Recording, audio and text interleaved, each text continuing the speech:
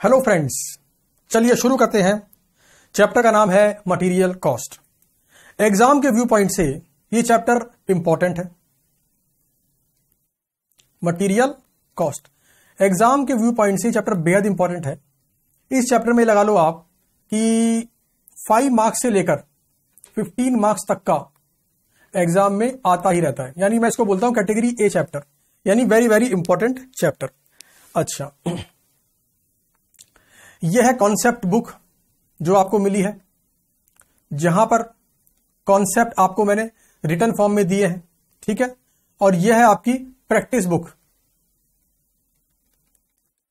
जहाँ से अपने को क्वेश्चन करने हैं। तो चलिए शुरू करते हैं। चैप्टर का नाम है मटेरियल कॉस्ट इसको अपन बहुत ही तरीके से करेंगे, हर चैप्टर को। और हर क्वेश्चन का आंसर मैंने आपको दे रखा है ऑलरेडी आप, जब मैं आंसर करूँगा इसके ऊपर तो उसको आप समझते हुए चलना। नोट करने का मतलब ना, समझते हुए चलना। नोट करने का मन करे, आप नोट कर सकते हो बीच के अंदर, कोई दिक्कत वाली बात नहीं है। चलिए शुरू करते हैं। देखिए, एक प्रोडक्ट को बनाने में, अगर मैं एक बिजनेसमैन हूँ, मेरा पर्पज है प्रॉफिट कमाना। देखिए, मैं क्या हूँ? बिजनेसमैन मेरा मकसद है कि मैं प्रॉफिट कमाऊं। प्रॉफिट कमाने के लिए मुझे क्या करना पड़ेगा? मुझे कोई प्रोडक्ट बनाकर बेचना होगा। है ना? यानी कि या तो मैं इसकी मैन्युफैक्चरिंग करूँगा एंड सेल करूँगा, या फिर मैं इसको बाई एंड सेल करूँगा, जिसे हम रिटेल भी बोलते हैं। अच्छा मान लीजिए मैं करता हूँ मैन्युफैक्चरिंग बिकॉज़ कॉस्टिंग के अंदर हम मैन्युफैक्चरिंग को कंसिडर करते हैं रीसेलिंग को नहीं रिटेलिंग को नहीं, समझ गए? खरीद के बेचना एक ऑल टुगेदर डिफरेंट चीज़ है but costing means manufacturing and then sale अच्छा जब मैं मैन्युफैक्चरिंग करूँगा तो यहाँ पर बहुत सारे खर्चे होते हैं। कुछ खर्चों को बोलते हैं वेरिएबल कॉस्ट और कुछ खर्चों को बोलते हैं फिक्स कॉस्ट वेरिएबल कॉस्ट से होता है मेरा मतलब वो खर्चे जो ज़्यादा प्रोडक्शन करने पर ज़्यादा होंगे और कम प्रोडक्शन करने पर कम होंगे। एग्ज़ाम्पल के लिए, अगर मान लीजिए मेरी कंपनी ये कैलकुलेटर बना के बेचती है, अगर मेरी कंपनी कैलकुलेटर बना के बेचती है तो ये जो प्लास्टिक बॉडी है जो दिख रही है आपको, जिसके अंदर पूरा कैलकुलेटर का फॉर्मेट दिख रहा है आपको, ये बटन बटन दिख रहे हैं, ये कौन सी कॉस्ट है? मटेरियल कॉस्ट देखो, मान लेता हूँ कि इसका जो मटेरियल कॉस्ट है, यानी कि जो ये मटेरियल है जो ये मटेरियल है, इसकी कॉस्ट है मान लो पचास रुपए पर यूनिट कितनी मानी मैंने? पचास रुपए पर यूनिट शॉर्ट में लिख रहा हूँ मटेरियल कॉस्ट कितनी है? पचास रुपए पर यूनिट अगर मैं बनाऊँ सौ कैलकुलेटर तो कितनी कॉस्ट आएगी? सौ गुना पचास. अगर बनाऊँ एक लाख तो एक लाख गुना पचास. तो देखा आपने कॉस्ट मेरी बढ़ रही है टोटलिटी के अंदर. ध्यान देना. अगर मैं थाउज़ेंड नंबर्स बनाता हूँ कैलकुलेटर के तो मेरी वेरिएबल कॉस्ट क्या होगी? यानी कि मेरी मटेरियल कॉस्ट क्या होगी? हज़ार गुना पचास। यहाँ मैं सौ बोल गया। अगर मैं हज़ार कैलकुलेटर बनाता हूँ और एक को बनाने में कॉस्ट आती है मेरी पचास रुपए तो ये होगी मेरी हज़ार गुना पचास। कितनी हो जाएगी? पचास हज़ार। सिंपल सी बात है। अगर मैं बनाऊँ एक लाख, अगर मान लीजिए मेरी कंपनी एक लाख कैलकुलेटर बना के बेचती है तो कितनी कॉस्ट आएगी एक लाख पर? एक लाख गुना पचास, यानी पचास लाख। तो क्या समझे आप? इसका मतलब है वेरिएबल कॉस्ट का मतलब होता है वो खर्चा जो प्रोडक्शन के बढ़ने पर बढ़ जाएगा प्रोडक्शन के घटने पर घट जाएगा। यहाँ पर ऑब्ज़र्व करिए प्रोडक्शन जैसे ही मैंने वन थाउज़ेंड से वन लैख किया, मेरी मटेरियल कॉस्ट फिफ्टी थाउज़ेंड से बढ़ के कितनी हो गई? फिफ्टी लैख यानी वेरिएबल कॉस्ट का मतलब होता है टोटल कॉस्ट वेरी करेगी। All right total cost vary करेगी। जरा ध्यान देना। खास बात है। मैंने क्या बोला? टोटल वेरिएबल कॉस्ट मेरी वेरी करेगी मतलब चेंज करेगी। यानी टोटल वेरिएबल कॉस्ट मेरी ऊपर या नीचे होगी डिपेंडिंग अपॉन प्रोडक्शन लेवल यानी कि total variable cost depending upon production level ऊपर नीचे होगी। मैं ज़्यादा बनाऊँगा, मेरी टोटल वेरिएबल कॉस्ट ज़्यादा हो जाएगी। मैं कम बनाऊँगा, मेरी टोटल वेरिएबल कॉस्ट कम हो जाएगी। बट एक खास बात ध्यान देना वेरिएबल कॉस्ट पर यूनिट ये हमेशा मेरा सेम रहता है।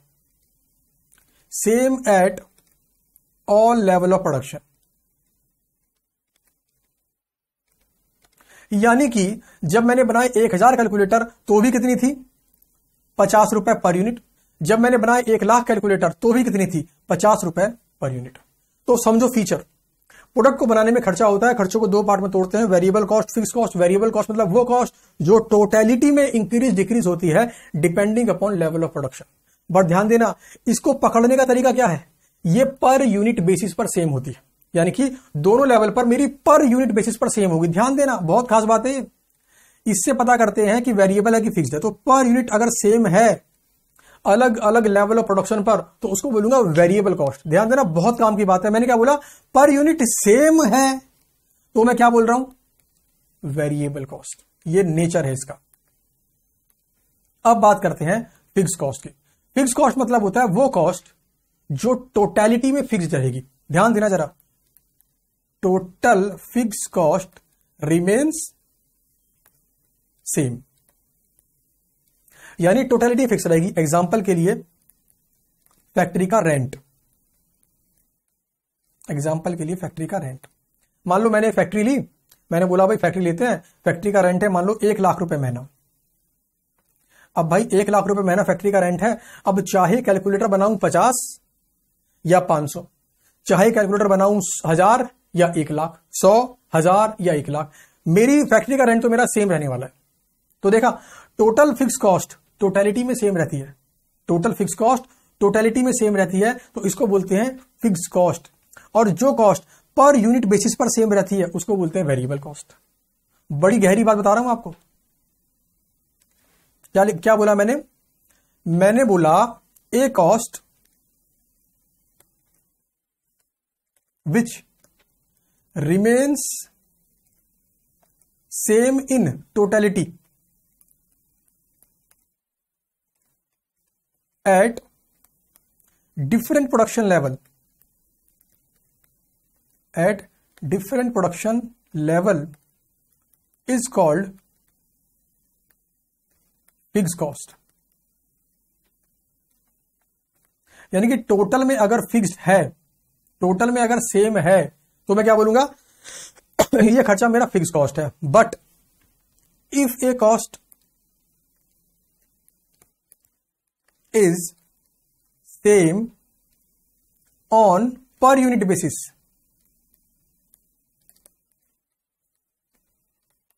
at different production level.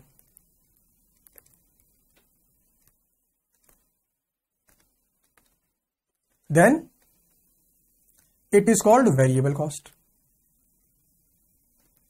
It is called variable cost it is called variable cost क्या समझे? कि अगर टोटल में सेम हो तो फिक्स कॉस्ट और अगर पर यूनिट बेसिस पर सेम हो तो वेरिएबल कॉस्ट तो ये मैं क्यों बता रहा हूँ आपको? ध्यान दीजिए, मेरा पर्पज था प्रॉफिट कमाना। प्रॉफिट कमाने के लिए मुझे मैन्युफैक्चरिंग करनी है। अच्छा मैन्युफैक्चरिंग करने में मुझे बहुत सारे खर्चे करने हैं। तो ध्यान देना, जो ये वेरिएबल कॉस्ट है, जो मैंने बोला, देखो, मुझे करना है बहुत सारे खर्चे। तो टोटल कॉस्ट में जो मेरा वेरिएबल कॉस्ट वाला पार्ट है वेरिएबल कॉस्ट और दूसरा है मेरा फिक्स कॉस्ट। तो ध्यान देना, वेरिएबल कॉस्ट को कॉस्टिंग के अंदर तीन कैटेगरी में डिवाइड करते हैं। एक होता है डायरेक्ट मटेरियल कॉस्ट। इसे क्या बोलते हैं हम? Direct material cost. दूसरा होता है डायरेक्ट लेबर कॉस्ट। और तीसरा होता है डायरेक्ट एक्सपेंसेस। Direct expenses. अब तीनों में डिफरेंस क्या है? ध्यान देना। मटेरियल कॉस्ट मतलब मटेरियल की कॉस्ट। इस कैलकुलेटर को बनाने के अंदर जो ये आपको प्लास्टिक बॉडी दिख रही है, ये क्या है? मटेरियल। तो भाई साहब, ये जो खर्चा है, इसको बोलते हैं मटेरियल कॉस्ट। अब ये डायरेक्ट है। डायरेक्ट मतलब वही। प्रोडक्शन के बढ़ने पर मटेरियल कॉस्ट का खर्चा बढ़ जाएगा टोटल में। प्रोडक्शन के घटने पर मटेरियल कॉस्ट का खर्चा घट जाएगा टोटल में। तो इसे बोलते हैं डायरेक्ट मटेरियल कॉस्ट। तो मैंने एग्जांपल लिया। मैंने बोला कि कैलकुलेटर को बनाने में मेरी मटेरियल कॉस्ट लगती है पचास रुपए पर कैलकुलेटर। पर कैलकुलेटर। तो डेफिनेटली कंपनी को अगर ज़्यादा प्रॉफिट कमाना है, ध्यान देना, कंपनी को अगर ज़्यादा प्रॉफिट कमाना है, देखो, कंपनी को अगर ज़्यादा प्रॉफिट कमाना है तो उसके बाद दो ऑप्शन है। प्रॉफिट कैसे निकलता है? Selling price minus total cost. दोनों के दोनों पर यूनिट है, पर यूनिट एंड पर यूनिट। यानी मुझे अगर प्रॉफिट पर यूनिट को बढ़ाना है तो मेरे पास दो रास्ते हैं। पहला रास्ता तो क्या है कि मैं सेलिंग प्राइस को बढ़ा लूँ। मतलब अपने माल को बहुत ज़्यादा कीमत पर मार्केट में बेचूं। यह मेरे पास है, पहला तरीका। अगर मैं अपने सेलिंग प्राइस को बढ़ाने में सफल हो जाता हूँ तो डेफिनेटली मैं अपने प्राइस को, अपने प्रॉफिट को मैक्सिमम कर लूँगा। बट प्रैक्टिकल लाइफ के अंदर सेलिंग प्राइस को बढ़ा पाना इतना आसान नहीं होता है बिकॉज़ ऑफ़ टफ कॉम्पिटिशन मान लो मैंने बनाया कैलकुलेटर मुझे पता पड़ा कि यार, मेरे को प्रॉफिट को मैक्सिमाइज करना है तो मैंने बोला, यार, ये सिमिलर कैलकुलेटर मार्केट में कितने का बिक रहा है? तो मेरे स्टाफ ने मुझे पता करके बताया कि, सर सिमिलर कैलकुलेटर मार्केट में बिक रहा है तीन सौ रुपए का, या मान लो चार सौ रुपए का। चार सौ का बिक रहा। मैंने बोला, यार, मेरे कैलकुलेटर की कीमत रखो, आप चार हज़ार रुपए। क्यों? क्योंकि मुझे प्रॉफिट को मैक्सिमाइज करना है। भाई, मेरा प्रॉफिट कब मैक्सिमम होगा? जब मेरी सेलिंग प्राइस ज़्यादा होगी कॉस्ट मेरी कम होगी। तो जैसे ही मैंने बोला कि मुझे अपने कैलकुलेटर का सेलिंग प्राइस चार हज़ार रुपए रखना है, बताओ, मेरा सेल्स मैनेजर क्या बोलेगा? वो मेरे आगे हाथ जोड़ लेगा। सर, क्या बात कर रहे हो आप? मार्केट में सिमिलर कैलकुलेटर चार सौ रुपए का बिक रहा है। आप जब चार हज़ार का बेचोगे ना, आपके कैलकुलेटर को कोई टच भी नहीं करेगा। मतलब माल बिकेगा ही नहीं। अरे सेलिंग प्राइस ज़्यादा रखने से क्या फ़ायदा हुआ? अगर माल ही नहीं बिक रहा, और अगर माल ही नहीं बिकेगा तो सेल्स है नहीं सेल्स ज़ीरो है। और जब सेल्स ही ज़ीरो है प्रॉफिट कहाँ से मैक्सिमाइज हो गया? बल्कि लॉस होने की संभावना बढ़ जाएगी। तो जैसे ही मैं अपने सेल्स मैनेजर की ये वाली बात सुनूँगा, मेरे मन में बात आएगी कि यार, बात तो मेरा सेल्स मैनेजर सही कह रहा है।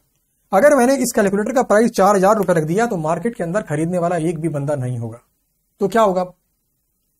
ये जो तरीका था कि सेलिंग प्राइस को इंक्रीज करके प्रॉफिट को मैक्सिमाइज कर लूँ, यहाँ पर मेरा फॉर्मूला फेल हो गया। क्यों? मार्केट में कंपटीशन बहुत है। मार्केट में सिमिलर आइटम चार सौ रुपए का बिक रहा है। तो चार हज़ार मेरा क्यों बिकेगा? या तो कोई यूनिक फीचर हो, या तो कोई ऐसा फीचर हो कि मुँह से बोलो और कैलकुलेटर कैलकुलेट कर देगा। जैसे मैं बोलूँ twenty five multiplied by twenty five और ये दिखा दिया आंसर में सिक्स ट्वेंटी फाइव बिना बटन प्रेस किए। तो ये क्या हो जाएगा? यूनिक फीचर बट ऐसा कोई फीचर तो मेरे कैलकुलेटर में है ही नहीं। तो भाई, एक तरीका होता है सेलिंग प्राइस बढ़ाकर प्रॉफिट को मैक्सिमाइज करना, जो कि सबके लिए पॉसिबल नहीं होता है। यह काम आप तभी कर सकते हो जब आपके प्रोडक्ट के अंदर यूनिक स्किल हो। या कह लो यूनिक क्वालिटी हो। एक ऐसी क्वालिटी जो सिमिलर प्रोडक्ट के अंदर मार्केट में अवेलेबल ही नहीं है। अच्छा यह था पहला तरीका। अब आते हैं दूसरा तरीका। दूसरा तरीका क्या है?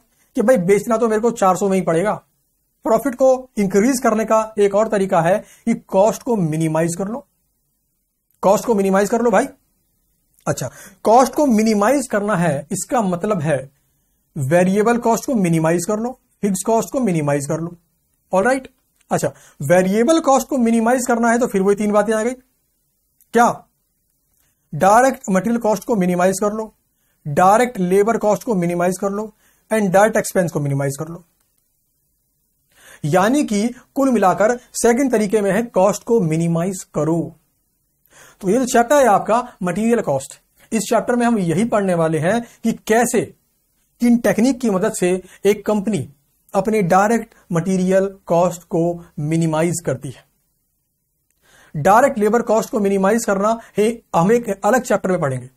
डायरेक्ट एक्सपेंस को मिनिमाइज करना हम एक अलग चैप्टर में पढ़ेंगे। इस चैप्टर में हम पढ़ने वाले हैं डायरेक्ट मटेरियल कॉस्ट को मिनिमाइज करना। यानी कि अगर हमने कैसे ना कैसे करके इस पचास रुपए पर कैलकुलेटर वाली कॉस्ट को मिनिमाइज कर दिया तो हमारा प्रॉफिट बढ़ जाएगा। भाई मान लो, आज खर्चा आता है पचास रुपए पर कैलकुलेटर का, लेकिन मैंने जुगाड़ लगाया, क्वांटिटी बल्क में खरीद ली, या मान लो आउट ऑफ़ इंडिया चाइना सेक्स इंपोर्ट कर लिया मैंने अब इंपोर्ट करने मुझे पता पड़ा कि जो मेरी मटेरियल कॉस्ट पहले पचास रुपए आ रही थी, अब फ्यूचर में वो आएगी पैंतीस रुपए। तो क्या किया मैंने? पंद्रह रुपए से अपने प्रॉफिट को इंक्रीज कर लिया। तो ये था इस पूरे चैप्टर का कंक्लूजन की आखिरी चैप्टर हम पढ़ क्यों रहे अगर मैं आपसे पूछूँ तो आप मुझे बोलोगे, सर, ये चैप्टर हम सिर्फ़ इसलिए पढ़ रहे हैं क्योंकि हमें एग्ज़ाम में पास करना है। बात तो बिल्कुल ठीक है आपकी, लेकिन पास करना तो है बट क्यों हमारे इंस्टीट्यूट ने इसको चैप्टर के रूप में डाला है। लॉजिक आप समझ गए हैं। प्रैक्टिकल लाइफ के अंदर आपका पर्पज होता है कॉस्ट को मिनिमाइज करना। अगर कॉस्ट को मिनिमाइज कर दिया तो प्रॉफिट अपने आप बढ़ जाएगा। क्योंकि सेलिंग प्राइस को बढ़ा पाना प्रैक्टिकल लाइफ में काफ़ी जगह पॉसिबल ही नहीं होता है बिकॉज़ ऑफ़ टफ कॉम्पिटिशन तो यह है इस चैप्टर का कंक्लूजन ठीक है जी? तो बात कर ली मैंने। मटेरियल कॉस्ट हमारी होती है वेरिएबल कॉस्ट ये खर्च होती है पर यूनिट बेसिस पर। अगर बनाऊँगा एक कैलकुलेटर तो मुझे एक खांचा चाहिए।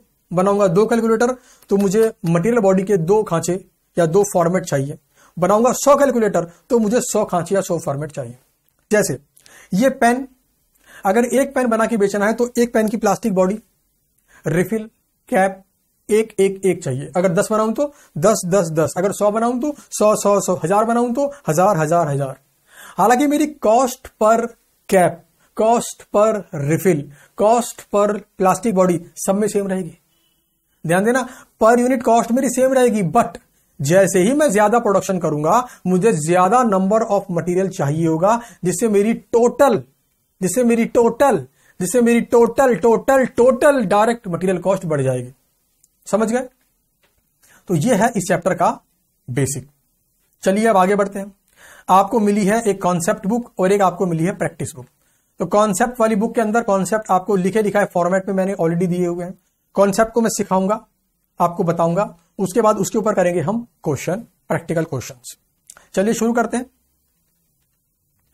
सबसे पहला कॉन्सेप्ट है आपका इकोनॉमिक ऑर्डर क्वांटिटी सबसे पहला कॉन्सेप्ट है आपका इकोनॉमिक ऑर्डर क्वांटिटी आखिर ये होता क्या है? ध्यान देना. मटेरियल कॉस्ट पे खर्चा मुझे मिनिमाइज करना है। मैंने बताया अभी मटेरियल कॉस्ट पे खर्चा मुझे मिनिमाइज करना है। तो मैं सोचूँगा कि पूरे साल में मुझे कितने मटेरियल की रिक्वायरमेंट है।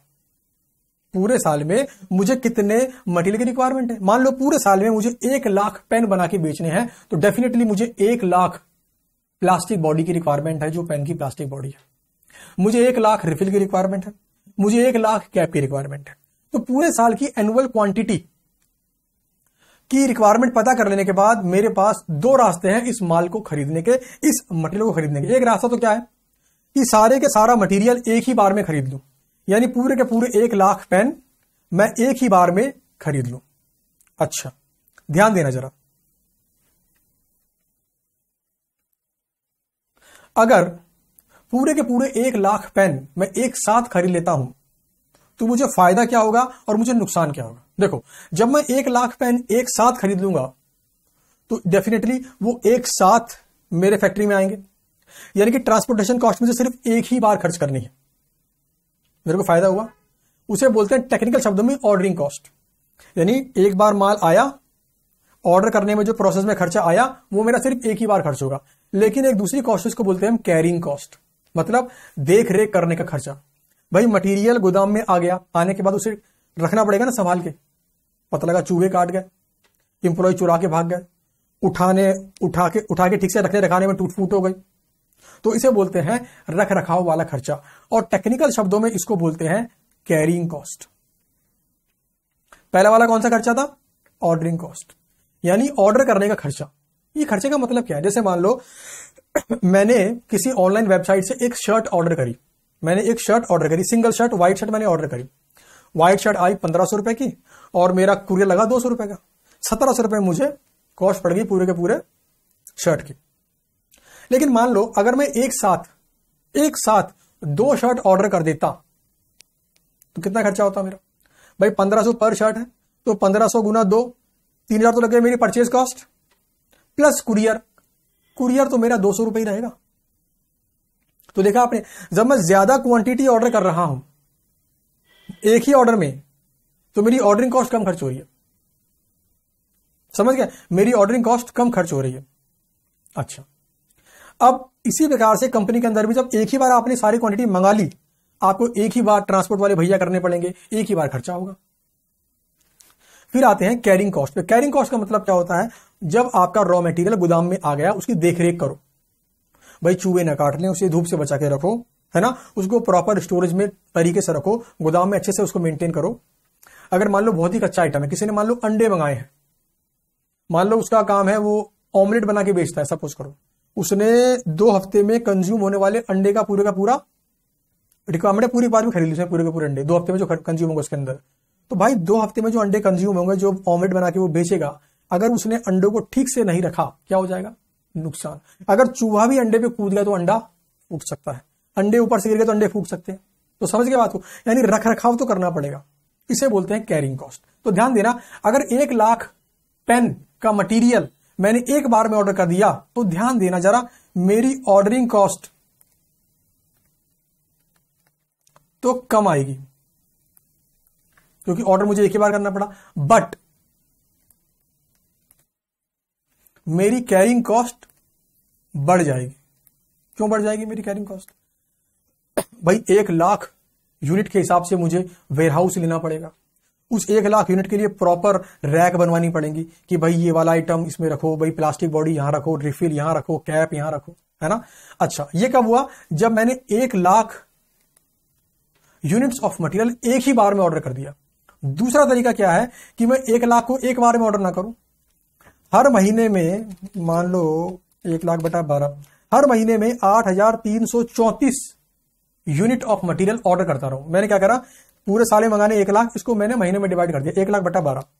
कि बारह बार मंगाऊँगा तो हर महीने मंगाऊँगा आठ हज़ार तीन सौ चौतीस यूनिट। अब इसका फ़ायदा क्या हुआ?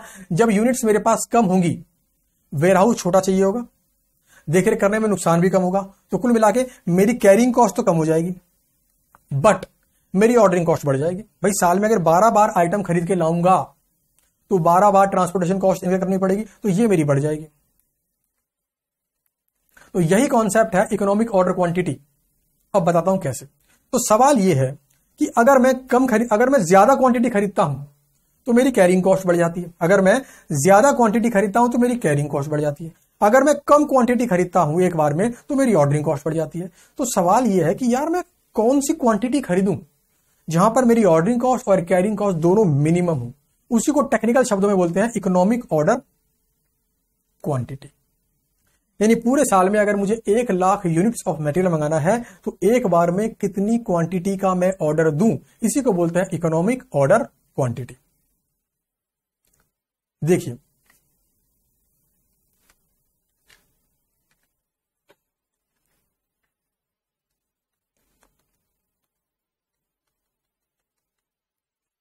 देखिए, मैं इसको ग्राफ पे दिखाता हूँ आपको। ये रहा आपका एक्स एक्सिस और ये रहा आपका वाई एक्सिस ठीक है? यहाँ पर लिखता हूँ मैं इकोनॉमिक ऑर्डर क्वांटिटी शॉर्ट में लिखा मैंने ईओ क्यू यानी एक बार में कितना ऑर्डर करें। और यहाँ पर लिखता हूँ मैं कॉस्ट यानी कि जो मेरा खर्चा हो रहा है। ध्यान देना, जब मैं जब मैं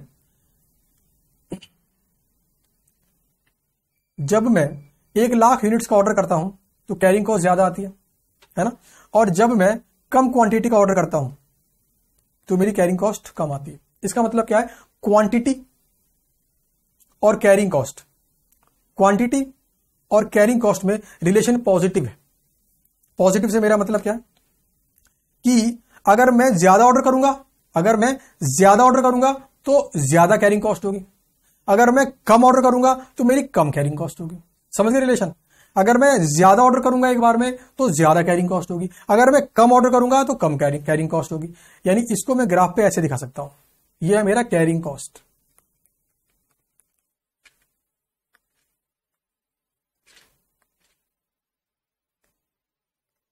अरे यार, ये पेन कैसे कैरिंग कॉस्ट। समझ गए? अगर मैं ज़्यादा ऑर्डर करूँ, ये देखो, मैंने क्वांटिटी बढ़ाई कैरिंग कॉस्ट मेरी बढ़ गई। अगर मैं क्वांटिटी और बढ़ाऊँगा कैरिंग कॉस्ट मेरी बढ़ जाएगी। तो ग्राफ से हो रहा है क्लियर कि इनमें क्या होता है? पॉजिटिव रिलेशन होता है। क्वांटिटी में एंड कैरिंग कॉस्ट में। अब आते हैं ऑर्डरिंग कॉस्ट के अंदर। ध्यान देना, अगर ऑर्डरिंग कॉस्ट सॉरी अगर क्वांटिटी ज़्यादा है तो ऑर्डरिंग कॉस्ट कम है। और क्वांटिटी कम है ऑर्डरिंग कॉस्ट ज़्यादा है मतलब रिलेशनशिप अपोजिट है। तो ग्राफ पे इसको मैं ऐसे दिखाऊँगा। यह मान लो मेरा ऑर्डरिंग कॉस्ट अब जरा ध्यान देना। अगर मैं क्वांटिटी यहाँ पे ऑर्डर करूँ, अगर मैं यहाँ पे ऑर्डर करूँ क्वांटिटी का तो ये लाइन मैंने ड्रॉ कर दी। अब जरा ध्यान दो। यहाँ मेरी कैरिंग कॉस्ट ज़्यादा है ऑर्डरिंग कॉस्ट कम है। यानी ज़्यादा क्वांटिटी में कैरिंग कॉस्ट ज़्यादा होगी ऑर्डरिंग कॉस्ट कम होगी। जब यहाँ पे करता हूँ ऑर्डर करता हूँ, अगर मैं यहाँ पे करता हूँ ऑर्डर तो ये रही मेरी ऑर्डरिंग कॉस्ट और ये रही मेरी कैरिंग कॉस्ट यानी अगर मैं ए क्वांटिटी ऑर्डर करता हूँ, अगर मैं ए क्वांटिटी ऑर्डर करता हूँ ऑर्डरिंग कॉस्ट ज़्यादा है कैरिंग कॉस्ट कम है। अगर मैं बी क्वांटिटी ऑर्डर करता हूँ तो मेरी कैरिंग कॉस्ट ज़्यादा है ऑर्डरिंग कॉस्ट कम है। कुल मिलाकर दोनों ही लेवल पर, मेरी एक कॉस्ट कम होने पर दूसरी कॉस्ट बढ़ जाती है। तो कुल मिलाकर सवाल यह है कि वो कौन सा लेवल ऑफ़ क्वांटिटी है, जहाँ पर मेरी ऑर्डरिंग कॉस्ट और कैरिंग कॉस्ट बराबर होगी और मिनिमम होगी। तो वो है ये लेवल इसी को बोलते हैं हम इकोनॉमिक ऑर्डर क्वांटिटी का लेवल तो यहाँ से अगर मैं एक लाइन ड्रॉ करूँ तो ये पॉइंट को मैं कहता हूँ, मान लो सी तो C is my economic order quantity level कुल मिलाकर इस लेवल पर आपकी ऑर्डरिंग कॉस्ट कैरिंग कॉस्ट बराबर भी होगी और मिनिमम भी होगी। तो ये मैंने ग्राफ में आपको समझा दिया। ठीक है? चलिए, अब लौटते हैं कॉन्सेप्ट की तरफ़। तो कुल मिला मैंने क्या बताया आपको? मैंने आपको बताया कि भाई, जब एक हम आइटम खरीदते हैं मटेरियल हम खरीदते हैं तो खर्चों में दो तरीके खर्चे होते हैं। एक का नाम है आपका ऑर्डरिंग कॉस्ट और एक का नाम है आपका कैरिंग कॉस्ट ठीक है? अच्छा इसके अलावा एक खर्चा और उसका नाम होता है परचेज कॉस्ट क्या नाम है इस खर्चे का? Purchase cost ordering cost carrying cost and purchase cost purchase cost मतलब क्या होता है? कितनी यूनिट्स खरीदी? Multiplied by purchase price per unit very very simple भाई, अगर एक लाख यूनिट्स खरीदी मैंने मटेरियल की तो एक लाख गुना पचास रुपए पर कैलकुलेटर था ना? ऑर्डरिंग कॉस्ट क्या है? ऑर्डर करने की कॉस्ट जैसे ट्रांसपोर्टेशन कॉस्ट आएगी इसके अंदर इंस्पेक्शन कॉस्ट आएगी इसके अंदर. This is my ordering cost जितनी बार ऑर्डर प्लेस करूँगा, उतनी बार मेरी कॉस्ट इनकर होगी. फिर है कैरिंग कॉस्ट एक बार मटेरियल गोडाउन में आ गया, आने के बाद उसको सेफ़ रखने में जो खर्चा होता है, उस खर्चे को हम बोलते हैं कैरिंग कॉस्ट कैरिंग कॉस्ट में आता है, आपका इंश्योरेंस कॉस्ट भी आता है, क्योंकि इंश्योरेंस लेना पड़ता है, चोरी चकारी ना हो जाए, आग ना लग जाए इंटरेस्ट कॉस्ट अगर पैसे उधार लेके माल खरीदा है तो इंटरेस्ट कॉस्ट भी आएगा तीसरा है स्टोरेज स्पेस कॉस्ट बेसिकली ये बात कर रहा है रेंट की, गोदाम छोटा बड़ा लेना पड़ेगा और चौथा है आपका डेटोड्यूरेशन और ऑब्सेलेंस कॉस्ट ये क्या होता है? पता लगा आपने जो खरीदा है मटेरियल वो आउटडेटेड हो गया। उसका रिस्क भी तो है। मान लो कोई कंपनी फ़ोन बनाकर बेचती है। उसने स्टॉक खरीद लिया कि भाई एक लाख फ़ोन बना के बेचेंगे तो उसने खरीद लिया उसका रॉ मटेरियल ऐसा भी तो हो सकता है कि जब तक वो एक लाख फ़ोन बनाए, उसके पहले वो वाला मॉडल आउटडेट ही हो जाए। तो वो भी आपका रिस्क है। तो यह खर्चा नंबर चार। तो क्वेश्चन में जब ये चार खर्चे आपको दिए हो insurance interest storage space and obsolescence cost rate इन चारों को ऐड कर दो, ये टेक्निकली कहलाएगा आपका कैरिंग कॉस्ट अच्छा जी, ठीक है? अब आगे बढ़ते हैं।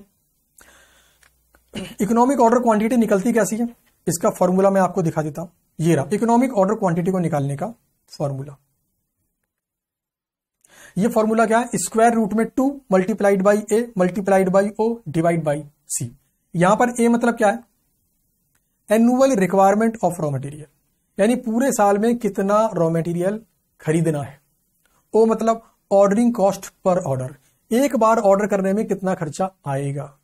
फिर है carrying cost per unit per annum अगर मैं एक यूनिट को अच्छे से अपने गोदाम में सेफली रखूँ तो पूरे साल में इस पर कितना खर्चा आएगा? ये फॉर्मूला याद कैसे करना है, ये मैं आपको बताता हूँ।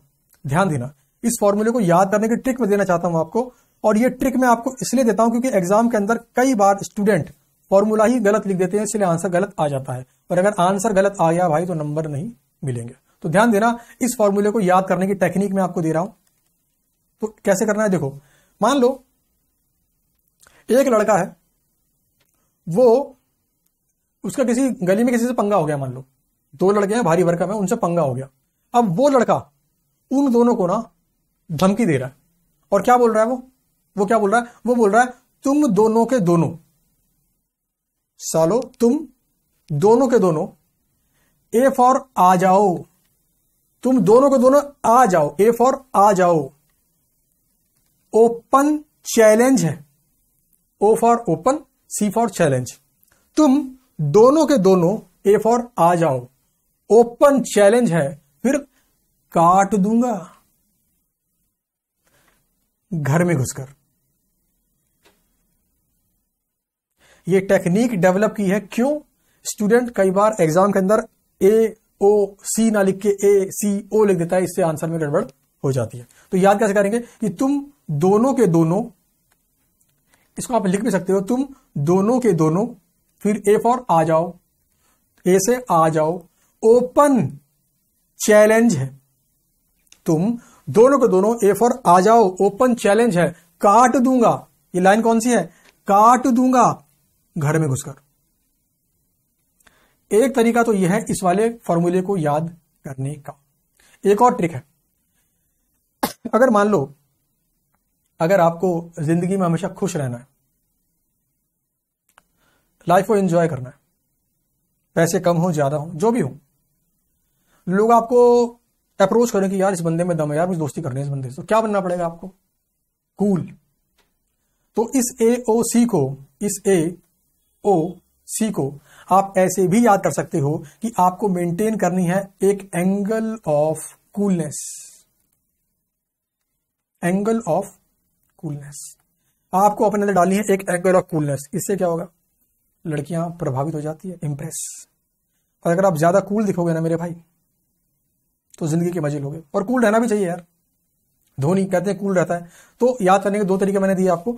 तो क्वेश्चन के अंदर अपने को ए भी दिया होगा ओ भी दिया होगा सी भी दिया होगा और हमें इसे निकालना होगा इकोनॉमिक ऑर्डर क्वांटिटी ठीक है ना? इकोनॉमिक ऑर्डर क्वांटिटी तो ये तो फॉर्मूला था। अच्छा इस फॉर्मूले की डेरिवेशन कैसे हुई? तो भाई, इस फॉर्मूले की डेरिवेशन तो मैंने सिखाई है रेगुलर वाले बैच के अंदर। आइए। आपको सिंपली फॉर्मूला याद करना है। अच्छा कई बार क्वेश्चन के अंदर बोलता है एनुअल ऑर्डरिंग कॉस्ट निकालो। कई बार बोलेगा एनुअल कैरिंग कॉस्ट निकालो। तो भाई एनुअल ऑर्डरिंग कॉस्ट निकालने का फॉर्मूला क्या होगा? बोलता है, पूरे साल में कितना खर्चा है ऑर्डरिंग का? तो सिंपल हम क्या बोलेंगे? पूरे साल में कितने ऑर्डर कितने बार ऑर्डर प्लेस करें? Multiplied by ordering cost per order पूरे साल में कितनी बार ऑर्डर प्लेस करें? Multiplied by ordering cost per order अच्छा पूरे साल में कितनी बार ऑर्डर प्लेस करें? कैसे निकालो? भाई, मान लो, पूरे साल में एक लाख यूनिट्स ऑर्डर करनी थी। और मान लो, एक बार में दस हज़ार यूनिट्स का ऑर्डर कर रहे हैं हम। तो पूरे साल में कितनी बार ऑर्डर प्लेस करना पड़ेगा? दस बार। कैसे निकाला आपने? आपने बोला ए यानी annual requirement of raw material divide by Q यानी एक बार में कितना ऑर्डर किया? तो ए बटा क्यू यह आ जाएगा total number of orders multiplied में क्या कर देंगे हम? ओ ओ से हम डिनोट करते हैं ऑर्डरिंग कॉस्ट पर ऑर्डर ये बताया मैंने आपको भी। ओ से हम क्या डिनोट करते हैं? Ordering cost per order. तो ये फॉर्मूला मैंने यहाँ पे लिख दिया है। Annual requirement of raw material divide by quantity ordered each time multiplied by ordering cost per order यानी ए बटा क्यू मल्टीप्लाइड बाई ओ अब आगे आ जाओ एनुअल कैरिंग कॉस्ट तो भाई एनुअल कैरिंग कॉस्ट क्या होती है? एनुअल कैरिंग कॉस्ट का मतलब है यूनिट्स को ऑन एन एवरेज अपनी फैक्ट्री में, अपने गोदाम में रखने में कितना खर्चा आता है। तो भाई हम क्या बोलेंगे? हम बोलेंगे एक यूनिट को एक साल मेंटेन करने में कितना खर्चा आता है, पहले तो वो बताओ। यानी कि सी बताओ, पहले तो सी ये था ना C carrying cost per unit per annum तो ये रहा भाई सी यानी average carrying cost per unit per annum और इसे मल्टीप्लाई कर देंगे विच एवरेज यूनिट्स ध्यान देना ऑर्डर यूनिट्स नहीं एवरेज यूनिट्स इसका लॉजिक मैं आपको चलो बता देता हूँ। ध्यान देना, मुझे निकालनी है ऑन एन एवरेज पूरे साल में कितनी कैरिंग कॉस्ट लगेगी? तो मान लो, ये आपका पूरा महीना। ये एक महीना है, मान लो वन मंथ समझाने के लिए लिखा मैंने वन मंथ मान लो यहाँ पर ऑर्डर करिए आपने one thousand K G of raw material फिर कंज्यूम होते होते होते होते होते होते होते होते होते होते यहाँ पे कितना हो गया ज़ीरो के जी तो मैं अगर आपसे पूछूँ कि भाई आपकी आपकी मंथली कैरिंग कॉस्ट कितनी है तो बताओ जरा कैसे निकालोगे आप आप बोलोगे सर हज़ार रुपए निकाल दो हज़ार के जी गुना सी अगर आपने मुझे बोला हज़ार के जी गुना कर दो सी सी क्या मेरा carrying cost per unit per annum तो मैं बोल रहा हूँ गलत है क्यों भाई यहाँ पे तो हज़ार है ही नहीं, आखिरी में तो। भाई, पंद्रह तारीख के बाद तो हज़ार होंगे ही नहीं। हर रोज कम होते जा रहे हैं। हाँ ये तो गलत है।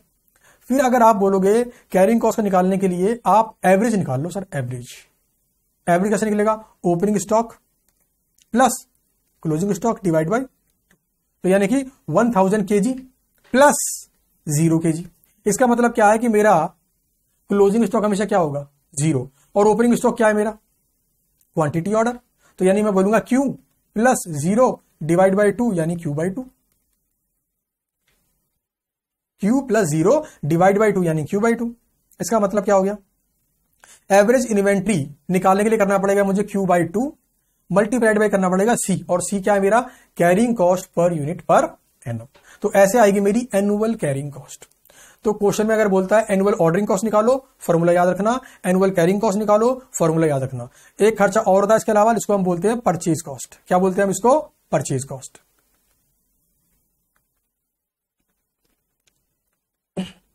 चलिए, अब बात कर लेते हैं सेफ्टी स्टॉक की। कई बार कुछ कंपनियाँ मेंटेन करती हैं सेफ्टी स्टॉक कई बार ऐसा होता है ना, आप जब घर के बाहर जाते हो तो आपको आपके घरों ने हज़ार रुपए दिए। हज़ार रुपए रखते हो आप पर्स के अंदर, बट उसके अलावा एक चोर पॉकेट भी होती है। कुछ लोग अपनी सॉक्स के अंदर सौ रुपए, दो सौ रुपए रखते हैं। वो क्या है? चोर पॉकेट। कुछ लोग अपनी अंदर वाली जेब में दो सौ रुपए रखते हैं।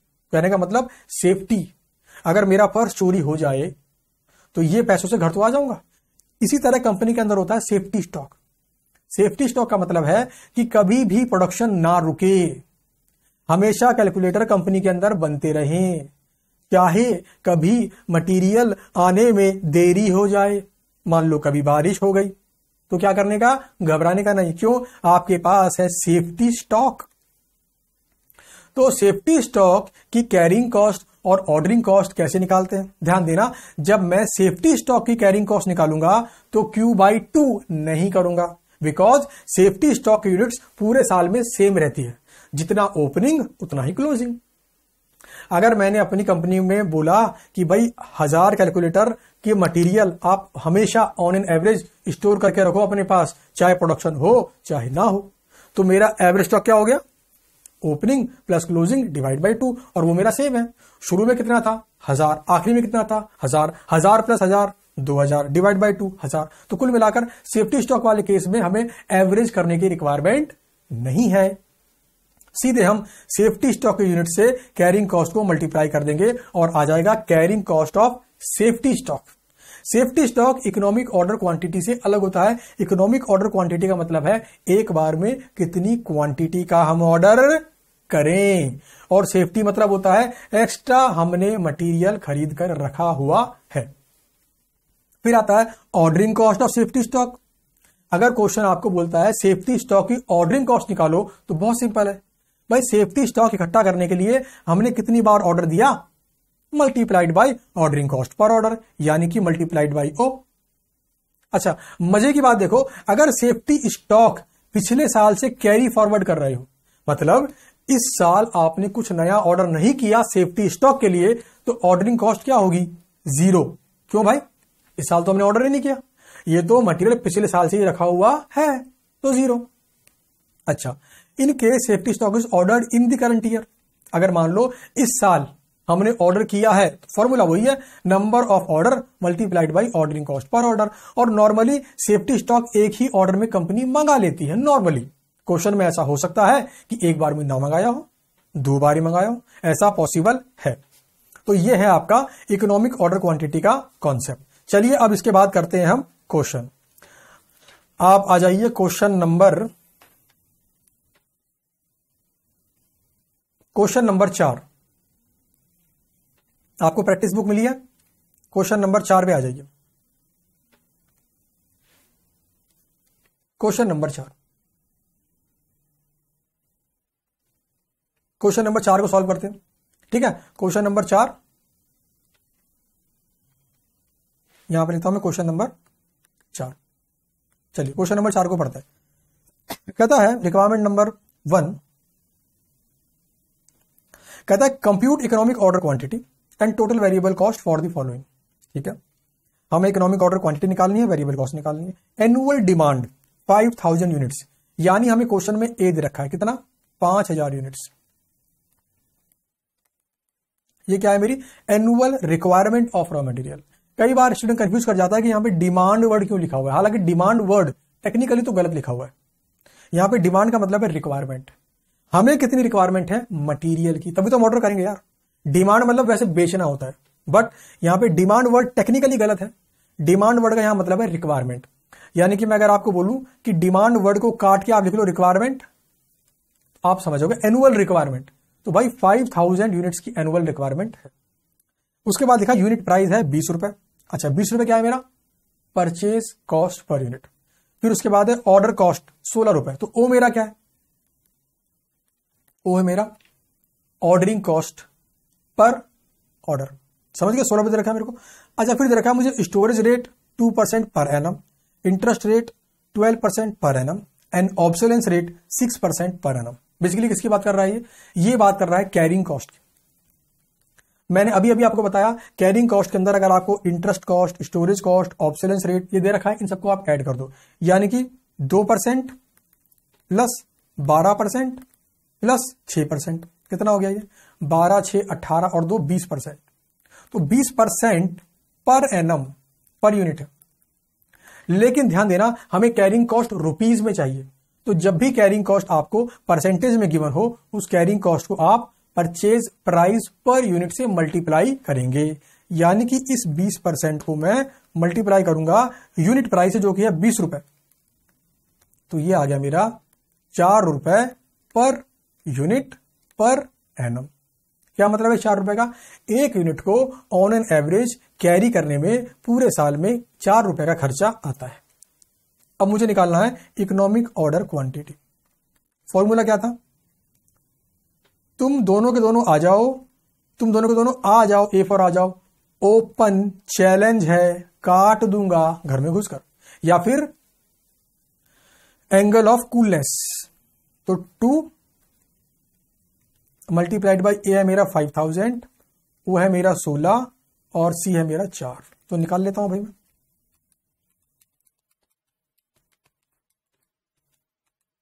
ये आ गया मेरा 200 units this is my 200 units economic order quantity चलो आगे। क्वेश्चन ने मुझे क्या बोला है? क्वेश्चन ने मुझे बोला है टोटल वेरिएबल कॉस्ट निकालने के लिए। आंसर को प्रॉपर फॉर्मेट के अंदर मैंने आपको ऑलरेडी दिया हुआ है, वहाँ से आप देख सकते हैं। तो यहाँ पर मैं थोड़ा एब्रीवेशन का इस्तेमाल करूँगा समय को बचाने के लिए। तो मुझे क्या निकालना है? टोटल वेरिएबल कॉस्ट अब जरा ध्यान देना, मैंने आपको बताया था कि टोटल वेरिएबल कॉस्ट मतलब क्या क्या होता है? Direct material cost direct labour cost and direct expense और इस क्वेश्चन के अंदर लेबर कॉस्ट की बात नहीं करी गई है। डायरेक्ट एक्सपेंस की बात नहीं की गई है। तो यहाँ पर टोटल वेरिएबल कॉस्ट का मतलब है total direct material cost direct material cost. Full form लिख दूँ। Direct material cost. तो मुझे ये निकालना है यहाँ पर, टोटल डायरेक्ट मटेरियल कॉस्ट। तो भाई खर्चे तीन तरीके के होते हैं। एक होता है मेरा परचेज कॉस्ट। यानी खरीदने का कितना खर्चा आया तो ध्यान देना मेरे को खरीदनी है फाइव थाउज़ेंड यूनिट्स और एक यूनिट है बीस रुपए की। तो फाइव थाउज़ेंड गुना बीस, कितना आ जाएगा ये? ये आ गया एक लाख रुपए। ठीक है जी? ये आ गई मेरी परचेज कॉस्ट इसके बाद दूसरा खर्चा क्या था मेरा? ऑर्डरिंग कॉस्ट ऑर्डरिंग कॉस्ट निकालने का फॉर्मूला क्या था? Total number of orders multiplied by ordering cost per order total number of order निकालने का फॉर्मूला क्या था? ए बटा क्यू मल्टीप्लाइड बाई ओ अच्छा ए मतलब क्या है? ए मतलब है टोटल एनुअल रिक्वायरमेंट तो कितनी है जी? Five thousand units Q? मतलब क्या है? एक बार में कितनी क्वांटिटी ऑर्डर की करेंगे? वो मैंने अभी निकाला इकोनॉमिक ऑर्डर क्वांटिटी इसी को बोलते हैं क्यू तो ये कितना है? 200 यूनिट्स मल्टीप्लाइड बाई मेरी ऑर्डरिंग कॉस्ट कितनी है? सोलह रुपए पर ऑर्डर तो पाँच हज़ार बटा दो सौ, यानी पच्चीस बार ऑर्डर करेंगे। एक बार ऑर्डर करने में खर्चा सोलह रुपए का तो पच्चीस गुना सोलह हो गया मेरा चार सौ रुपए। पच्चीस गुना सोलह कितना हो गया मेरा? चार सौ रुपए। अच्छा इसके बाद मेरे कैरिंग कॉस्ट मुझे निकालनी है एनुअल कैरिंग कॉस्ट ये सारे के सारे खर्चे एनुअल है। इस निकालने का फॉर्मूला क्या है? Q by two multiplied by C तो क्यू कितना है मेरा? एक बार में कितनी यूनिट्स का मुझे ऑर्डर करना है? तो भाई वो है 200 अभी निकाला मैंने economic order quantity divide by two multiplied by मेरा सी कितना है? सी है मेरा चार रुपए। अभी निकाला था मैंने carrying cost per unit per annum तो भाई 200 बटा दो गुना चार आ गया मेरा चार सौ रुपए। तीनों को मैं ऐड कर दूँगा, ये आ गया मेरा एक लाख आठ सौ रुपया लो जी। यानी कि क्वेश्चन नंबर चार की रिक्वायरमेंट नंबर वन पूरी तरीके से सॉल्व हो गई है। ठीक है? अब आते हैं रिक्वायरमेंट नंबर टू की तरफ़। Requirement number two requirement number two में बोलता determine total variable cost that would result for the items if an incorrect price of twelve point अस्सी इज़ यूज़ कुल मिलाकर इस क्वेश्चन में कोई चेंज नहीं है। रिक्वायरमेंट नंबर सेकंड बस ये बोल रहा है कि फ़र्स्ट वाली एज इट इज़ सेम मान लो, बस प्राइस को आप मान लो बारह रुपए अस्सी पैसे। बस ये बोल रहा है वो। यानी कि एवरीथिंग इज़ सेम बस प्राइस को क्या मान लो, बारह रुपए अस्सी पैसे। यानी कि पहले हमने एक इनकरेक्ट प्राइस ले लिया था, जो कि बीस रुपए था, और ये बारह रुपए अस्सी पैसे होना चाहिए था। तो भाई कोई चेंज ही नहीं है। चेंज किसका है बस? प्राइस का। यानी टेक्निकली रिक्वायरमेंट नंबर टू के अंदर हम कुछ नया सीखने वाले नहीं है। तो रिक्वायरमेंट नंबर टू आप खुद से सॉल्व कर लेना। इसका आंसर मैंने आपको ऑलरेडी यहाँ पर दिया हुआ है प्रॉपर फॉर्मेट के अंदर। मैंने इकोनॉमिक ऑर्डर क्वांटिटी भी निकाली है। मैंने वही purchase cost ordering cost carrying cost और तीनों का टोटल निकाल दिया। एक बार वेरीफाई करा दूँ क्या आपको? चलो वेरीफाई करवा देता हूँ। देखो ए मेरा सेम रहेगा फाइव थाउज़ेंड यूनिट्स अच्छा ओ मेरा सेम रहेगा सोलह रुपए।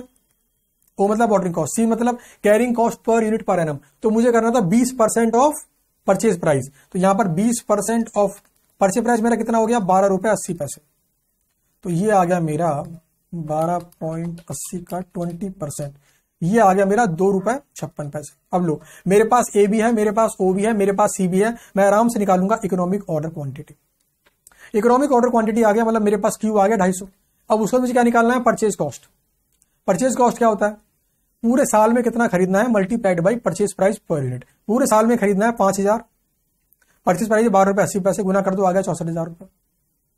फिर मुझे निकालना है ऑर्डरिंग कॉस्ट ऑर्डरिंग कॉस्ट निकालने का फॉर्मूला होता है A by Q multiplied by O A मेरा कितना है?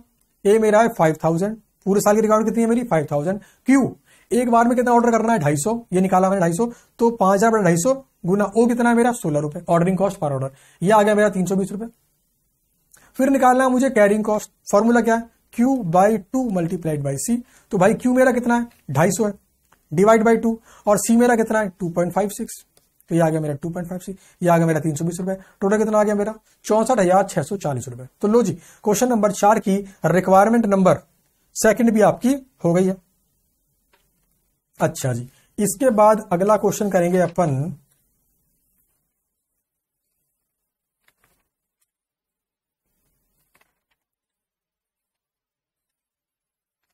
अगला क्वेश्चन करेंगे।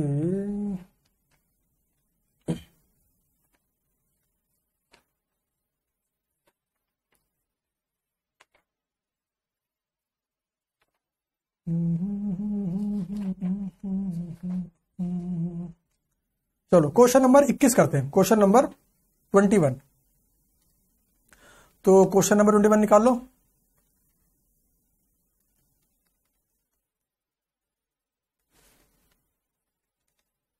Question number 21 G limited produces a product which has a monthly demand of four thousand units ध्यान देना मंथली डिमांड है मंथली मंथली मंथली अगर मुझे निकालनी हो पूरे साल क्या करना पड़ेगा मुझे? फोर थाउज़ेंड यूनिट्स को ट्वेल्व मंथ से मल्टीप्लाई करना पड़ेगा। तो यह आ जाएगा मेरा फोर्टी एट थाउज़ेंड यूनिट्स और ये क्या है मेरा? A annual requirement of raw material अब ध्यान ध्यान देना, आगे बढ़ते हैं। The product requires a component X which is purchase at rupees twenty यानी बीस रुपए क्या है मेरा? Purchase cost per unit for every finished product one unit of component is required यानी एक फिनिश गुड्स बनाने के लिए एक ही चाहिए रॉ मटेरियल यानी फोर थाउज़ेंड क्या थी मेरी? एनुअल मंथली डिमांड तो मल्टीप्लाइड बाई ये कितना हो जाएगा मेरा? वन यूनिट ये वन यूनिट क्या है? भाई, एक फिनिश गुड्स बनाने के लिए आपको चाहिए एक रॉ मटेरियल तो भाई मल्टीप्लाई कर दिया कितना आ गया मेरा? Forty eight thousand the ordering cost is rupees one twenty per order तो ओ मेरा कितना है? एक सौ बीस रुपए. And the holding cost is ten percent per annum holding cost मतलब कैरिंग कॉस्ट तो भाई टेन परसेंट मल्टीप्लाइड बाई कितना है परचेज कॉस्ट तो ये आपका बीस रुपए. तो ये आ गया आपका दो रुपए. दो रुपए पर यूनिट पर एनम ठीक है? दो रुपए पर यूनिट पर एनम क्वेश्चन ने क्या बोला? You are required to calculate economic order quantity चलो भाई इकोनॉमिक ऑर्डर क्वांटिटी निकाल लेते हैं। स्क्वायर रूट में two multiplied by angle of coolness A कितना है मेरा? फोर्टी एट थाउज़ेंड ओ कितना है मेरा? एक सौ बीस। और सी कितना है मेरा? दो।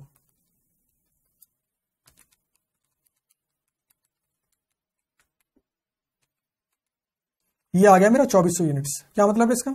इसका मतलब है कि कंपनी को अगर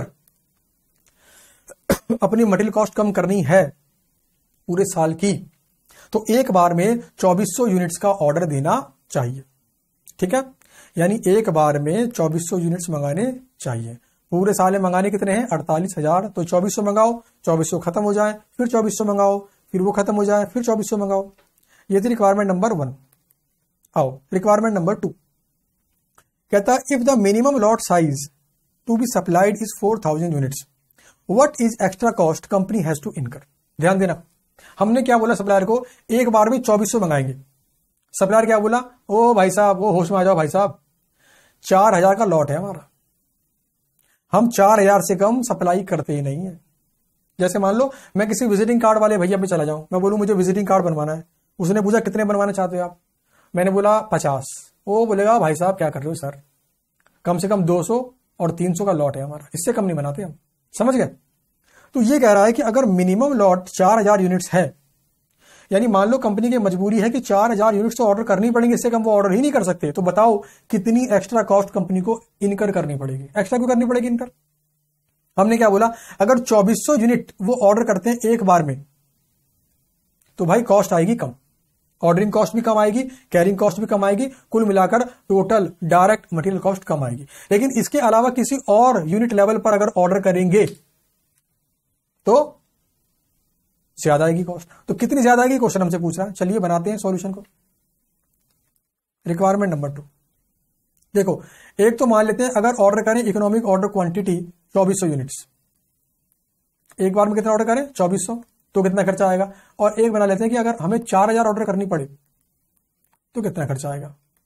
क्यों? दोनों के डिफरेंस को हम क्या बोल देंगे? एक्स्ट्रा कॉस्ट चलिए, सबसे पहले बात करता हूँ परचेज कॉस्ट की। खरीदने की कॉस्ट पूरे साल में कितना खरीदना है? यानी A multiplied by cost per unit purchase cost per unit तो भाई, चाहे चौबीसों ऑर्डर करो एक बार में। चाहे ऑर्डर करो, चार हज़ार। पूरे साल में हमें खरीदना है अड़तालीस हज़ार यूनिट्स तो भाई, अड़तालीस हज़ार यूनिट्स मल्टीप्लाइड बाई क्या परचेज प्राइस है? बीस रुपए। नौ साठ। यहाँ पर भी अड़तालीस हज़ार यूनिट्स मल्टीप्लाइड बाई बीस रुपए। कितना आ गया? नौ साठ। यानी ये तो दोनों में सेम ही रहेगी बिकॉज़ पूरे साल में खरीदनी, मुझे अड़तालीस हज़ार ही है चाहे मैं ऑर्डर कितना का भी करूँ एक बार में। फिर अगले में आते हैं, अगला मान लो ले लेते हैं ऑर्डरिंग कॉस्ट ऑर्डरिंग कॉस्ट क्या फॉर्मूला ऑर्डरिंग कॉस्ट का? A divide by Q multiplied by O पूरे साल में कितने order multiplied by ordering cost per order तो भाई, पूरे साल में कितनी रिक्वायरमेंट है? अड़तालीस हज़ार की। एक बार में कितने ऑर्डर कर रहे हैं यहाँ पर? चौबीस सौ। तो अड़तालीस हज़ार बटा चौबीस सौ कितना आ गया? ये आ गया मेरे बीस order multiplied by ordering cost per order कितनी है? एक सौ बीस रुपए. तो बीस गुना एक सौ बीस कितना आ गया? चौबीस सौ रुपए खर्चा आ गया. अच्छा अब चेक करते हैं चार हज़ार के लेवल पर. पूरे साल में कितनी रिक्वायरमेंट है? अड़तालीस हज़ार की. एक बार में कितना ऑर्डर कर रहे हैं? चार हज़ार. इसका मतलब है पूरे साल में हमें बारह बार ऑर्डर प्लेस करने पड़ेंगे. मल्टीप्लाइड बाई ऑर्डरिंग कॉस्ट कितनी है मेरी पर ऑर्डर एक सौ बीस रुपए। तो टोटल ऑर्डरिंग कॉस्ट कितनी हो गई मेरी? चौदह सौ चालीस रुपए। अच्छा जी। इसके बाद निकालता हूँ कैरिंग कॉस्ट कैरिंग कॉस्ट निकालने का फॉर्मूला है Q by two multiplied by C एक बार में कितना ऑर्डर किया? चौबीस सौ। Divide by two multiplied by carrying cost ध्यान देना जरा। कैरिंग कॉस्ट क्या थी मेरी? कैरिंग कॉस्ट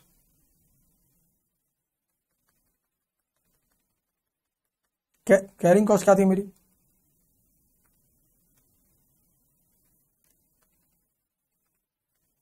दो रुपए पर यूनिट पर एनम। आओ, दो से मल्टीप्लाई कर दें।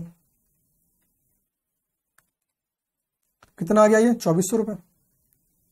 यहाँ पर क्यू बाई टू मतलब चार हज़ार मेरा ऑर्डरिंग क्वांटिटी है।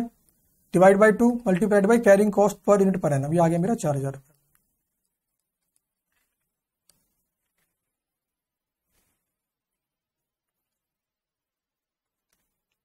आइए ऐड करते हैं। नौ साठ प्लस चौबीस सौ प्लस चौबीस सौ। तो ये आ गया नौ लाख चौसठ हज़ार आठ सौ। अच्छा यहाँ पे कितना खर्चा आएगा? नौ साठ प्लस चौदह चालीस प्लस चार हज़ार। तो यहाँ पर आ गया नौ लाख पैंसठ हज़ार चार सौ चालीस। तो ध्यान देना जरा कॉस्ट मेरी बढ़ गई है ना यहाँ पर। भाई, वहाँ नौ चौसठ आठ सौ, यहाँ पर है नौ पैंसठ चार सौ चालीस। डिफरेंस कितना है? नौ चौसठ आठ सौ माइनस नौ पैंसठ चार सौ चालीस। डिफरेंस है छह सौ चालीस रुपए का। इसका मतलब क्या है? एक्स्ट्रा कॉस्ट टू कंपनी है मेरी छह सौ चालीस रुपए।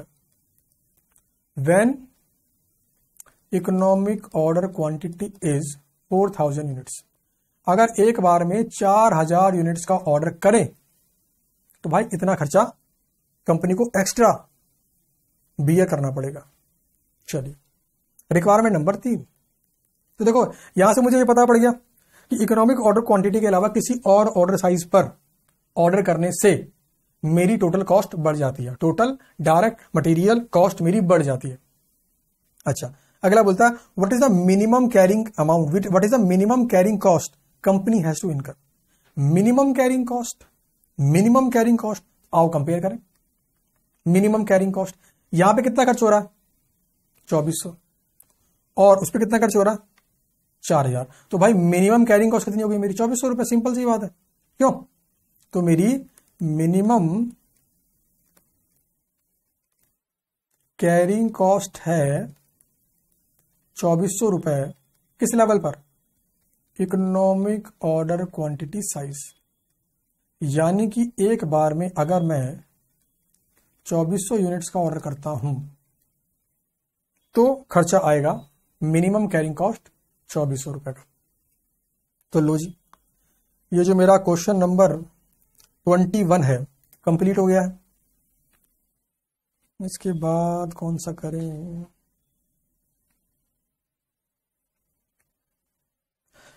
चलो क्वेश्चन नंबर पंद्रह पे आते हैं। क्वेश्चन नंबर पंद्रह पे आ जाओ।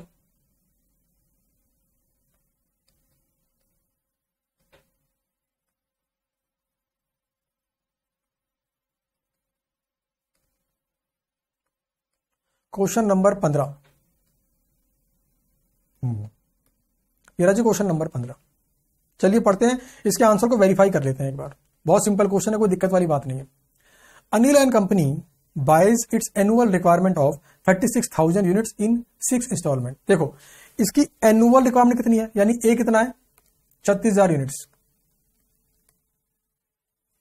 ठीक है ना? इन सिक्स इंस्टॉलमेंट, यानी एक बार में कितना ऑर्डर कर रहे हैं इस वक्त ये? भाई, छत्तीस हज़ार यूनिट्स। पूरे साल में कर रहे हैं ऑर्डर मतलब रिक्वायरमेंट पूरे साल की। ये छह बार में कर रहे हैं ऑर्डर छह बार में। तो यानी एक बार में कितना मंगा रहे हैं ये? छह हज़ार यूनिट्स। यहाँ से मुझे पता पड़ा, एक बार में कितना मंगा रहे हैं ये? छह हज़ार यूनिट्स ठीक है? Each unit cost rupee one ये क्या है मेरा? परचेज कॉस्ट पर यूनिट ठीक है? एंड ऑर्डरिंग कॉस्ट इज़ पच्चीस, यानी ओ मेरा कितना है? पच्चीस रुपए। The inventory carrying cost is estimated at twenty percent of unit value अगर ये यूनिट वैल्यू ना लिखता ना तो भी कैरिंग कॉस्ट की परसेंटेज को मैं परचेज कॉस्ट से ही मल्टीप्लाई करता। यानी कैरिंग कॉस्ट मेरी कितनी हो गई? रुपीज़ वन का ट्वेंटी परसेंट यानी zero point twenty this is my carrying cost per unit per है ना find the total annual cost of existing inventory policy क्या मतलब है? यानी कि अभी एट प्रेजेंट साल में छह बार ऑर्डर करते हैं तो बताओ कितनी एनुअल कॉस्ट कितनी annual cost total annual cost तो देखो यहाँ पर ना टोटल एनुअल कॉस्ट के अंदर। सबसे पहले निकाला गया ऑर्डरिंग कॉस्ट। ऑर्डरिंग कॉस्ट निकालने का फॉर्मूला क्या है? Total annual ordering cost. क्या है? Total number of order multiplied by ordering cost per order, यानी ए बटा क्यू मल्टीप्लाइड बाई ओ तो ए कितना है मेरा? ए छत्तीस हज़ार। एक बार में कितना ऑर्डर करें? एट परसेंट छह हज़ार। गुना ओ कितना है मेरा? ओ है पच्चीस। कितना आ गया ये? डेढ़ सौ रुपए। This is my ordering cost at present जो प्रेजेंट पॉलिसी है उसकी। अच्छा इसका निकालना मुझे एनुअल कैरिंग कॉस्ट फॉर्मूला क्या है? Q by two multiplied by C तो क्यू मेरा कितना है? एक बार में कितना ऑर्डर कर रहे हैं? छह हज़ार units divide by two C कितना है? ज़ीरो पॉइंट टू ज़ीरो तो ये कितना आ गया मेरा? छह सौ रुपए। ये कितना आ गया मेरा? छह सौ रुपए। दोनों को ऐड कर देते हैं। कितना आ गया? साढ़े सात सौ रुपए। यानी at present total of ordering and carrying cost कितना आ गया मेरा? साढ़े सात सौ रुपए। यहाँ पर आपके मन में आ रहा होगा, मैंने परचेज कॉस्ट को ऐड क्यों नहीं किया? यहाँ पर आपके मन में आ रहा होगा, मैंने परचेज कॉस्ट को ऐड क्यों नहीं किया? तो ये आंसर इंस्टीट्यूट का है।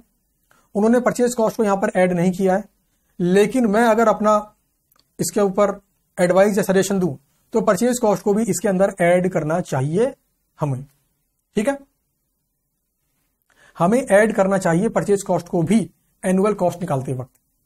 ठीक है? तो एग्ज़ाम में अगर ये क्वेश्चन आएगा तो आप परचेज कॉस्ट को भी ऐड करेंगे। करेक्ट आप नोट भी लिखेंगे कि purchase cost is also a part of total annual cost ठीक है ना? फिर अगला है how much money can be saved by economic order quantity अब ये कह रहा है कि अगर इकोनॉमिक ऑर्डर क्वांटिटी पे हम ऑर्डर करें तो खर्चे में कितनी कमी आएगी? कितना फ़ायदा होगा हमारे को? आइए, पहले तुम क्या निकालेंगे? कि कितनी है इकोनॉमिक ऑर्डर क्वांटिटी तो देखो हमें ए पता है, छत्तीस हज़ार यूनिट्स, हमें ओ पता है, पच्चीस रुपए, हमें सी पता है, बीस पैसे। तो भाई दो गुना A Guna O divide by C square root में। तो कितना आ गया मेरा? तीन हज़ार।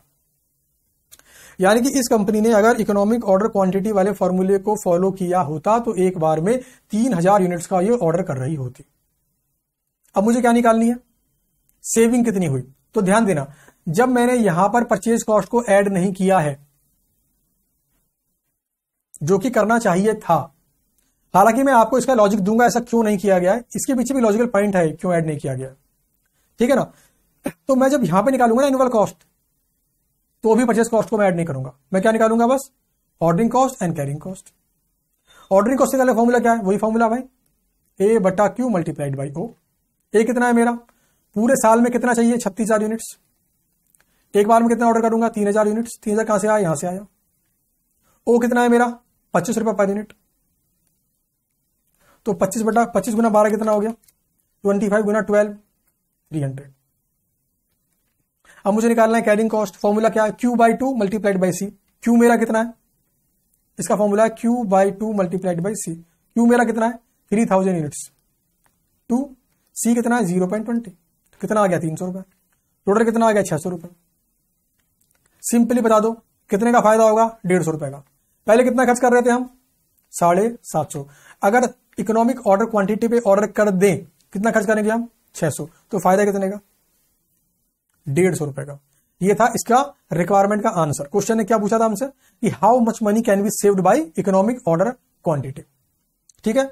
परचेज कॉस्ट क्योंकि मैंने यहाँ पर ऐड नहीं करा था। इसलिए मैंने यहाँ पर भी ऐड नहीं करा। अब सवाल क्या है? लॉजिकली तो परचेज कॉस्ट को दोनों में ऐड करना चाहिए था। बट दोनों में ऐड क्यों नहीं किया? इसके पीछे भी एक लॉजिक है जो मैं आपको समझा देता हूँ। और वो लॉजिक सिर्फ़ इतना सा है कि दोनों केस के अंदर परचेज कॉस्ट सेम होगी। दोनों केस के अंदर परचेज कॉस्ट सेम होगी। इसीलिए नेट सेविंग पर कोई इफ़ेक्ट नहीं पड़ेगा। क्यों भाई? भाई तुम चाहे एक बार में तीन हज़ार ऑर्डर करो और चाहे एक बार में तुम छह हज़ार ऑर्डर करो। पूरे साल में ऑर्डर कितने करने हैं? छत्तीस हज़ार। कॉस्ट कितनी है? एक रुपए।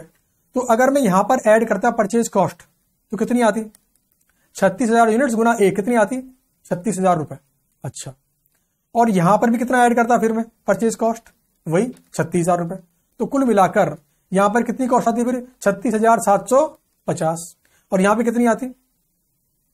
छत्तीस हज़ार एक सौ पचास। यहाँ पे टोटल कितनी आती? टोटल कॉस्ट छत्तीस हज़ार एक सौ सॉरी छत्तीस हज़ार छह सौ।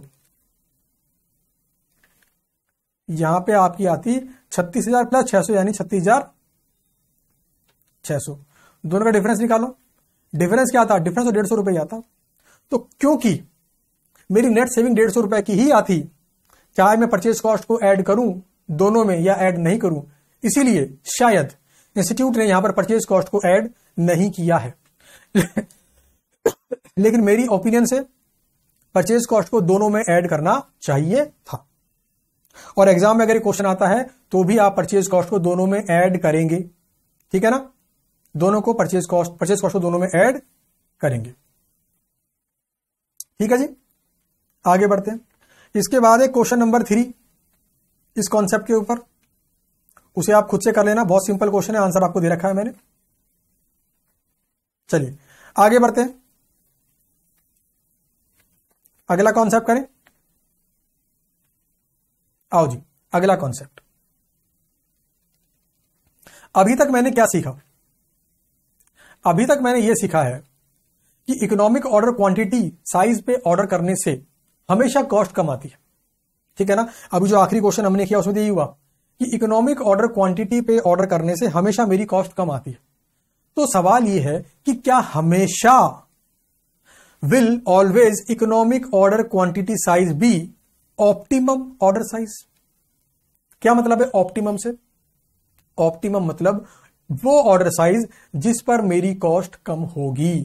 क्या ऐसा हमेशा होगा? पहले क्या बोला? इकोनॉमिक ऑर्डर क्वांटिटी पर करने से कॉस्ट कम आती है। अगला कॉन्सेप्ट क्या आ गया? क्या ऐसा हमेशा होगा क्या? तो भाई साहब, इसका आंसर है नो हिल गया दिमाग? अभी तो जो भी क्वेश्चन मैंने किया मैंने क्या बोला कि भाई साहब इकोनॉमिक ऑर्डर क्वांटिटी पर ऑर्डर करने से आपकी कॉस्ट कम आएगी। बट क्या ऐसा हमेशा होगा? आंसर इज़ नो क्यों? और कहा? देखो, अगर अगर सप्लायर ने मुझे बल्क परचेज करने पे हैवी डिस्काउंट दे दिया तो बल्क ऑर्डर करना मेरे लिए ज़्यादा फ़ायदेमंद है। भले ही इकोनॉमिक ऑर्डर क्वांटिटी पे ऑर्डर ना करूँ। एग्ज़ाम्पल के लिए, मान लो, मैंने ऑनलाइन वेबसाइट से एक शर्ट ऑर्डर की। खर्चा आ रहा कुरियर का दो सौ रुपए। कितने का पड़ रहा है शर्ट मुझे? सत्रह सौ का पड़ रहा है। बट मान लो, उस ऑनलाइन वेबसाइट ने मुझे एक बल्क ऑफ़र दिया। ने बोला सर अगर आप दो शर्ट एक साथ खरीदते हो, अगर आप दो शर्ट एक साथ खरीदते हो तो आपको हम दोनों शर्ट दो हज़ार रुपए में दे देंगे। क्या समझे? यानी कि सिर्फ़ पाँच सौ रुपए एक्स्ट्रा खर्च करने से मेरे को एक और एडिशनल शर्ट मिल रही है। तो यहाँ पर भले ही मैं एक की जगह दो शर्ट ऑर्डर करूँ, मुझे ज़्यादा फ़ायदा होगा। यानी कंपनी वाले केस में भी ऐसा हो सकता है कि कोई सप्लायर हमें ऑफ़र दे दे कि भाई साहब, आप अगर इतनी क्वांटिटी का ऑर्डर एक बार में करोगे ना आपको मैं डिस्काउंट दूँगा। तो भाई, इस केस के अंदर ऐसा हो सकता है कि हम वही बल्क क्वांटिटी में ऑर्डर करें जिसमें सप्लायर ऑर्डर करवाना चाहता है, क्योंकि हमारी टोटल डायरेक्ट मटेरियल कॉस्ट उस केस में कम होगी। तो optimum order size may not be economic order quantity ज़रूरी नहीं है।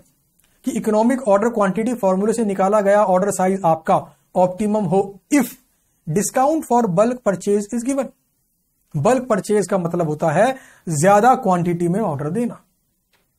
अब मैंने क्या बोला? Order size involving minimum material cost shall be optimum order size इसका मतलब क्या है? कि हम दोनों लेवल पर क्या निकालेंगे?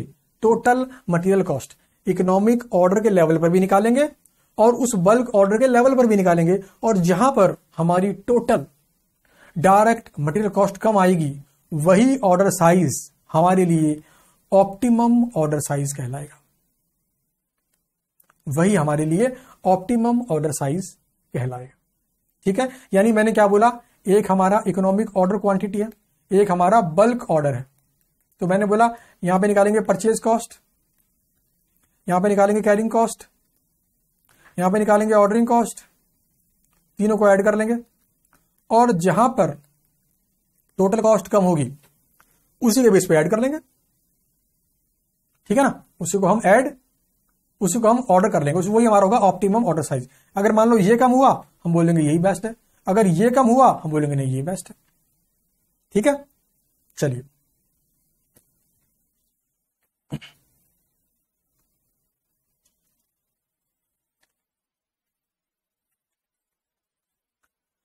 चलिए जी।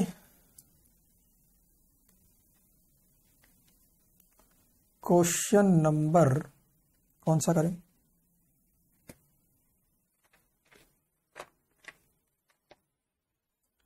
क्वेश्चन नंबर क्वेश्चन नंबर उन्नीस निकाल लीजिए और उसे पढ़ना चालू करिए। क्वेश्चन नंबर उन्नीस को पढ़िए।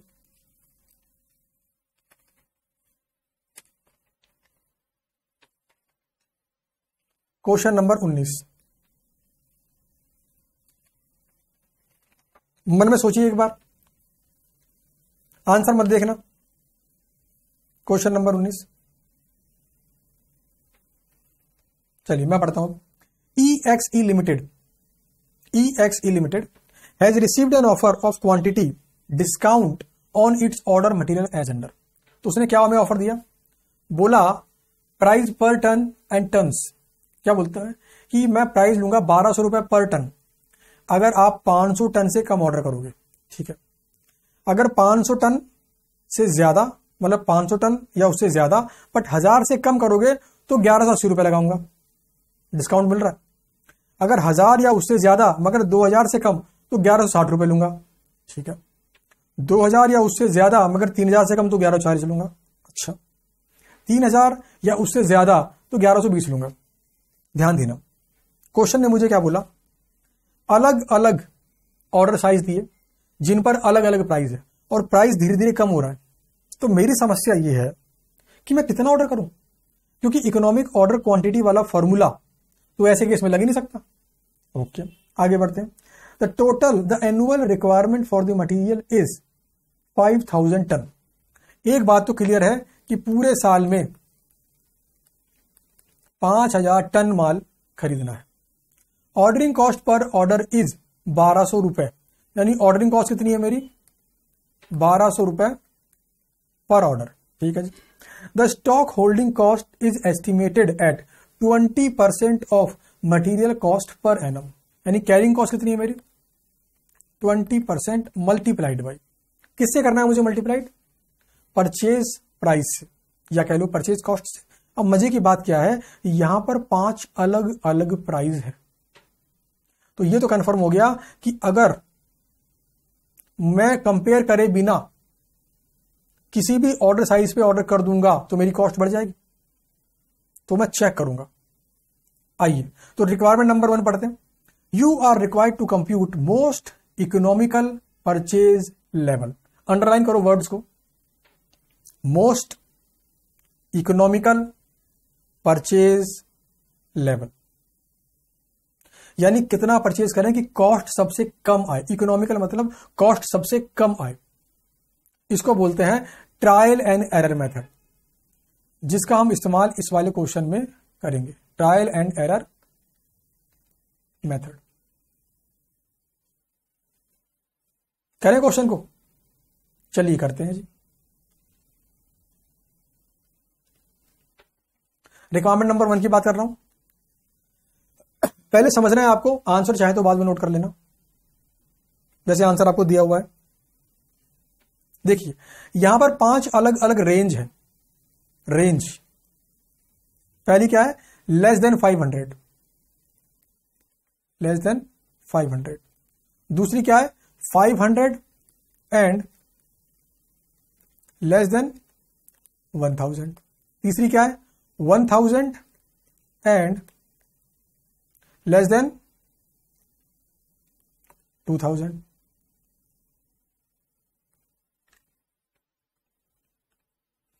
फिर उसके बाद two thousand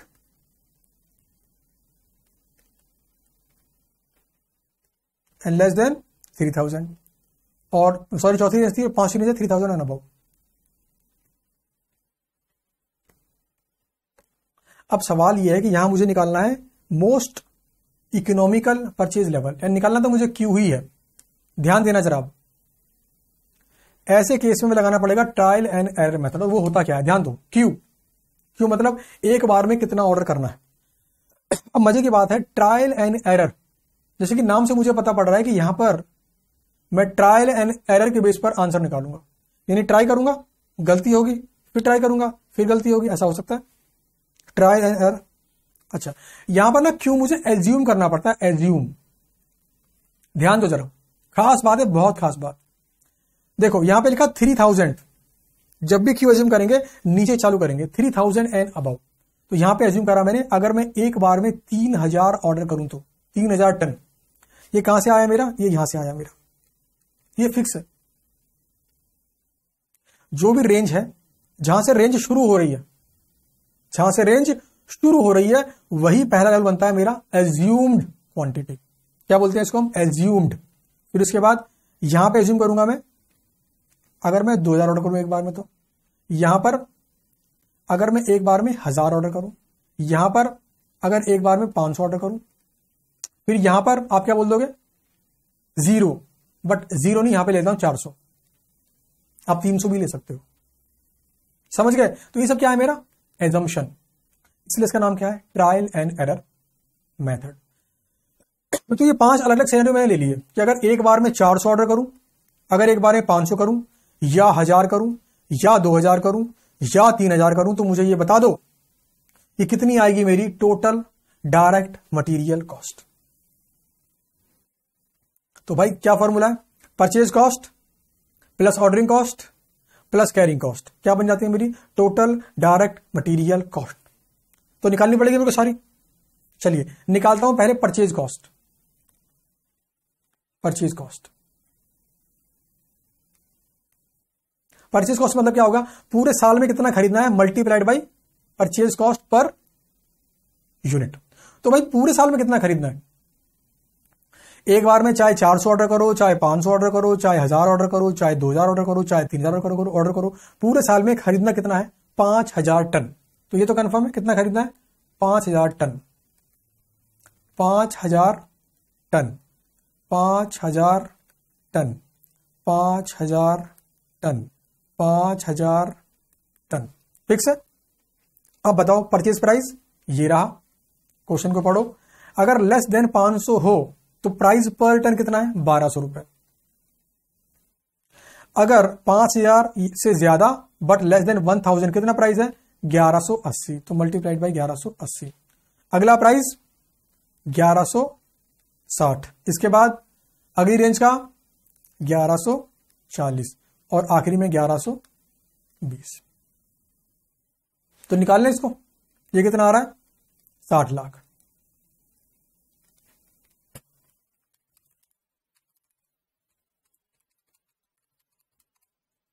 उनसठ लाख। ये आ जाएगा अट्ठावन लाख। सत्तावन लाख। छप्पन लाख। तो भाई तीन खर्चों में एक खर्चा तो मैंने निकाल इसका नाम है परचेज कॉस्ट अब क्या निकालेंगे हम? ऑर्डरिंग कॉस्ट ऑर्डरिंग कॉस्ट के लिए मुझे क्या चाहिए? टोटल नंबर ऑफ़ ऑर्डर अच्छा तो चलिए टोटल नंबर ऑफ़ ऑर्डर निकालता हूँ मैं। Number of orders. फॉर्मूला क्या होता है? ए बटा क्यू। इसमें एक पॉइंट सीखने को मिलेगा आपको। ध्यान देना जरा। ए बटा क्यू। क्यू कितना है मेरा? 400 ए मेरा कितना है? 5000 तो करो 5000 बटा 400 कितना आएगा? 12.5 कितना आ रहा है? 12.5 इसका मतलब क्या है कि मुझे साढ़े बारह बार ऑर्डर करना पड़ेगा। बट क्या ऑर्डर कभी डेसिमल में हो सकता है? ऑर्डर कभी फ्रैक्शनल हो सकता है?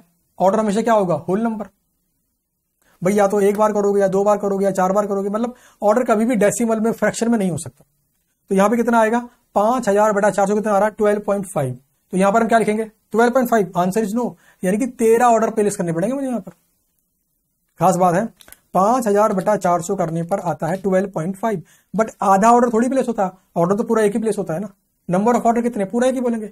अब चाहे मैगी, आपकी और आपके दोस्त की, आप एक एक बार ऑर्डर दो या एक साथ ऑर्डर दो। ऐसे होगा ना, एक ऑर्डर एक ऑर्डर दिया था या फिर दो ऑर्डर दिए थे। ऐसा कभी नहीं होगा, डेढ़ ऑर्डर दिए, आधा ऑर्डर दिया, पोना ऑर्डर दिया। ऑर्डर नंबर हमेशा पूरा होता है फ्रैक्शन नहीं होता कभी। होल नंबर अगला, पाँच हज़ार बेटा पाँच सौ। कितनी बार ऑर्डर करना पड़ेगा यहाँ पे? दस बार। इसका मतलब क्या है? पूरे साल में पाँच हज़ार की रिक्वायरमेंट है। एक बार में 500 ऑर्डर करते हैं तो पूरे साल में 10 बार ऑर्डर प्लेस करने पड़ेंगे। यहाँ पर पाँच बार ऑर्डर प्लेस करने पड़ेंगे। यहाँ पर पाँच हज़ार बटा दो हज़ार, ध्यान देना, पाँच हज़ार बटा दो हज़ार, फ्रैक्शन में आएगा ये 2.5 कितने नंबर ऑफ़ ऑर्डर? इसे कर देंगे हम राउंड अप, यानी कि 2.5 ना लिखकर यहाँ पे लिखेंगे तीन। फिर पाँच हज़ार बटा तीन हज़ार। कितना आएगा? 1.66666 नंबर ऑफ़ ऑर्डर कितने?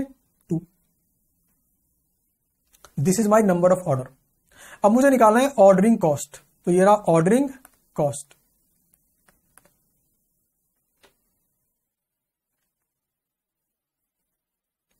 क्या फॉर्मूला है? Number of order Guna ordering cost per order ordering cost per order कितनी है? बारह सौ रुपए. तो यानी तेरह गुना बारह सौ कितना आ गया? पंद्रह छह सौ. दस गुना बारह सौ कितना आ गया? बारह हज़ार. पाँच गुना बारह सौ कितना आ गया? छह हज़ार. तीन गुना बारह सौ कितना आ गया? छत्तीस सौ। और दो गुना बारह सौ कितना आ गया? चौबीस सौ। लो जी, क्या आ गई मेरी? ऑर्डरिंग कॉस्ट अब मुझे क्या निकालनी है? कैरिंग कॉस्ट कैरिंग कॉस्ट का फॉर्मूला क्या है? Q by two multiplied by C ध्यान देना। क्यू आपका ये रहा। और रहा सी की बात, यानी कैरिंग कॉस्ट की बात। तो ध्यान दो सी मेरा कितना है? ट्वेंटी परसेंट तो हर बार प्राइस मेरा चेंज हो रहा है। पहली रेंज प्राइस कितना है मेरा बारह सौ रुपए। दूसरी रेंज में ग्यारह सौ अस्सी। तीसरी रेंज में ग्यारह सौ साठ। तो मेरी कैरिंग कॉस्ट बार बार में प्राइस चेंज होगा। ध्यान दो जरा। क्यू बाई टू तो चार सौ बटा दो गुना। कितना मेरा परचेज प्राइस यहाँ पर? बारह सौ रुपए। तो बारह सौ गुना बीस परसेंट। ठीक है? फिर यहाँ पर क्या होगा? पाँच सौ बटा दो गुना। क्या परचेज प्राइस ग्यारह सौ अस्सी। तो ग्यारह सौ अस्सी गुना बीस परसेंट। निकालो। पाँच सौ बटा दो गुना ग्यारह सौ अस्सी का बीस परसेंट। कितना आ गया? Fifty nine thousand. अच्छा फिर यहाँ पर हज़ार बटा दो गुना क्या प्राइस है? ग्यारह सौ साठ गुना बीस परसेंट।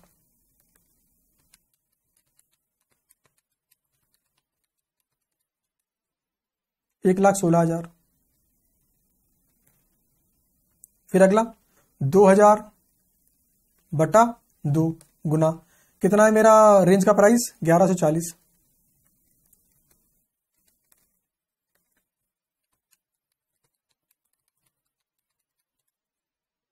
दो अट्ठाईस।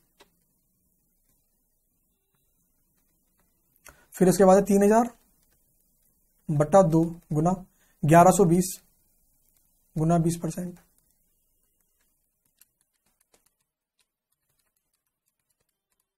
तो ये आ गया मेरा तीन लाख छत्तीस हज़ार। तो भाई साहब, मैंने परचेज कॉस्ट निकाल ली ऑर्डरिंग कॉस्ट निकाल ली कैरिंग कॉस्ट भी निकाल ली। अब मुझे क्या निकालना है? टोटल ऑफ़ दीज कॉस्ट आइए टोटल ऑफ़ दीज कॉस्ट आपके आंसर में गिवन है। टाइम थोड़ा बचाते हैं। क्वेश्चन नंबर उन्नीस निकालते हैं यहाँ पर। ये रहा ये रहा क्वेश्चन नंबर उन्नीस। ये रहा जी क्वेश्चन नंबर उन्नीस। तो ध्यान दीजिए। ये रही मेरी परचेज कॉस्ट ये रही मेरी ऑर्डरिंग कॉस्ट और ये रही मेरी कैरिंग कॉस्ट तीनों का टोटल मैंने यहाँ पे निकाला हुआ है।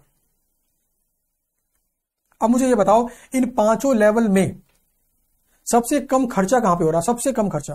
तो भाई सबसे कम खर्चा हो रहा है आपका उनसठ, इकहत्तर, उनसठ, बाईस, ये उनसठ, बाईस के लेवल पर। तो क्या बोलोगे आप? हज़ार क्वांटिटी यानी एक बार में हज़ार टन का ऑर्डर करना is most economical purchase level यानी कि हम ये डिस्काउंट अवेल करेंगे जो हज़ार लेस देन दो हज़ार के बीच वाला प्राइस है, उसे हम अवेल करेंगे। यानी हम खरीदेंगे ग्यारह सौ साठ रुपए के हिसाब से, क्योंकि यहाँ पर हमारी कॉस्ट सबसे कम है। आई बात समझ में। तो this is my most economical purchase level इसको बोलते हैं हम ट्रायल एंड एरर मेथड जब क्वेश्चन के अंदर अलग अलग प्राइस दिए हो अलग अलग ऑर्डर साइज़ पर तो वहाँ पर हम क्वांटिटी को एज्यूम करते हैं। एज्यूम करने के लिए लोअर रेंज के बेस पर एज्यूम करते हैं। लोअर रेंज के बेस पर ये 500 ये हज़ार, ये 2000 ये 3000 और यहाँ पर चार सौ। तीन सौ भी ले सकते हैं यहाँ पर आप, आपकी इच्छा साढ़े चार सौ भी ले सकते हैं, जो मर्ज़ी ले सकते हैं आप। ठीक है? हाँ जी। तो ये आ गया मेरा रिक्वायरमेंट नंबर वन का आंसर आइए रिक्वायरमेंट नंबर टू सॉल्व करते हैं। रिक्वायरमेंट नंबर टू क्या बोलती है? इसी क्वेश्चन की। What will be your answer क्या बोलता है? What will be your answer to the above above question if there are no discount offered यानी डिस्काउंट वाला लफड़ा खत्म हो गया प्राइस फिक्स हो गया, पंद्रह सौ रुपए पर टन अब बताओ भाई। बता देते हैं भाई। जब प्राइस फिक्स हो गया, हम क्या निकाल लेंगे? इकोनॉमिक ऑर्डर क्वांटिटी हमें क्या चाहिए? ए ए कितना है हमारा? पाँच हज़ार टन। ये रहा पाँच हज़ार टन। हमें चाहिए ओ ओ कितना है हमारा? बारह सौ रुपए। ये रहा हमारा ओ फिर हमें चाहिए सी सी कितना है हमारा? Twenty percent of price fix हो गया यहाँ पे पंद्रह सौ। तो ट्वेंटी परसेंट ऑफ़ पंद्रह सौ कितना आ गया मेरा? तीन सौ रुपए। लो जी, निकालो economic order quantity square root में two multiplied by angle of coolness तो two multiplied by five thousand multiplied by twelve hundred divide by C हो गया आपका तीन सौ।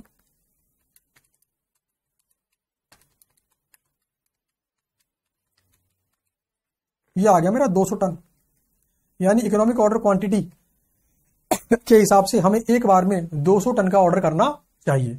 अगर डिस्काउंट अवेलेबल नहीं है तो।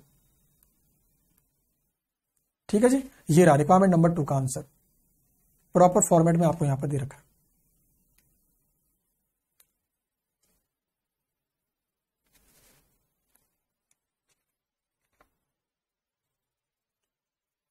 इसके बाद ये क्वेश्चन हो गया आपका।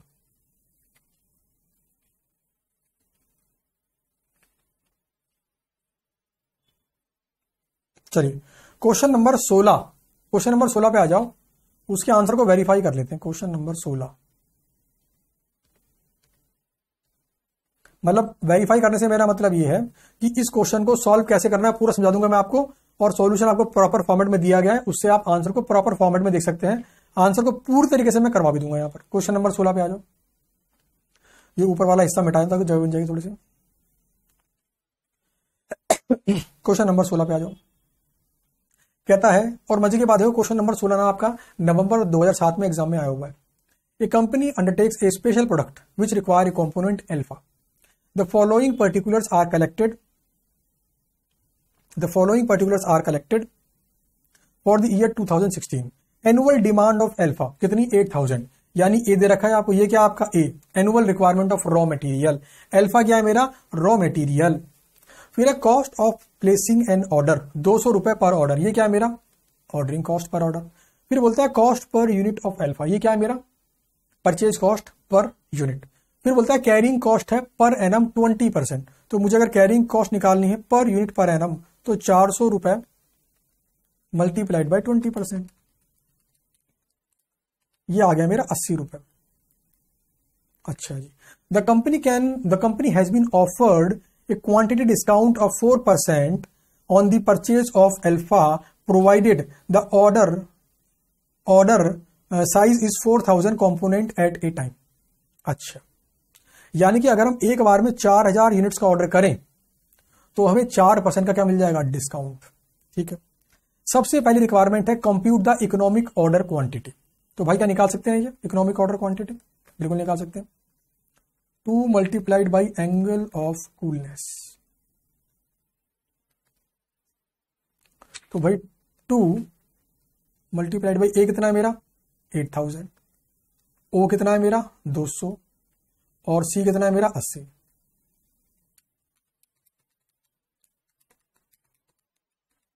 ये आ गया मेरा 200 यूनिट. इसका मतलब है कि एक बार में इकोनॉमिक ऑर्डर क्वांटिटी के फॉर्मूले की मदद से हमने ये जान लिया कि हमें 200 का ऑर्डर करना चाहिए। फिर बोलता है advise whether quantity discount offer can be accepted advise whether quantity discount offer can be accepted यानी कुल मिला के बोल रहा है कि अगर हम एक बार में चार हज़ार यूनिट्स का ऑर्डर करें तो क्या हमें फ़ायदा होगा? ठीक है भाई चेक कर लेते हैं।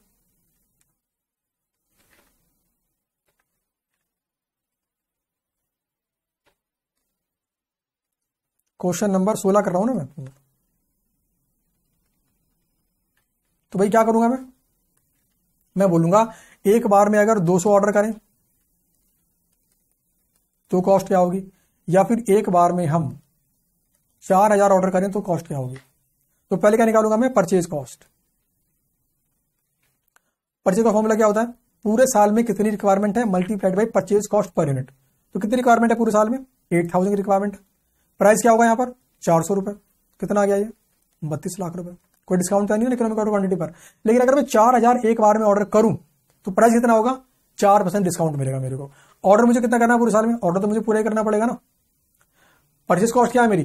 टोटल एनुअल कितना खरीदना है, उसकी कॉस्ट तो पूरे साल में खरीदना कितना है? आठ हज़ार ही खरीदना मेरे को। भले एक बार में चार हज़ार का ऑर्डर प्लेस करूँ। तो आठ हज़ार गुना चार सौ गुना छियानवे परसेंट। डिस्काउंट है ना चार परसेंट का?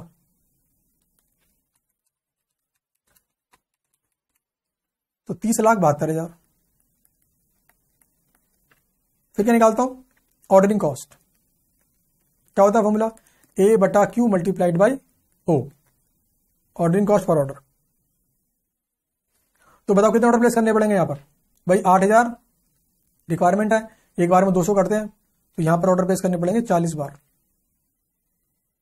फुल नंबर आ रहा है। एक बार खर्चा कितना है मेरा? दो सौ रुपए पर ऑर्डर कितना हो गया मेरा? दो सौ गुना चालीस, आठ हज़ार। अब यहाँ पर रिक्वायरमेंट कितनी साल की? आठ हज़ार। एक बार में ऑर्डर कर रहा हूँ, चार हज़ार। यानी दो बार ऑर्डर करना पड़ेगा। ऑर्डरिंग कॉस्ट कितनी है? दो सौ रुपए। खर्चा कितना आएगा? चार सौ रुपए।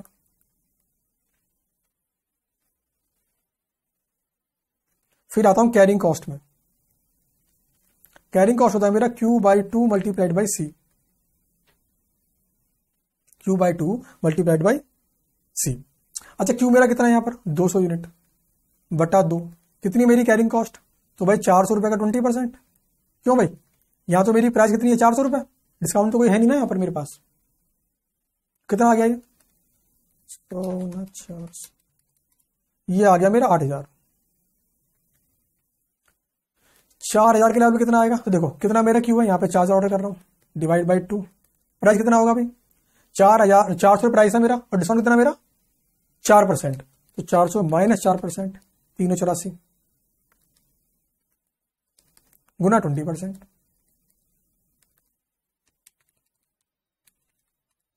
तो ये आ गया मेरा एक लाख तिरपन हज़ार छह सौ।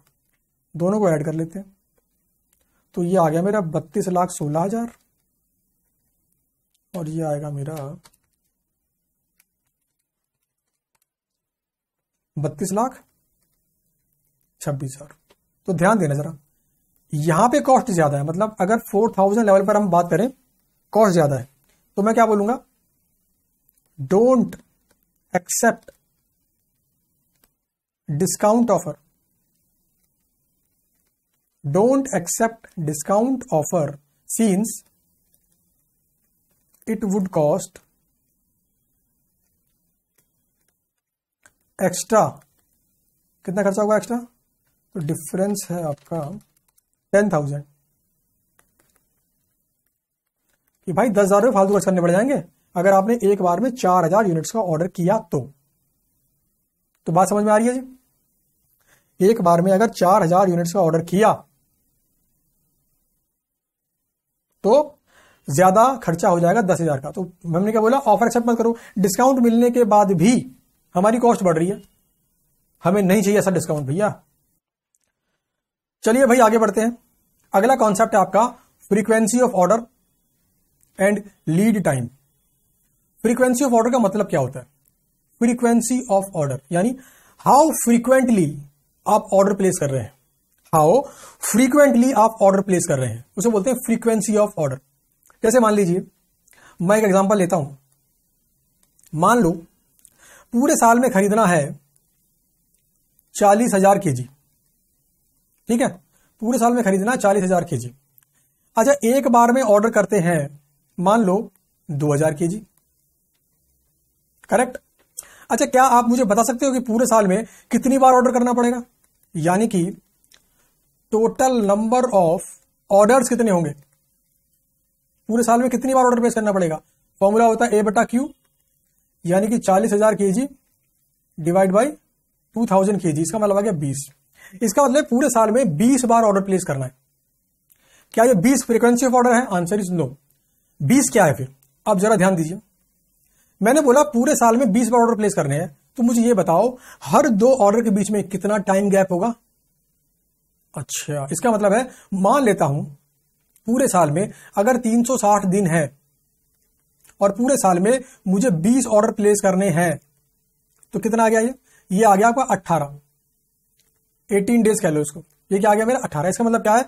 कि हर 18 दिन बाद मुझे ऑर्डर प्लेस करना है 2000 केजी का। इसी को बोलते हैं फ्रीक्वेंसी ऑफ़ ऑर्डर यानी हर 18 दिन बाद मुझे ऑर्डर प्लेस करना है 2000 केजी का।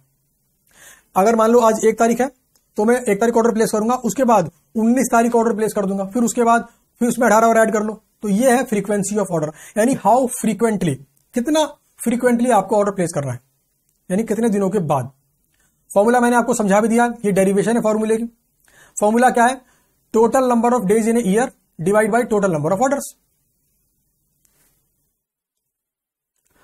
total number of days in year divide by total number of orders और टोटल नंबर ऑफ़ ऑर्डर्स को निकालने का फॉर्मूला तो पहले से बता रखा है आपको। ए डिवाइड बाई क्यू तो यह है मेरा फ्रीक्वेंसी ऑफ़ ऑर्डर अगला कॉन्सेप्ट है मेरा लीड टाइम लीड टाइम का मतलब होता है वेटिंग टाइम अगर मान लो, मैंने किसी लड़की को प्रपोज कर दिया सपोज़ करो, मान लो यार बाकी आपके जहन में बैठी चीज़। उसने बोला, मैं सोच के बता दी। उसने चार दिन का मुझे टाइम दिया कि चार दिन दो मुझे, मैं सोच के बताती तो वो चार दिन मेरे लिए क्या है? Waiting time. उसी तरीके से, उसी तरीके से अगर मैंने आज ऑर्डर प्लेस किया है, अगर मैंने आज ऑर्डर प्लेस किया है तो डेफिनेटली ऑर्डर आने में कुछ समय लगेगा। उस समय जो लगता है, उसी को बोलते हैं लीड टाइम। तो यानी कि time gap between date of placing the order, यानी कब ऑर्डर प्लेस करा, and date of receiving the order. मान लो अगर आपने चार तारीख को ऑर्डर प्लेस किया, चार तारीख को ऑर्डर प्लेस किया दो और आपको मटेरियल आठ तारीख को मिला तो लीड टाइम कितना हो गया? फोर डेज़ समझ गए? ये मैंने एक एग्जांपल लिया कि किसी कंपनी ने मान लो फोर नंबर को ऑर्डर प्लेस किया और एट नंबर को मटेरियल रिसीव हो गया तो चार दिन क्या था? वेटिंग टाइम तो दिस इज़ कॉन्सेप्ट चलिए, अब एक क्वेश्चन कर लेते हैं।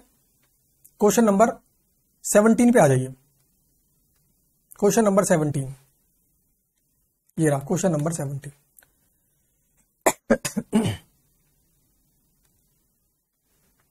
the Complete Gardeners is deciding on economic order quantity for two brands of lawn fertilizer Super Grow and Nature Own क्या निकालना चाहता है अगला? इकोनॉमिक ऑर्डर क्वांटिटी आपको दे रखी फर्टिलाइजर्स की एनुअल डिमांड यानी कि एनुअल रिक्वायरमेंट तो कुल मिला के अगर आपको बोलूँ तो आपको ए गिवन है सुपर ग्रो का 2000 है और नेचर ग्रो का 1280 है।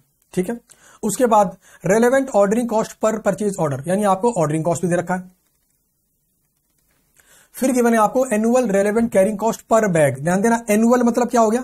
पर एनम और पर बैग मतलब क्या हो गया? पर यूनिट तो ये हो गई मेरी कैरिंग कॉस्ट तो कुल मिला इस क्वेश्चन में आपको एंगल ऑफ़ कूलनेस तीनों दे रखा है। तो आप इकोनॉमिक ऑर्डर क्वांटिटी आराम से निकाल लेंगे। ये निकाल के मैंने यहाँ पे दिखा भी रखी है।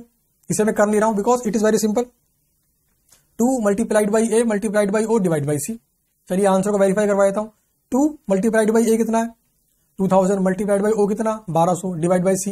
ये आ गया मेरा इकोनॉमिक ऑर्डर क्वांटिटी सेम तरीके से टू मल्टीप्लाइड बाई ए बारह सौ अस्सी मल्टीप्लाइड बाई ओ चौदह सौ डिवाइड बाई पाँच सौ साठ कैरिंग कॉस्ट ये आ गया मेरा एट्टी बैग यानी कि सुपर ग्रो वाले केस में एक बार में सौ क्वांटिटी का ऑर्डर करना चाहिए और नेचर ग्रो वाले में अस्सी क्वांटिटी का ऑर्डर करना चाहिए।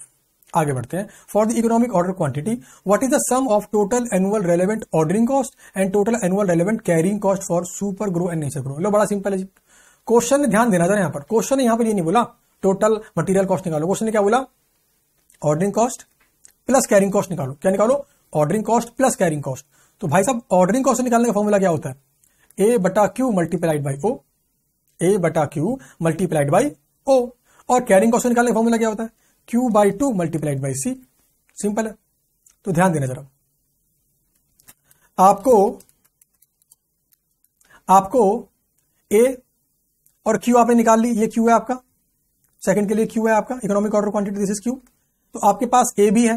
क्यू भी है ओ भी है और सी भी है, सब कुछ है। तो आराम से निकाल लोगे आप रिक्वायरमेंट नंबर सेकेंड मैंने वही फॉर्मूला यहाँ पे लिखा है। क्या लिखा है मैंने? मैंने लिखा है A by Q multiplied by O plus Q by two multiplied by C इससे आ गया मेरा total of ordering cost plus carrying cost ठीक है जी? फिर क्वेश्चन बोलता है for the economic order quantity compute the number of deliveries per year यहाँ पे डिलीवरी से मतलब है नंबर ऑफ़ ऑर्डर यानी कितनी बार वो हमें डिलीवर करेगा। इसको निकालने का सिंपल फॉर्मूला है ए बाई क्यू। भाई टोटल नंबर ऑफ़ ऑर्डर कैसे निकालते हैं? ये क्या है मेरा?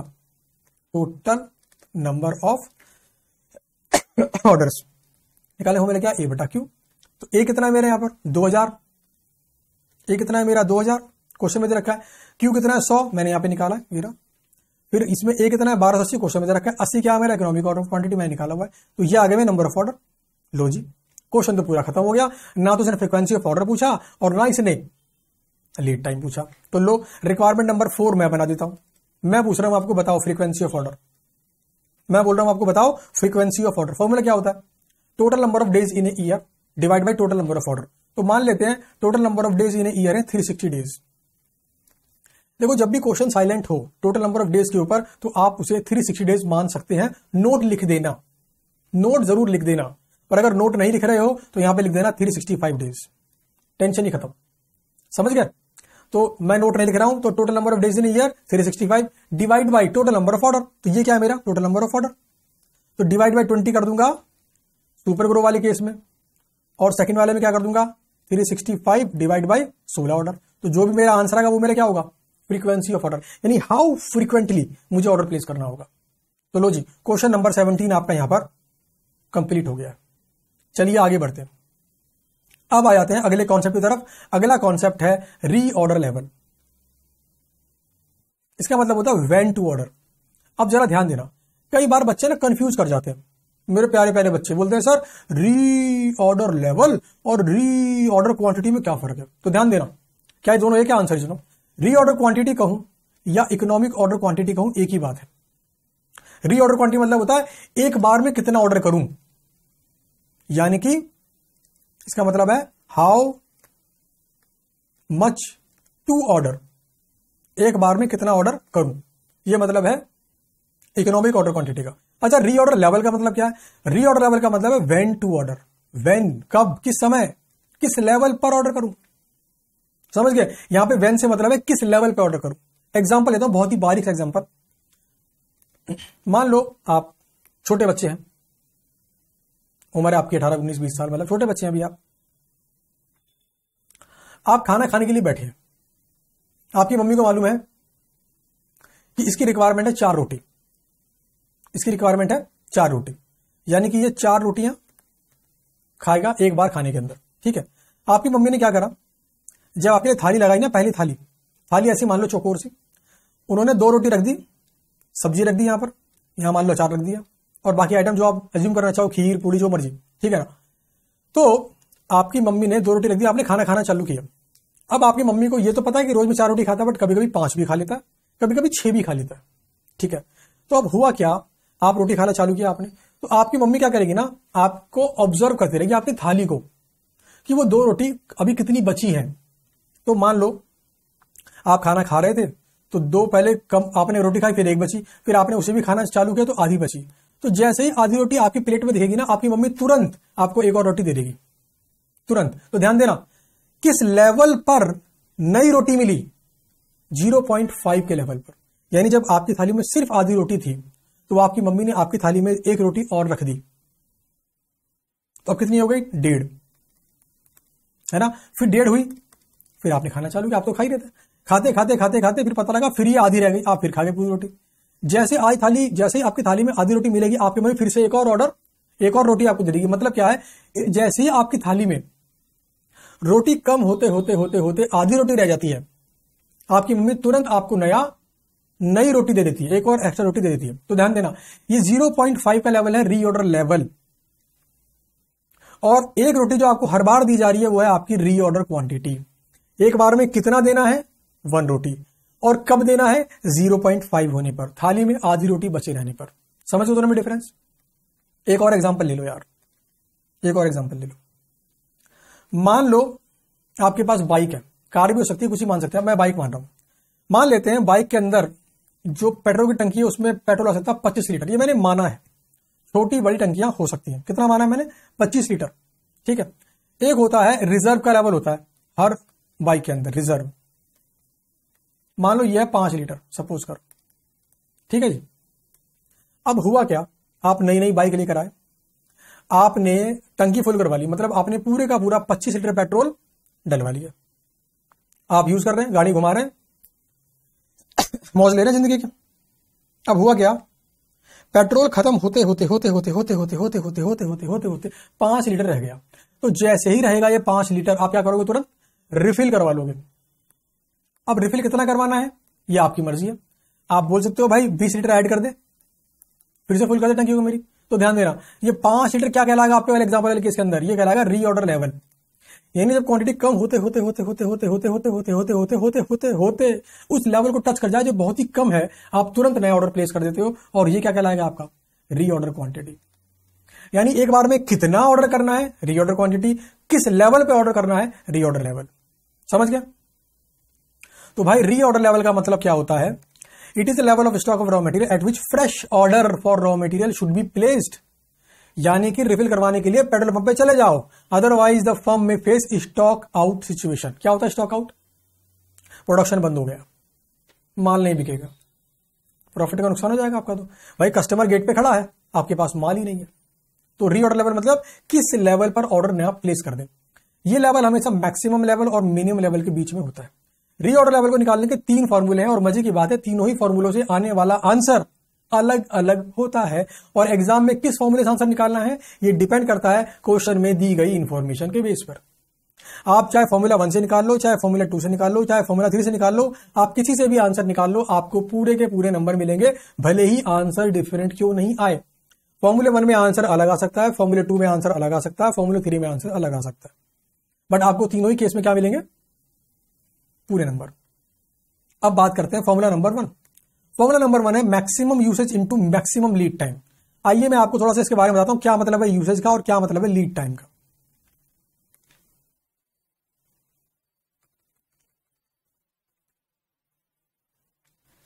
देखो ये रहा यूसेज और ये रहा लीड टाइम। यूसेज मतलब क्या होता है? कितना यूज़ हो रहा है। तो देखो, यूसेज को हम तीन, एक दिन में कितना यूज़ हो रहा है? समझ गए एक दिन में, एक वीक में कितना यूज़ हो रहा है। तो यूसेज को ना हम तीन कैटेगरी में तोड़ सकते हैं। यूसेज को हम तीन कैटेगरी में तोड़ सकते हैं।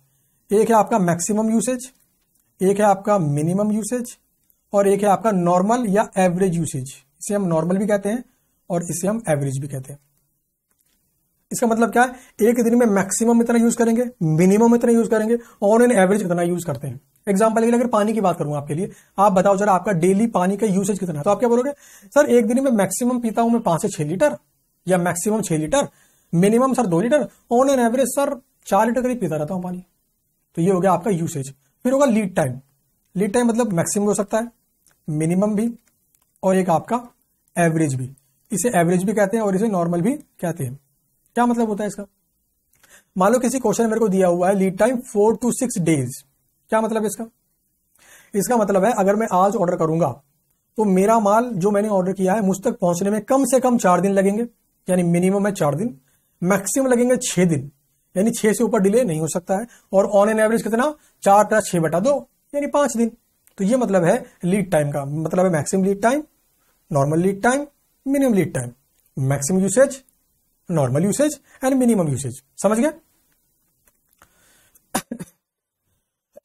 तो आपका पहला फॉर्मूला है maximum usage into maximum lead time यानी कि अगर मैं maximum usage into maximum lead time कर दूँ तो फॉर्मूला बन जाता है रीऑर्डर लेवल फॉर्मूले को याद करने की ट्रिक भी दे रहा हूँ मैं आप यहाँ पर आपको.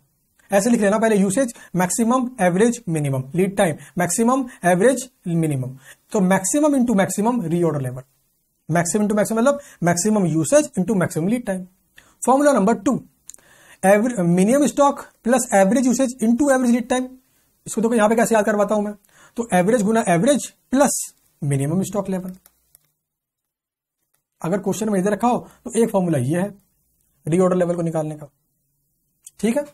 फिर आते हैं फॉर्मूला नंबर तीन। ध्यान देना कभी कभी मिनिमम स्टॉक को ही सेफ्टी स्टॉक कहते हैं। इसीलिए फॉर्मूला नंबर टू में जहाँ पर मिनिमम स्टॉक लिखा है, वहाँ पे लिख दो safety stock. Safety stock plus average into average. तो ये हो गया इन फॉर्मूलों को याद करने का तरीका। ठीक है ना? फॉर्मूले याद कैसे होंगे? तो फॉर्मूले याद ऐसे होंगे। इसी को मैं क्या बोल देता हूँ? शॉर्ट में सेफ्टी स्टॉक, एस एस। तीनों फॉर्मूले याद हो गए अच्छा। इनके पीछे का लॉजिक क्या है सर फॉर्मूलों के पीछे का। तो ध्यान देना डिटेल में लॉजिक तो कवर किया मैंने रेगुलर वाले बैच के अंदर। यहाँ पर आपको हल्का सा मैं एक आइडिया देता हूँ। बेसिकली क्या होता है रीऑर्डर लेवल हर कोई डिसाइड करता है अपने अपने हिसाब से। ये ओपिनियन बेस्ड फॉर्मूले हैं। जैसे मान लो, मैं अगर अपनी बात करूँ तो जैसे ही मेरी फर्म के अंदर बुक्स का स्टॉक लेवल तीन तो सेट से कम हो जाता है, तुरंत हम नया ऑर्डर प्लेस कर देते हैं। बट कोई और ऐसा हो सकता है जो डेढ़ सौ ऑर्डर आने तक वेट करता हो, फिर नया ऑर्डर प्लेस करता हो।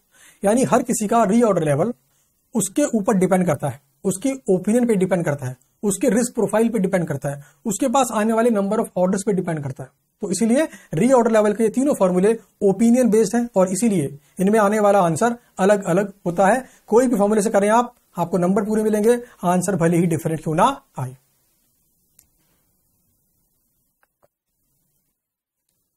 आगे बढ़ते हैं। अगला है minimum stock level minimum stock level का मतलब होता है वो लेवल ऑफ़ स्टॉक जिससे नीचे कभी जाने नहीं देंगे।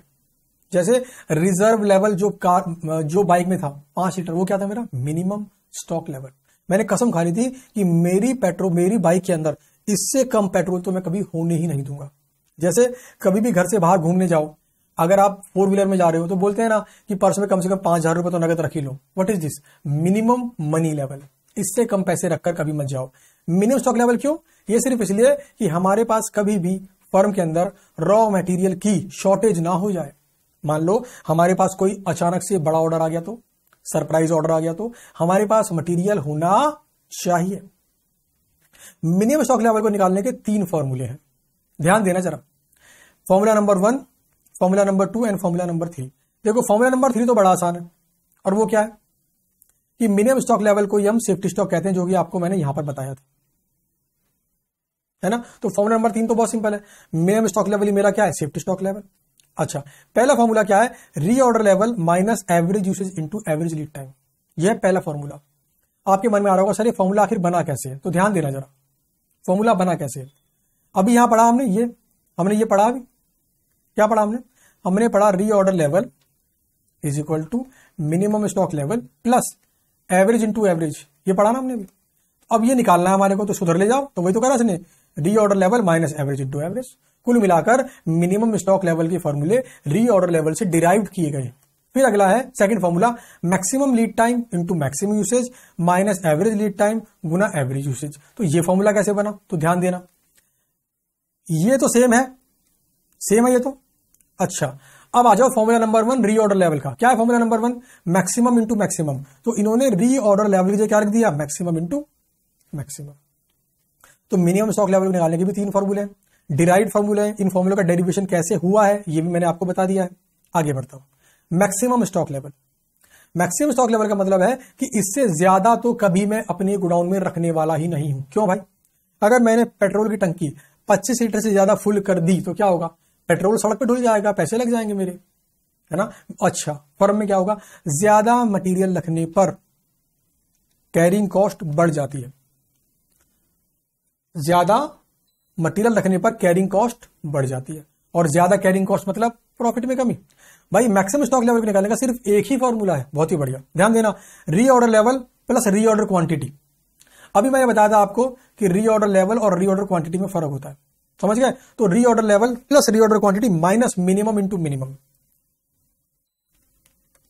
तो यहाँ पे क्या करना है? देखो फॉर्मूले याद करने के लिए reorder level plus reorder quantity minus minimum into minimum ये फॉर्मूला है आपका मैक्सिमम स्टॉक लेवल को निकालने का।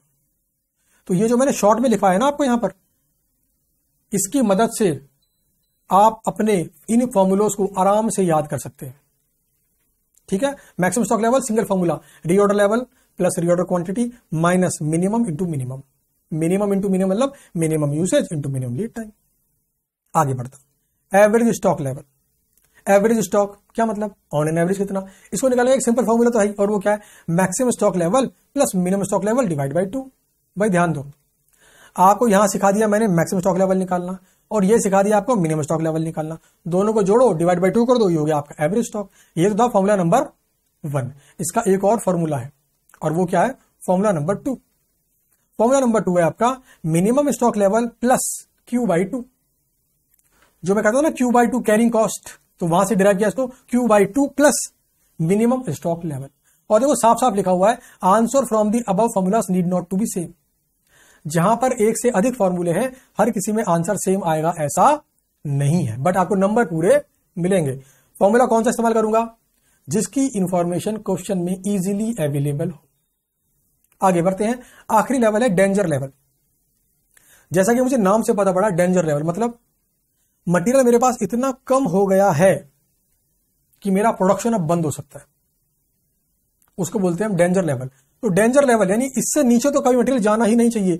हालाँकि मिनिमम से नीचे है। जैसे मान लो, किसी व्यक्ति ने सोचा कि यार मैं अपनी चोर पॉकेट में ना पाँच सौ रुपए ज़रूर रखूँगा रोज। चोर पॉकेट में मतलब अगर पर्स कट जाए, जेब में रखे पैसे गिर जाए तो घर कैसे पहुंचूँगा? तो उसने सोचा कि पाँच सौ रुपए रखूँगा मैं। पाँच सौ रुपए क्या? मिनिमम मनी लेवल लेकिन मान लो पाँच सौ रुपए में उसने दो सौ रुपए खर्च कर दिए। तीन सौ बचे। तीन सौ में सौ रुपए और खर्च कर दिए। दो सौ बचे। ये दो सौ रुपए क्या है अब? उसने बोला डेंजर लेवल अब खर्च मत करो, तुरंत रिफिल करो इसको।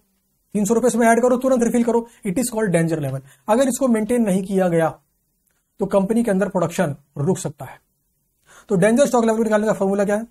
Average usage multiplied by maximum lead time for emergency purchase ध्यान देना maximum lead time for emergency purchase अलग होगा।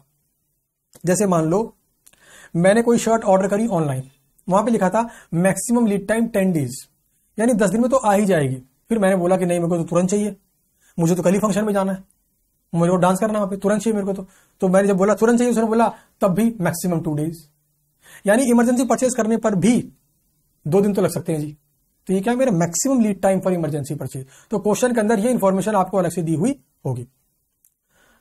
ये बात तो लिखी ऑलरेडी सेफ्टी स्टॉक और क्या कहते हैं मिनिस्टर की बात पहले हो चुकी है। तो चलिए, ये कॉन्सेप्ट आपका यहाँ पर हो गया है जी।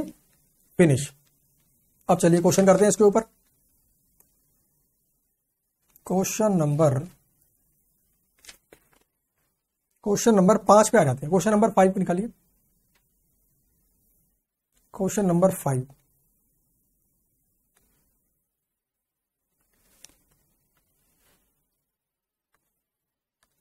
Question number five. चलिए क्वेश्चन को पढ़ते हैं जी। Two component, A and B. Are used for as follows two component A and B are used as follows एक मिनट यार।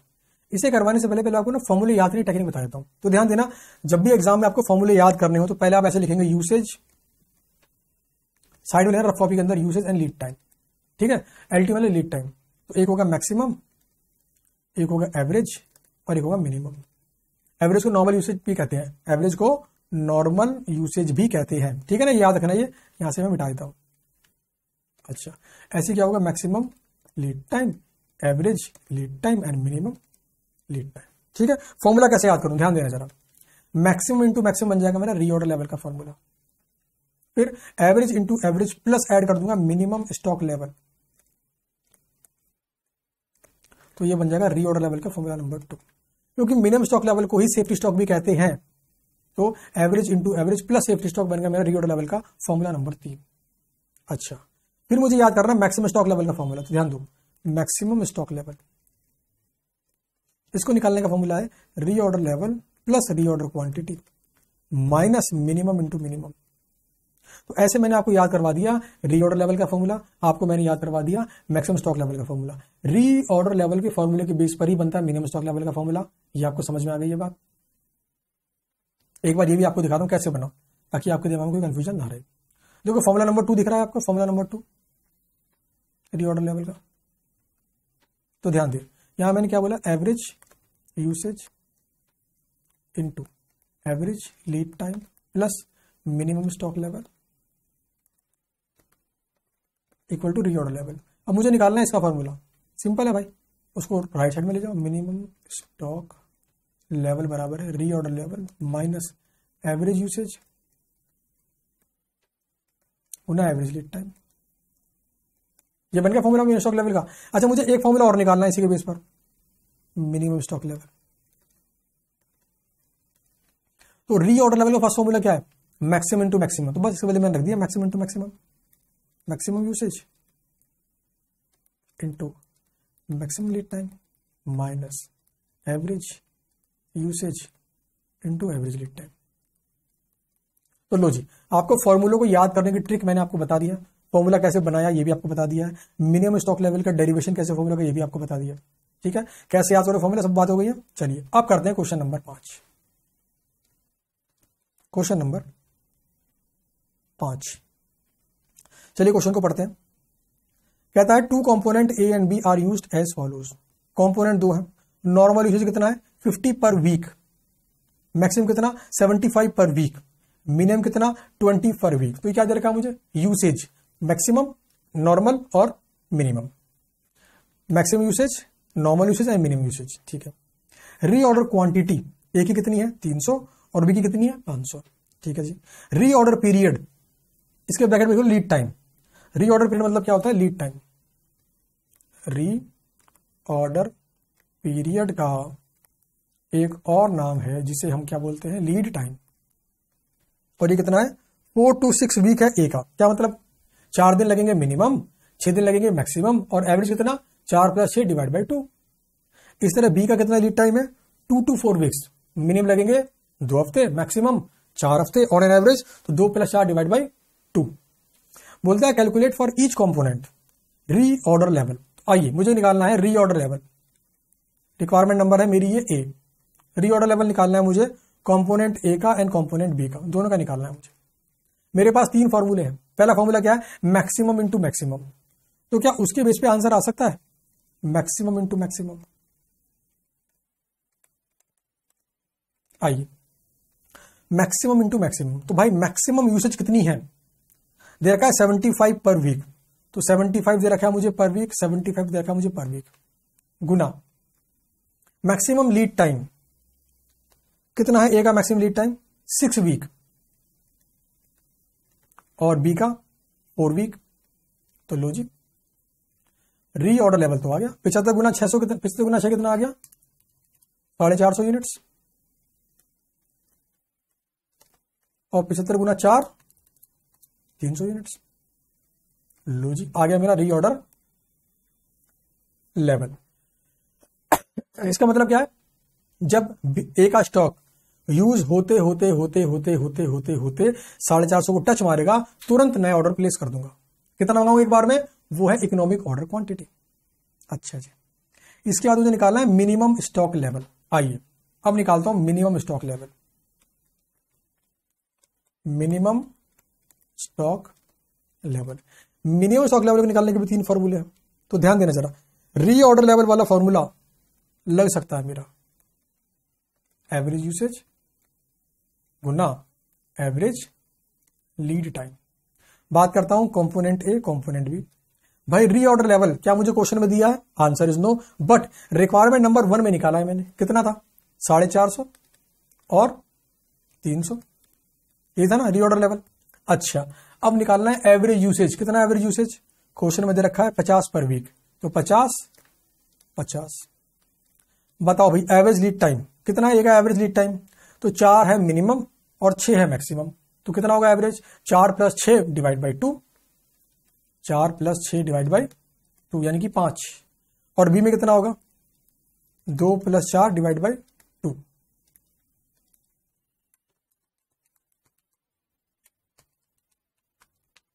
तो ये आ गया 200 यूनिट्स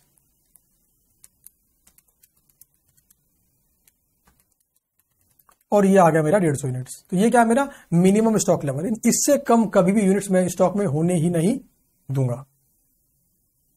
अच्छा जी, ये आ गया मेरा मिनिमम स्टॉक लेवल इसके बाद मुझे निकालना है मैक्सिमम स्टॉक लेवल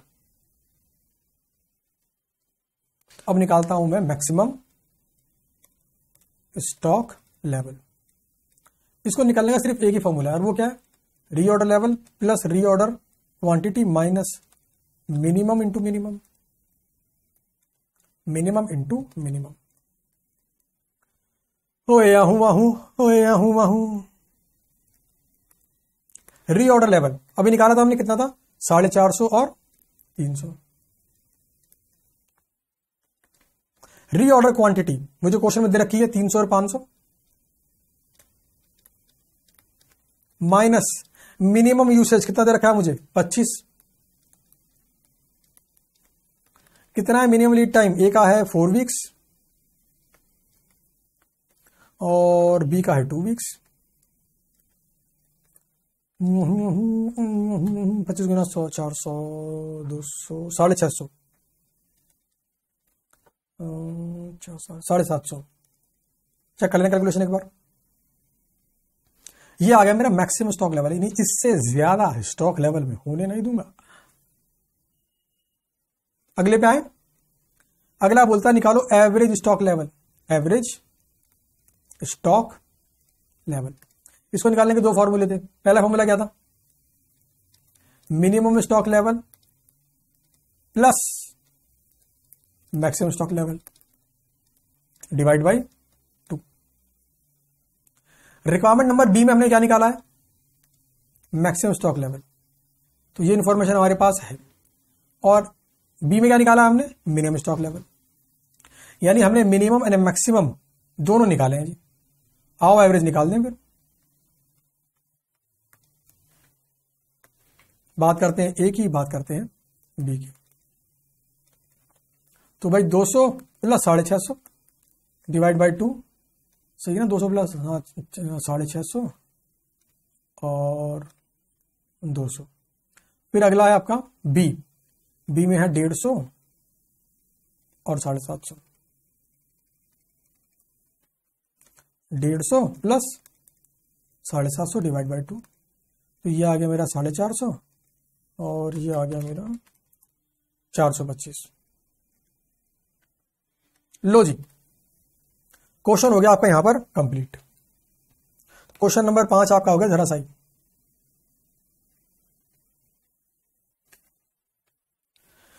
तो ये स्टॉक लेवल्स वाले जो क्वेश्चन है ना एग्ज़ाम में जब भी आएँगे ना आपके पास, आपको फॉर्मूला याद होना चाहिए। और बस क्वेश्चन को देखते जाओ और फॉर्मूले को चिपकाते जाओ। मतलब फॉर्मूले को लिखो क्वेश्चन को देखते जाओ और करते जाओ। आओ भाई, एक और क्वेश्चन करें इसके ऊपर। क्वेश्चन नंबर बीस करते हैं क्वेश्चन नंबर बीस।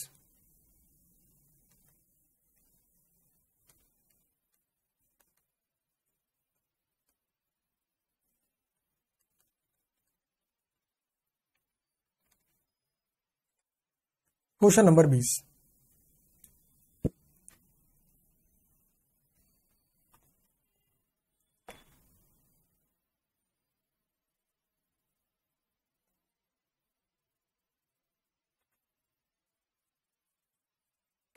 क्वेश्चन नंबर बीस।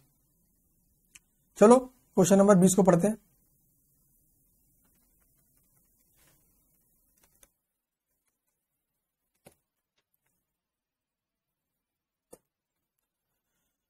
From the details given below calculate reorder level maximum level minimum level and danger level तो इसमें अपने को डेंजर लेवल निकालना भी सीखेंगे।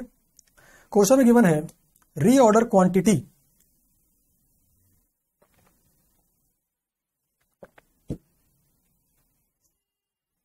reorder quantity is to be calculated on the basis of following information. Cost of placing a purchase order is rupees 20 तो ये क्या मेरा? ऑर्डरिंग कॉस्ट बीस रुपए per order number of units to be purchase during the year is five thousand तो A क्या है मेरा? फाइव थाउज़ेंड ए मतलब annual purchase requirement of raw material फिर की मैंने मुझे purchase price per unit inclusive of transportation cost is rupees fifty यह मेरी परचेज कॉस्ट पर यूनिट फिर की मैंने मुझे annual cost of storage per unit यानी ये मेरा C carrying cost per unit per annum annual मतलब पर एनम और पर यूनिट मतलब पर यूनिट यानी carrying cost per unit per annum पाँच रुपए. फिर दे रखा मुझे लीड टाइम एवरेज कितना? दस दिन लगता है। मैक्सिमम कितना लगेगा? पंद्रह दिन। और मिनिमम पाँच दिन तो लगेंगे ही लगेंगे। फिर नीचे रखा है? फॉर इमरजेंसी परचेज इसे अंडरलाइन कर लो। फॉर इमरजेंसी परचेज ये दे रखा है specifically for danger level calculation emergency purchase वाला लीड टाइम सिर्फ़ और सिर्फ़ डेंजर लेवल को निकालने के लिए ही यूज़ होगा। फिर रखा है आपको रेट ऑफ़ कंजप्शन एवरेज पंद्रह units and maximum twenty units per day अच्छा एक बात बताओ। क्वेश्चन में आपको यूसेज दे रखा है एवरेज एंड मैक्सिमम तो क्या मिनिमम निकाल सकते हैं आप? ध्यान देना जरा। भाई, कैसे निकलती है एवरेज यूसेज तो हम बोलते हैं एवरेज यूसेज बराबर, हम क्या बोलेंगे? मैक्सिमम यूसेज है ना? Plus minimum usage divide by two ऐसे निकालते हैं ना। हमें क्वेश्चन के अंदर रखा है एवरेज यूज़ कितना है? पंद्रह यूनिट्स मैक्सिमम कितना है? ट्वेंटी यूनिट्स तो क्या मैं मिनिमम यूसेज निकाल सकता हूँ? आंसर इज़ यस पंद्रह गुना दो माइनस बीस आ गया दस. लो जी तो अब मुझे पता पड़ गया मिनिमम यूसेज है दस पर डे यानी एक दिन में दस यूनिट कंज्यूम होनी ही होनी है. हद से हद बीस हो जाएँगी और ऑन एन एवरेज पंद्रह होती है. एग्ज़ाम्पल के लिए अगर आप बोले तो भाई दिन के अंदर मिनिमम दो टाइम का खाना खाता ही खाता हूँ। दो टाइम का तीन टाइम में खाना खाता ही खाता हूँ ब्रेकफास्ट जोड़ के। और मैक्सिमम मान लो पाँच टाइम चार बजे भूख भी तो है एक। हम्म, एक एक मिड नाइट भूख भी है तो पाँच बार खाना खा रहा हूँ मैं। और मैक्सिमम है ये मेरा। ऑन एन एवरेज चार बार खाना खा रहा हूँ तो ये वैसा कुछ है। Minimum usage ten units maximum twenty on an average पंद्रह। सब कुछ हो गया? अच्छा मुझे क्या निकालना है भाई? मुझे निकालना है, सबसे पहले रिक्वायरमेंट है रीऑर्डर लेवल आइए निकालते हैं रीऑर्डर लेवल पहला है कि निकालो री ऑर्डर लेवल वही तीन फॉर्मूले पहला फॉर्मूला है maximum usage into maximum lead time तो देखो, क्या इसकी दोनों ये दोनों इंफॉर्मेशन क्वेश्चन में गिवन है? क्या क्वेश्चन के अंदर मैक्सिमम यूसेज दिया है? हाँ दिया है। कितना? ट्वेंटी यूनिट्स पर डे और लीड टाइम कितना है मैक्सिमम लीड टाइम मैक्सिमम है आपका 15 डेज़ कितना हो गया ये? 300 यूनिट बस एक बात ध्यान रखना आप। अगर यूसेज डे अगर यूसेज पर डे है तो लीड टाइम डे में होगा। अगर यूसेज पर वीक है तो लीड टाइम भी पर वीक होगा। यूसेज मंथली है तो लीड टाइम मंथली होगा। यूसेज ईयरली है तो लीड टाइम भी ईयरली होगा। कहने का मतलब दोनों सेम रहेंगे। ये था reorder level requirement number one requirement number two है मेरा। मुझे निकालना है मैक्सिमम स्टॉक लेवल और मैक्सिमम स्टॉक लेवल को निकालने का सिर्फ़ एक फॉर्मूला है, और वो क्या है? Reorder level plus reorder quantity इसी को हम इकोनॉमिक ऑर्डर क्वांटिटी भी कहते हैं। Minus minimum usage into minimum lead time reorder level अभी निकाला 300 यूनिट्स रीऑर्डर लेवल कहाँ से आया सर अरे, यहाँ से आया, भाई। Reorder quantity economic order quantity question में गिवन है आंसर इज़ नो बट इसे हम निकाल सकते हैं। इकोनॉमिक ऑर्डर क्वांटिटी को। क्या होगा? Two multiplied by angle of coolness तुम दोनों को दोनों आ जाओ ओपन चैलेंज है। काट दूँगा घर में घुसकर। तो टू मल्टीप्लाइड बाई ए कितना था मेरा? ए था मेरा फाइव थाउज़ेंड ओ कितना है मेरा? बीस रुपए। और सी कितना है मेरा? पाँच रुपए। तो भाई दो गुना पाँच हज़ार गुना बीस बटा पाँच, ये आ गया मेरा दो सौ units what is this this is economic order quantity या इसी कह सकते हैं हम री ऑर्डर क्वांटिटी एक ही बात है। एक बार में कितना ऑर्डर करना है? कितना आ गया ये? 200 यूनिट्स तो यहाँ पे लिख दू 200 units minus minimum usage into minimum litre minimum usage question में दी हुई तो नहीं है बट हमने निकाली थी। कितनी थी? टेन यूनिट्स तो ये मेरी टेन यूनिट्स और मिनिमम लीड टाइम गिवन है क्वेश्चन के अंदर मिनिमम फाइव डेज़ सॉल्व कर लो। दस गुना पचास तो ये आगे साढ़े चार सौ। तीन सौ प्लस दो सौ पाँच सौ माइनस पचास। साढ़े चार सौ। लो जी requirement number two maximum stock level मैंने निकाल लिया है।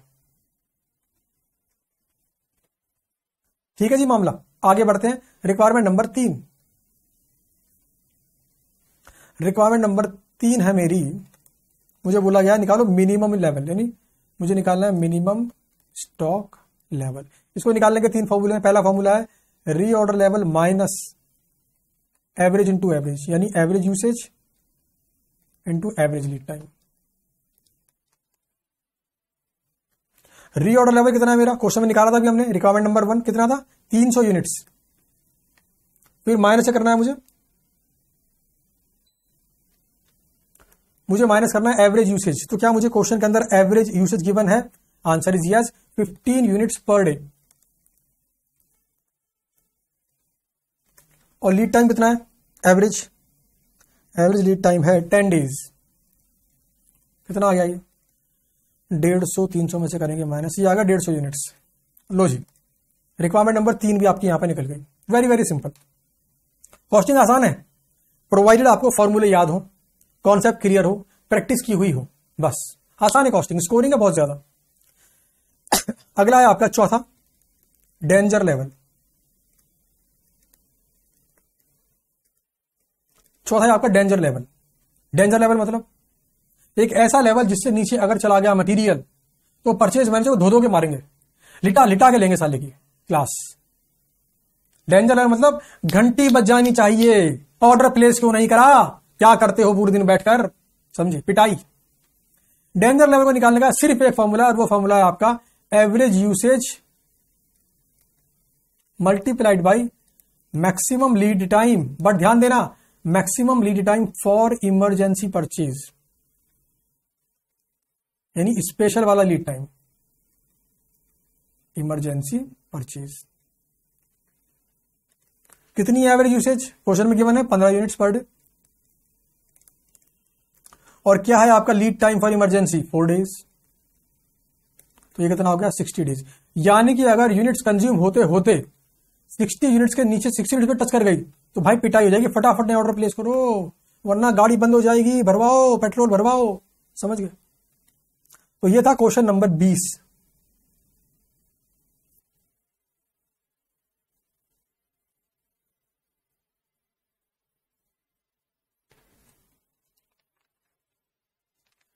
चलिए, क्वेश्चन नंबर अठारह पे आते हैं।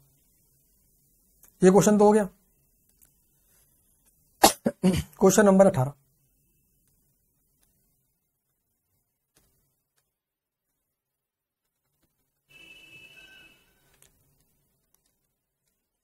क्वेश्चन नंबर अठारह।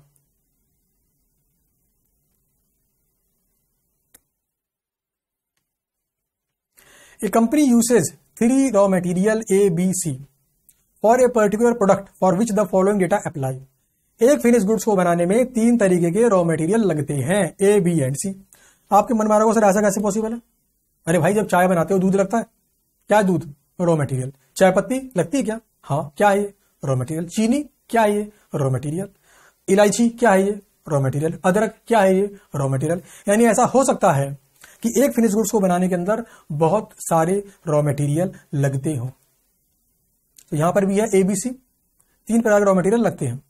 फिर ये है usage per unit of product यानी एक यूनिट बनाने में ए के लगते हैं दस के जी बी के लगते हैं चार के जी और सी के लगते हैं छह के जी तब बनता है वन यूनिट ऑफ़ प्रोडक्ट ध्यान देना प्रोडक्ट यानी फिनिश्ड गुड्स रीऑर्डर क्वांटिटी लो जी, बड़े खुश नसीब हो। एक बार में कितना ऑर्डर करना है? क्वेश्चन ने आपको खुद से दे दिया। ए का दस हज़ार ऑर्डर करना है बी का पाँच हज़ार ऑर्डर करना है और सी का दस हज़ार ऑर्डर करना है। फिर दे दिया प्राइस पर के जी प्राइस दे दिया। Delivery period in week lead time किसमें है? वीकली है। यूसेज भी क्या होगा? वीकली ही होगा। मैक्सिमम, मिनिमम, एवरेज तीनों दे रखे हैं आपको। रीऑर्डर लेवल लो जी, आपको रीऑर्डर लेवल भी दे रखा है ए का और बी का। सी का नहीं दिया। ठीक है। मिनिमम लेवल दे रखा है आपको सिर्फ़ सी का ए और बी का नहीं दिया। ठीक है। फिर गिवन है weekly production varies from 175 to 225 units averaging 200 units of said ध्यान देना, क्या लिखा हुआ है यहाँ पर? प्रोडक्ट यानी कि फिनिश गुड्स का देखा आपको यूसेज हमें फिनिश गुड्स का प्रोडक्शन दे रखा है। और हमें क्या चाहिए? रॉ मटेरियल का यूसेज भाई, इतना बनाने में कितना लगेगा? क्या करूँगा मैं? इसको कर दूँगा मल्टीप्लाई विद क्या? यूसेज पर यूनिट ये इंफॉर्मेशन जो क्वेश्चन में दे रखी है। ये क्या है मेरा वीकली प्रोडक्शन वेरीज फ्रॉम 175 है मेरा मिनिमम 225 है मेरा मैक्सिमम और एवरेज है 200 ऑफ़ सेड प्रोडक्ट यहाँ पर ऑफ़ सेड रॉ मटेरियल नहीं लिखा है, यहाँ पे लिखा है प्रोडक्ट प्रोडक्ट बोले तो फिनिश्ड गुड्स और हमें क्या चाहिए? यूसेज किसका? रॉ मटेरियल का। तो फिनिश्ड गुड्स को रॉ मटेरियल के यूसेज में कन्वर्ट करने के लिए मल्टीप्लाई करना पड़ेगा with usage per unit of product जो कॉलम नंबर टू में दिया हुआ है। ठीक है? चलिए। अब करते हैं सॉल्व रिक्वायरमेंट नंबर वन है मिनिमम स्टॉक लेवल को निकालो। आओ जरा।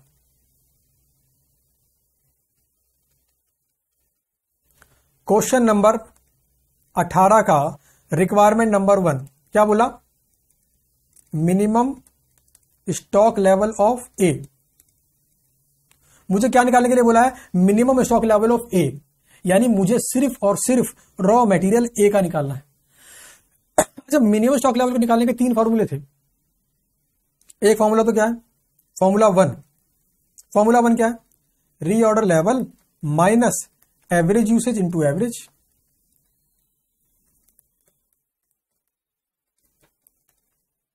this is formula number one आइए चेक करो, क्या इसके बेस पर हमें इंफॉर्मेशन क्वेश्चन में दी हुई है? क्या हमें ए का रीऑर्डर लेवल दिया है? हाँ जी, दिया है आठ हज़ार के जी हमें दिया हुआ है। ओके माइनस क्या हमें ए का एवरेज यूसेज दे रखा है? तो ध्यान दो, कितना प्रोडक्शन है एवरेज 200 यूनिट तो कैसे निकलेगा एवरेज यूसेज 200 यूनिट गुना ए में लगता है 10 के पर यूनिट तो ये क्या आ गया मेरा? एवरेज यूसेज 200 का है एवरेज प्रोडक्शन तो 200 गुना 10 10 कहाँ से आया? Usage per unit of product multiplied by average lead time तो मुझे एवरेज लीड टाइम दे रखा है टू वीक्स सॉल्व कर लेना, आपकी वैल्यू आ जाएगी। इसका मतलब है minimum stock level of A formula number one से निकल सकता है। आपको ध्यान चलो इसको निकाल लेता हूँ मैं एक बार। कितना आइए 200 गुना दस गुना दो माइनस आठ हज़ार। कितना आ गया मेरा? ये आ गया मेरा चार हज़ार के जी अच्छा इसका एक और formula formula number two formula number two क्या? है मैक्सिमम यूसेज गुना maximum lead time minus average usage गुना एवरेज लीड टाइम। ठीक है ना? क्या मुझे क्वेश्चन में मैक्सिमम यूसेज निकालने की इंफॉर्मेशन दे रखी है? प्रोडक्शन कितना है मैक्सिमम 225 तो भाई 225 यूनिट मैक्सिमम बनाते हैं। एक को बनाने में लगता है 10 के तो ये क्या आ गया मेरा? Maximum usage multiplied by lead time कितना है मेरा मैक्सिमम क्वेश्चन में गिवन है yes three week minus average usage वो तो अभी निकाला था मैंने कि 200 मेरा ऑन एन एवरेज है, एक को बनाने में टेन के जी लगता है। मल्टीप्लाई बाई एवरेज टाइम है टू वीक निकालो जरा से कितना आ रहा है दो सौ गुना दस गुना दो। दो सौ पच्चीस गुना दस। ये आ गया मेरा दो हज़ार सात सौ पचास।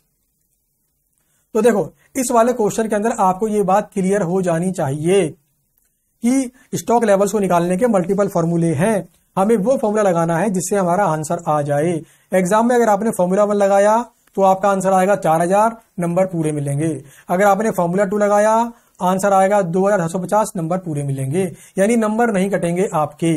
ये था मेरा requirement number one minimum stock level of A minimum stock level of A requirement number one समझ गए बात? ये क्वेश्चन मैंने क्यों कराया आपको? ये बताने के लिए कि एक स्टॉक लेवल को निकालने के मल्टीपल फॉर्मूले हैं। किसी भी फॉर्मूले से आंसर को निकालो। आंसर भले ही डिफरेंट हो नंबर आपको पूरे के पूरे मिलेंगे। आपके नंबर नहीं कटेंगे। अब अगला मुझे निकालना है maximum stock level of B ध्यान देना, मुझे इसका निकालना है, सिर्फ़ बी का निकालना है। इसको निकालने का सिर्फ़ एक ही फॉर्मूला है reorder level plus reorder quantity minus minimum usage गुना मिनिमम लीड टाइम इसमें कंफ्यूजन की बात है ही नहीं, क्योंकि सिंपल एक ही फॉर्मूला है। क्या मुझे बी का रीऑर्डर लेवल दे रखा है? आंसर इज़ यस चार हज़ार सात सौ पचास। क्या मुझे रीऑर्डर क्वांटिटी दे रखी है? Answer is yes five thousand K G minus क्या मुझे मिनिमम यूसेज निकालने की इंफॉर्मेशन दे रखी है? तो मिनिमम प्रोडक्शन है मेरा 175 यूनिट और एक को बनने में बी के लगते हैं चार के जी तो ये हो गया मेरा minimum usage multiplied by minimum lead time है मेरा बी का थ्री वीक्स इसको सॉल्व कर लेंगे तो आंसर आ जाएगा.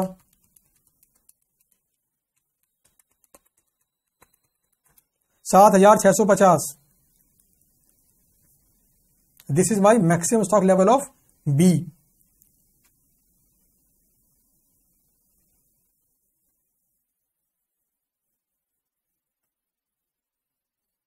ठीक है जी? चलिए रिक्वायरमेंट नंबर तीन। रिक्वायरमेंट नंबर तीन है मेरा।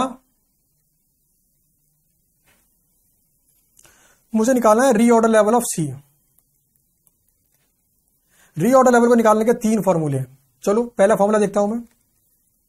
पहला फॉर्मूला है maximum usage into maximum lead time right तो क्या मुझे सी का मैक्सिमम यूसेज निकाल सकता हूँ? यस yes, 225 बनेगी मैक्सिमम और एक को बनाने में लगता है सिक्स के जी सी का मटेरियल मल्टीप्लाइड बाई सी का मैक्सिमम लीड टाइम है four week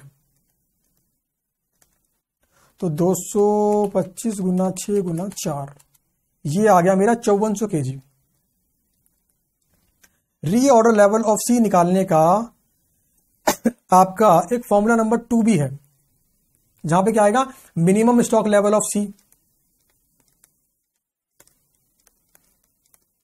plus average into average ये आप खुद ट्राई करना।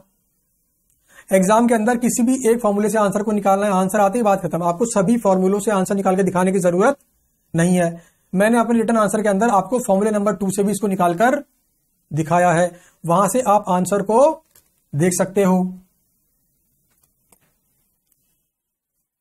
अब आ जाओ। आखिरी है average stock level of A average stock level of A formula क्या है? दो फॉर्मूले हैं। एक फॉर्मूला नंबर टू क्या formula number two minimum stock level of A plus reorder quantity divide by two. अच्छा क्या minimum stock level of A हमने निकाला है क्या? यस. इस क्वेश्चन के रिक्वायरमेंट नंबर वन देखो। हमने minimum stock level of A निकाला है। कितना है? Four thousand K G plus economic order quantity A की गिवन है मुझे? आंसर इज़ यस कितनी गिवन है? Ten thousand K G divide by two तो आ गया मेरे नाइन थाउज़ेंड के जी लो जी। Average stock level of A आप फॉर्मूला वन से भी निकाल सकते हो। एक बार ट्राई करना आंसर मैंने आपको ऑलरेडी आपकी प्रैक्टिस बुक में दे रखा है। ठीक है जी? चलिए आगे बढ़ते हैं। आ जाओ भाई, अगला कॉन्सेप्ट मटीरियल टर्नओवर रेशो या inventory turnover ratio for raw material क्या मतलब होता है इसका? टर्नओवर रेशियो का। क्यों निकालते हैं इसको हम? टर्नओवर रेशियो को। टर्नओवर माने तो सेल होता है सर क्या संबंध है टर्नओवर का मटेरियल से? टर्नओवर का मतलब होता है कितनी बार घुमाया। कुछ गलत मत समझ जाना मेरे प्यारे दोस्तों। कितनी बार घुमाया से मेरा मतलब है कि अगर मैंने धंधे में एक लाख रुपए लगाए हैं, उस एक लाख से पहले मैंने माल खरीदा होगा, फिर बेचा होगा। फिर पैसे आए, फिर माल खरीदा, फिर बेचा, फिर पैसे आए, सेल करने पे आ रहे ना पैसे, फिर पैसे आए, फिर माल बेचा, फिर खरीदा, फिर माल खरीदा, फिर बेचा, फिर पैसे आए, फिर माल खरीदा, फिर बेचा, फिर पैसे आए। तो कुल मिलाकर मैं एक लाख रुपए के तो घुमा रहा हूँ बार बार और अगर ऐसा हो, और अगर ऐसा हो कि पूरे साल में मैंने बीस लाख रुपए की सेल कर दी, पैसा कितना था मेरे पास? एक लाख रुपए। सेल कितनी कर दी मैंने? बीस लाख रुपए की। तो मतलब मैंने बीस गुना सेल करी। मतलब मैंने एक लाख रुपए को बीस बार घुमाया है। इसे बोलते हैं turn over turn over sale वाला नहीं टर्न ओवर ऊपर घूमो, घूमते जाओ घूमते जाओ। तो मैंने बीस बार एक रुपए घुमा दिया। अच्छा मैं आपके सामने दो एग्ज़ाम्पल रखता हूँ। आप बताना कौन सा वाला बेटर है। मान लो आपके सामने दो कंपनियाँ हैं ए और एक कंपनी है बी है ना? इसने सेल करी। डिवाइड बाय कहता हूँ कैपिटल दोनों का। इसने सेल करी बीस लाख रुपए की और लगा रखे सिर्फ़ एक लाख रुपए। यानी इसने पैसों को साल में बीस बार घुमाया है। ऑल राइट अब बात करते हैं बी की। इसने सेल करी तीस लाख रुपए की और कैपिटल लगा रखी एक लाख रुपए। इसने उस एक लाख रुपए को साल में तीस बार घुमाया है। बताओ। कौन सी कंपनी पैसे का सही इस्तेमाल कर रही है।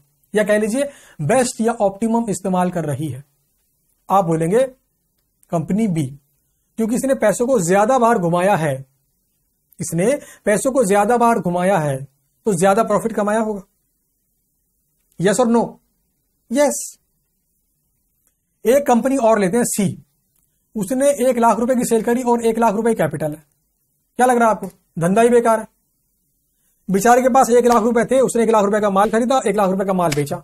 ना प्रॉफिट ना लॉस माल ही नहीं बिक रहा जी उसका। उसे एक साल लग गया एक लाख रुपए का माल बेचने के अंदर। मतलब धंधे में स्पीड नहीं है। स्पीड नहीं है। समझ गए? स्पीड नहीं है इसके अंदर। समझ गए ना? तो भाई यही बात है। तो ऐसे ही निकालते हैं मटेरियल टर्नओवर रेशो फॉर्मूला क्या है? फॉर्मूला है raw material consumed during year पूरे साल में कितना रॉ मटेरियल कंज्यूम्ड हुआ? डिवाइड बाई एवरेज स्टॉक अभी इसका इंप्लीकेशन समझाऊँगा मैं आपको। देखो, एक एग्जांपल लेता हूँ। चलो एग्ज़ाम्पल बाद में लूँगा समझो पहले। क्या है? पूरे साल में कितना कंज्यूम हुआ? यानी opening stock plus purchase minus closing stock ये क्या होता है आपका? मटेरियल कंज्यूम्ड भाई, पूरे साल के शुरू में आपके पास जो पैसा था पैसा तो नहीं, पैसा नहीं। आपके पास साल के शुरू में जो मटेरियल था प्लस आपने जो खरीदा माइनस साल के आखिरी में जो आपके पास बचा है, इसकी कैलकुलेशन को बोलते हैं मटेरियल कंज्यूम्ड क्या बोलते हैं? मटेरियल कंज्यूम्ड अच्छा divide by average stock of raw material अरे बोलो ना average stock of raw material average निकालने का फॉर्मूला क्या है? वही simple opening plus closing divide by two opening plus closing divide by two opening plus closing divide by two two two two अच्छा। MTR निकाल लेने के बाद, यानी मटेरियल टर्नओवर रेशो निकाल लेने के बाद, हमें इसका मीनिंग निकालना है। उसके मीनिंग को निकालने के लिए हम निकालते हैं रॉ मटीरियल होल्डिंग पीरियड क्या बोलते हैं इसको? रॉ मटीरियल होल्डिंग पीरियड क्या मतलब है? मटेरियल खरीदने के बाद इस्तेमाल होने से पहले कितने समय तक हमारे गोदाम में पड़ा रहा? इसे बोलते हैं raw material holding period raw material हमारे गोदाम में आने के बाद इस्तेमाल होने से पहले कितने समय तक गोदाम में पड़ा रहा? अच्छा ये टाइम कम होना चाहिए कि ज़्यादा? कम होना चाहिए। इसको निकालने का फॉर्मूला क्या? अगर डेज़ में निकालना है तो 365 डेज़ अगर मंथ में निकालना है तो 12 डेज़ वीक में निकालना हो तो 52 weeks divide by material turnover ratio यानी कि जो हमने एमटीआर यहाँ निकाला, उसका इस्तेमाल यहाँ किया। समझ गए? अब इसका मतलब क्या है? इसका मतलब क्या है? इसका मतलब क्या है? अरे बता रहा हूँ भाई। रॉ मटीरियल होल्डिंग पीरियड का मतलब क्या है? मान लो मेरे पास दो फर्म है ए और बी इसका ये मान लो टू डेज़ और इसका ये मान लो ट्वेंटी डेज़। पहली बात तो इसका मतलब क्या है? टू डेज़ का।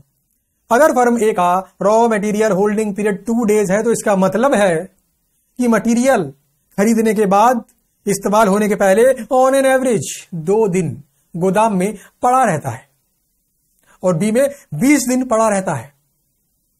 ए में दो दिन पड़ा रहता है बी में बीस दिन पड़ा रहता है। बताओ कौन सी फर्म अपने मटेरियल का सही इस्तेमाल कर रही है? वो है आपकी ए कम है इसका होल्डिंग पीरियड तो कम होगी इसकी कैरिंग कॉस्ट चोरी चकारी का नुकसान कम होगा. यानी कि मैं कह सकता हूँ कि फर्म ए का रॉ मटेरियल फास्ट मूविंग है. क्या समझे? तो ये इंप्लीकेशन होता है रॉ मटेरियल होल्डिंग पीरियड का. यानी कि जो हम निकालते हैं मटेरियल टर्नओवर रेशो उसका मीनिंग निकालने के लिए हमें निकालना पड़ता है रॉ मटेरियल होल्डिंग पीरियड क्या समझे? अच्छा। किसी भी कंपनी का अगर रॉ मटेरियल होल्डिंग पीरियड ज़्यादा होगा, वो हमारे लिए अच्छा है कि बुरा? हमारे लिए बुरा है। अनफेवरेबल क्यों? कैरिंग कॉस्ट ज़्यादा होगी। इसे हम बोलते हैं स्लो मूविंग मटेरियल इस्तेमाल ही नहीं साला मूव ही नहीं कर रहा। एक हफ़्ते पहले लिया था, वहीं पड़ा है मूव ही नहीं कर रहा। मूव कहाँ से करता है भाई? मूव करता है गोदाम से फैक्ट्री में। अच्छा अगर raw material holding period low है। हमारे लिए अच्छा है। क्यों? कैरिंग कॉस्ट कम होगी। इसको बोलते हैं फास्ट मूविंग अगर हमने आज आटा खरीदा, कल रोटी बना के खा गए, ज़्यादा अच्छा है। लेकिन अगर हमने आज आटा खरीदा और उस आज खरीदे गए आटे की रोटी हम दो हफ़्ते बाद खा रहे हैं रिस्क है ना? चीटियाँ लगने का, आटे के नमी पकड़ लेने का, आटे के खराब हो जाने का, आटे के पुराना हो जाने का रिस्क है। समझ गए? तो ये था आपका कॉन्सेप्ट चलिए, अब इसके बाद आगे बढ़ते हैं। क्वेश्चन नंबर ग्यारह।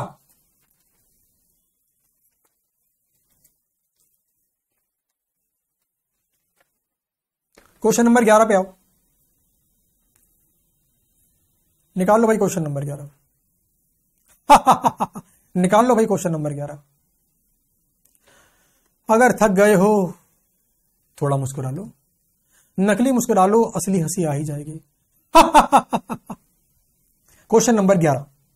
From the following data for the year ended thirty first December two thousand sixteen calculate the inventory turnover ratio of two item and put forward your comments on it क्या बोला? MTR निकालो material turnover ratio निकालो, और उसके ऊपर अपने comment लिखो, बताओ अच्छा है कि बुरा है। अच्छा है कि बुरा है निकालने के लिए क्या निकालना पड़ता है? रॉ मटेरियल होल्डिंग पीरियड अच्छा।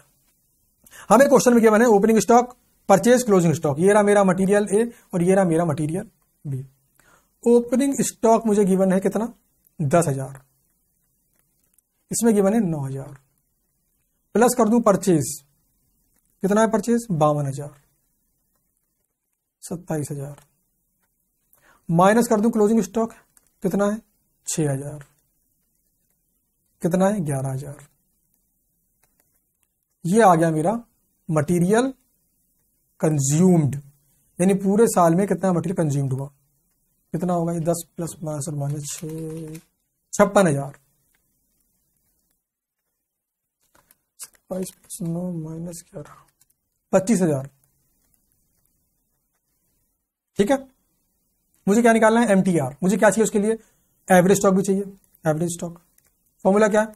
Opening plus closing divide by two दस हज़ार प्लस छह हज़ार डिवाइड बाई कितना आ गया? आठ हज़ार। सिंपल है ना? Opening plus closing divide by two नौ हज़ार प्लस ग्यारह हज़ार डिवाइड बाई टू कितना आ गया? दस हज़ार। अब मुझे निकालना मटेरियल टर्नओवर रेशो इसे मैं अगर ए कह दूँ और इसे मैं कह दूँ बी तो ये होगा ए बटा बी कितना आएगा ये? छप्पन बटा आठ। सेवन टाइम्स और ये two point five times question ने मुझे क्या बोला था? निकाल दो material turnover ratio inventory turnover ratio निकाल के पटक दिया मैंने। कोई दिक्कत हुई, कोई दिक्कत नहीं हुई जी। क्वेश्चन मुझे क्या बोला? इसके बाद बोला, इसमें कमेंट भी लिखो। अरे कमेंट अगर लिखने हैं तो मुझे निकालना पड़ेगा। इन material raw material holding period ये निकालना पड़ेगा मेरे को। इसको निकालने का फॉर्मूला है three sixty five days divide by material turnover ratio तो तीन सौ पैंसठ बटा सात, कितना आ गया ये? Fifty two point one four days इसका मतलब है मटेरियल ए बावन दिन तक पड़ा रहता है। तो इस्तेमाल तो बावन दिन तक, सोचो। आज खरीदा मटेरियल बावन दिन के बाद इस्तेमाल होगा। कितनी खराब पोजीशन है कंपनी की। अब बात करते हैं बी की। तीन सौ पैंसठ divide by two point five तीन सौ पैंसठ divide by two point five ये आ गया मेरा वन फोर्टी सिक्स डेज़ और अब बाप रे। मटेरियल भी तो और आ गया भाई। आज खरीदूँगा और एक सौ छियालीस दिन के बाद इस्तेमाल करूँगा। कुल मिलाकर कंपनी की हालत तो खराब ही है। फिर भी अगर दोनों को आपस में कंपेयर करूँ तो मैं बोल सकता हूँ ए इज़ बेटर हालाँकि ए अच्छा तो नहीं है, बस ठीक है। इन कंपेरिजन टू बी ठीक है यार। या 146 डेज़ और यहाँ पे बावन दिन। क्या फ़र्क है? बुरे दोनों हैं, दोनों में कौन अच्छा है? मान लो आपके सामने दो लड़कियाँ आ गई, दोनों अच्छी है। दोनों में ज़्यादा अच्छी कौन सी है? सोचना पड़ेगा आप आपके सामने दो लड़के आ गए, बहुत अच्छे हैं भाई। अच्छा nature, smart, sensible, sensitive, emotional. लेकिन दोनों में अच्छा कौन था बताना पड़ेगा आपको। अच्छा तो कमेंट कर रहा हूँ मैं यहाँ पर। क्या कमेंट करूँ? मैं कमेंट कर रहा हूँ कि material A is fast moving as compared to material B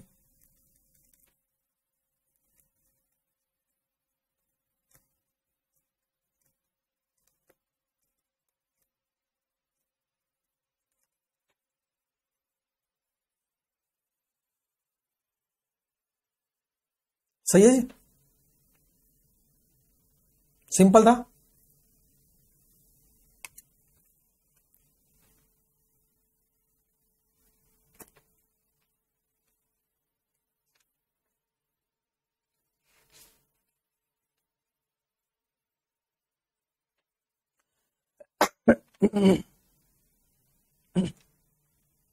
इसके बाद आ जाइए। अगला concept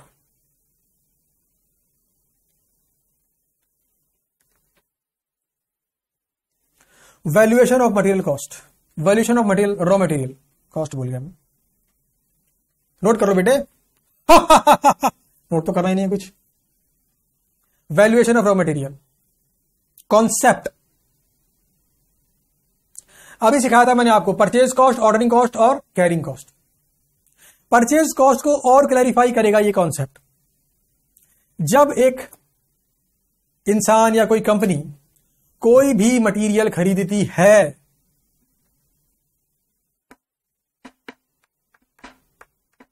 तो बहुत सारे खर्चे होते हैं। तो उन खर्चों को जुड़ा रहने दें या ना जोड़ें, क्या करें, उसके बारे में यह कॉन्सेप्ट कहता है। मान लो, पहला आइटम है ट्रेड डिस्काउंट हमने सौ रुपए का आइटम खरीदा कॉस्ट थी सौ रुपए। डिस्काउंट मिल गया पाँच रुपए। ट्रेड डिस्काउंट हमें देने पड़े पिचानवे रुपए। सौ रुपए का आइटम था। ट्रेड डिस्काउंट मिल गया पाँच रुपए। हमें देने पड़े पिचानवे रुपए। तो सवाल यह हमारी कॉस्ट कितनी?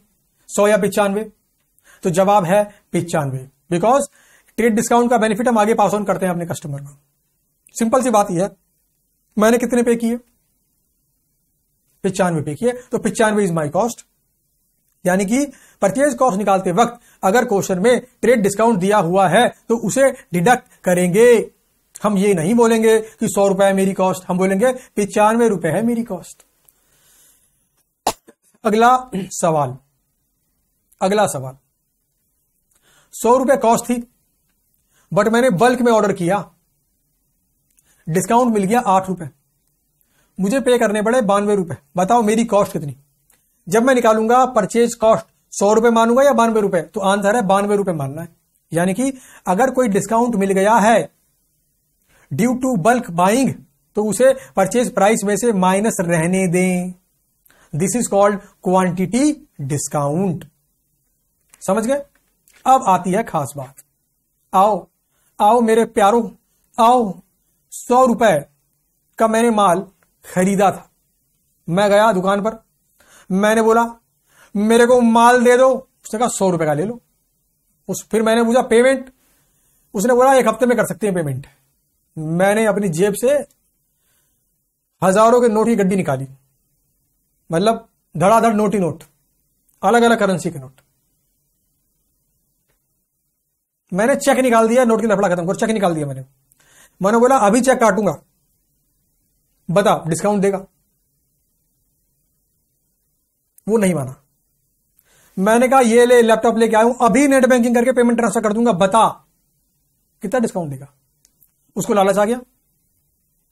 वैसे वो डिस्काउंट देता नहीं है।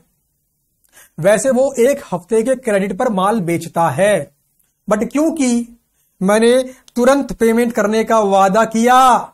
उसके मन में लालच आ गया। उसने बोला, अगर तुरंत पेमेंट कर रहे हो, मैं आपको दो परसेंट का डिस्काउंट दूँगा। मैंने कहा, ठीक है, यानी कि मुझे पे करने हैं अट्ठानवे रुपए। मैंने पे करे अट्ठानवे रुपए। अब बताओ, मेरी कॉस्ट कितनी? सौ रुपए या अट्ठानवे रुपए? तो जवाब है सौ रुपए। है? सर, हर जगह तो आप बोल रहे थे अट्ठानवे रुपए, पिचानवे रुपए। यहाँ पे सौ रुपए ऐसा क्यों सर? बिकॉज़ कैश डिस्काउंट को हम फाइनेंशियल बेनिफिट मानते हैं और इस बेनिफिट का रीजन है हमारा फाइनेंशियली रिच होना। हमारी फर्म के पास पैसा है, तभी तो वो डिस्काउंट मिला, सबको थोड़ी मिलता है। तो इसीलिए इसी लॉजिक के बेस पर कैश डिस्काउंट को परचेज प्राइस में से माइनस नहीं करते यानी मैं मानूँगा कि मैंने सौ रुपए की कॉस्ट खर्च की। हालाँकि पेमेंट मुझे अठानवे रुपए ही करनी होगी, लेकिन जब मैं निकालूँगा purchase cost of raw material तो मैं सौ रुपए मानूँगा। तो यह है मेरा कैश डिस्काउंट आगे बढ़ते इसको याद रखना कैश डिस्काउंट को यह माइनस नहीं होता है। बाकी ट्रेड डिस्काउंट हो क्वांटिटी डिस्काउंट हो माइनस हो जाते हैं। आगे बढ़ता हूँ। रोड टैक्स पे किया टोल टैक्स पे किया ऑक्टोय पे किया, कोई भी एंट्री टैक्स पे किया, ये मेरी कॉस्ट का पार्ट है। भाई, मैंने सौ रुपए दिए और रास्ते में तक मैंने आठ रुपए का टोल टैक्स दिया तो मैं मानूँगा मेरे एक सौ आठ रुपए खर्चा किया। यस एक सौ आठ रुपए इज़ माई कॉस्ट अब बात करते हैं जीएसटी की। अब बात करते हैं अगला आइटम जीएसटी मैंने सौ रुपए कॉस्ट खरीदी आइटम खरीदा मैंने सौ रुपए का। उस पर जीएसटी लगा, मान लो अठारह परसेंट, यानी अठारह रुपए। मैंने पे करे एक सौ अठारह रुपए। बताओ, मेरी कॉस्ट कितनी, सौ रुपए या एक सौ अठारह रुपए? तो जवाब यह है कि अगर इस अठारह रुपए का बेनिफिट मुझे जीएसटी पेमेंट करते वक्त मिल सकता है। तब तो मेरी कॉस्ट रहेगी सौ रुपए। अदरवाइज़ मेरी कॉस्ट रहेगी एक सौ अठारह रुपए। क्या मतलब? समझाता हूँ। देखो, मान लो ये रहा परचेज और ये रहा सेल मैंने खरीदा एक आइटम सौ रुपए का जीएसटी पे किया अठारह रुपए का, और मैंने सप्लायर को पे किया एक सौ अठारह रुपए। ऑल राइट मैं कुछ लेकर आया। अब मैं उसको बेच रहा हूँ। मान लो तीन सौ रुपए में। यानी तीन सौ रुपए का मैंने सेल किया और तीन सौ पे लिया मैंने अठारह परसेंट जीएसटी यानी चौवन रुपए। मेरे पास आए तीन सौ चौवन रुपए। अब जरा ध्यान देना। जो जीएसटी मैंने कस्टमर से एक्स्ट्रा लिया है चौवन रुपए। जो जीएसटी मैंने कस्टमर से एक्स्ट्रा लिया है चौवन रुपए, इसको मुझे गवर्नमेंट को पे करना है। इसे बोलते हैं हम गुड्स गुड्स की टैक्स लाइबिलिटी है ना? Goods and services tax GST ठीक है? तो मुझे चौवन रुपए पे करने हैं गवर्नमेंट को। बट मैंने क्या, मैं क्या बोलूँ गवर्नमेंट को? कि मैं चौवन पे नहीं करूँगा आपको। क्यों? अठारह तो ऑलरेडी पे कर चुका हूँ मैं। भाई, जब मैंने माल खरीदा था तो मैं अठारह रुपए तभी पे किया था मैंने। तो गवर्नमेंट ने क्या बोला? कोई बात नहीं, ये अठारह रुपए यहाँ माइनस कर लो। और हमें तुम पे कर दो चौवन माइनस अठारह, यानी छत्तीस रुपए। इसका मतलब क्या हुआ कि जीएसटी पेड का मुझे यहाँ क्या मिल गया? बेनिफिट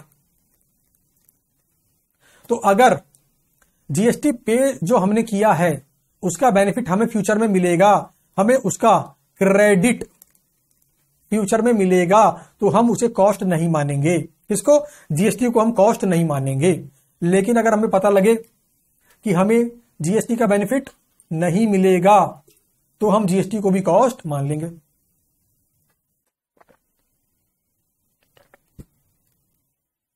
क्या समझे? इसका मतलब यह है कि जब मैंने माल खरीदा, सौ रुपए प्लस अठारह पेमेंट की एक सौ अठारह की, अगर ये जीएसटी जो मैंने पे किया है, इसका मुझे फ्यूचर में क्रेडिट मिलेगा तो ये मेरी कॉस्ट नहीं बनेगी, मेरी कॉस्ट रहेगी सौ रुपए। ये रहेगी मेरी कॉस्ट सौ रुपए।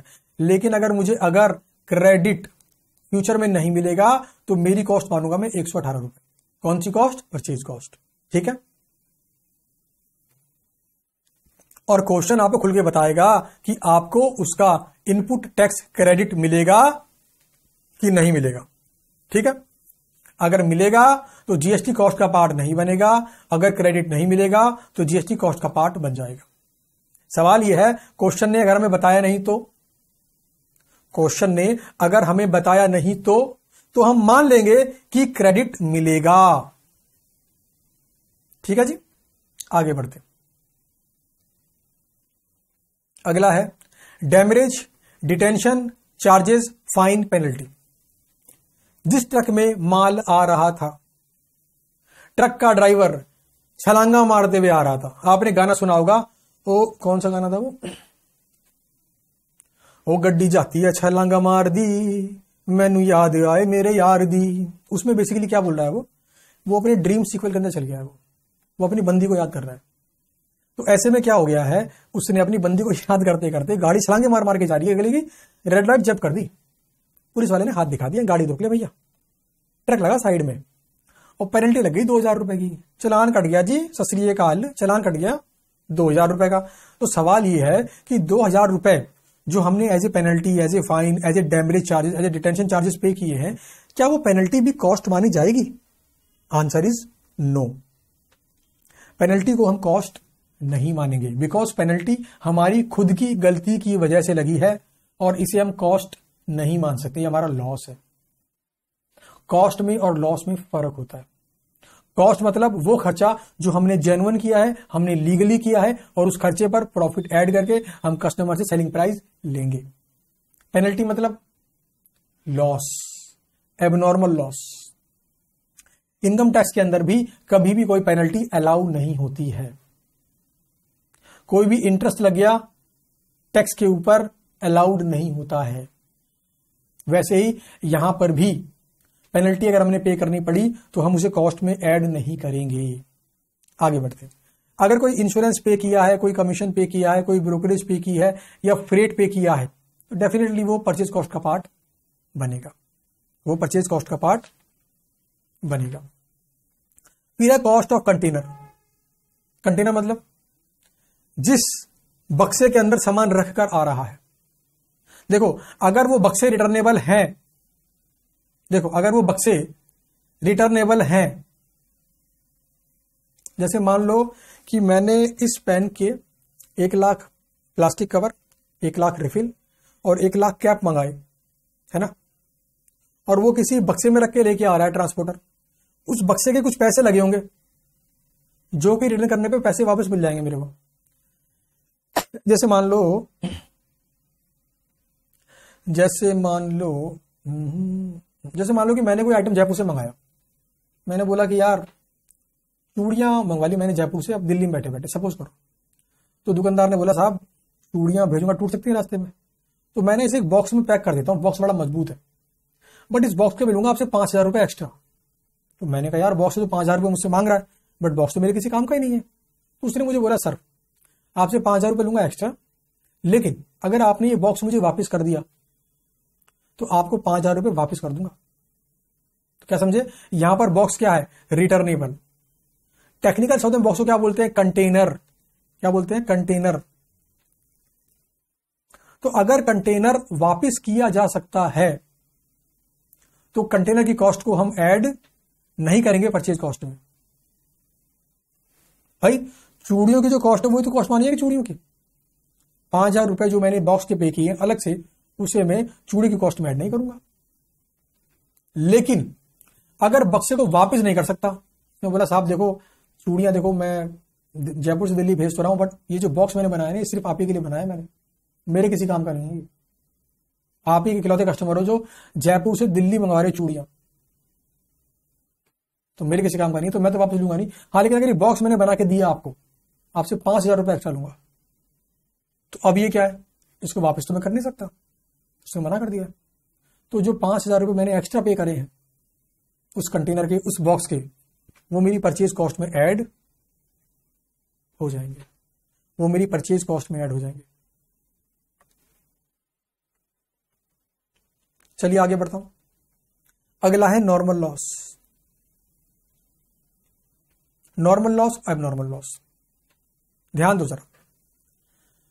आपने 100 यूनिट्स ली। प्रोडक्शन कर रहे हो आप। जैसे मान लो कि मैंने ना सौ पेन बनाने के लिए मटेरियल मंगाया। और मुझे पता है यार ऑनलाइन एवरेज में यार दो पेन तो खराब होंगे। क्यों मुझे पता है? दो पेन तो खराब होंगे। तो दो पेन क्या है मेरा? नॉर्मल लॉस लेकिन मान लो खराब हो गए पाँच पेन तीन क्या है फिर मेरा? तीन है मेरा एबनॉर्मल लॉस देखो दो क्या है मेरा? Normal loss. और तीन क्या है मेरा? एबनॉर्मल लॉस बात समझ गए? नॉर्मल लॉस मतलब एक्सपेक्टेड लॉस भाई लॉस होगा ही। नहीं, होगा मतलब होने के पूरे चांसेस है। देखो लॉस होगा ही, ये नहीं कह रहा मैं। इतना लॉस हो ही जाता है। हो ही जाता है। जैसे मान लो आप दस घंटे पढ़ाई करने के लिए बैठे हो तो मैं मानता हूँ एक घंटा तो खराब होगा ही। एक घंटा क्या आपके लिए नॉर्मल लॉस बट आपने पढ़ाई करी आठ ही घंटे। तो अगला घंटा क्या हो गया? अब नॉर्मल लॉस अच्छा नॉर्मल लॉस को आप अवॉइड नहीं कर सकते।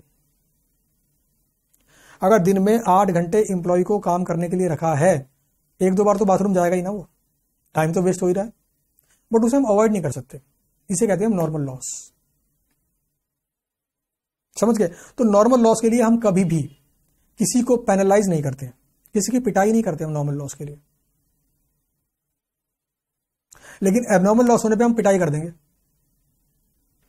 सिर्फ़ दो पेन बेकार होने चाहिए थे। पाँच पेन हो गए बेकार मतलब तीन पेन एक्स्ट्रा बेकार हुए तेरी वजह से।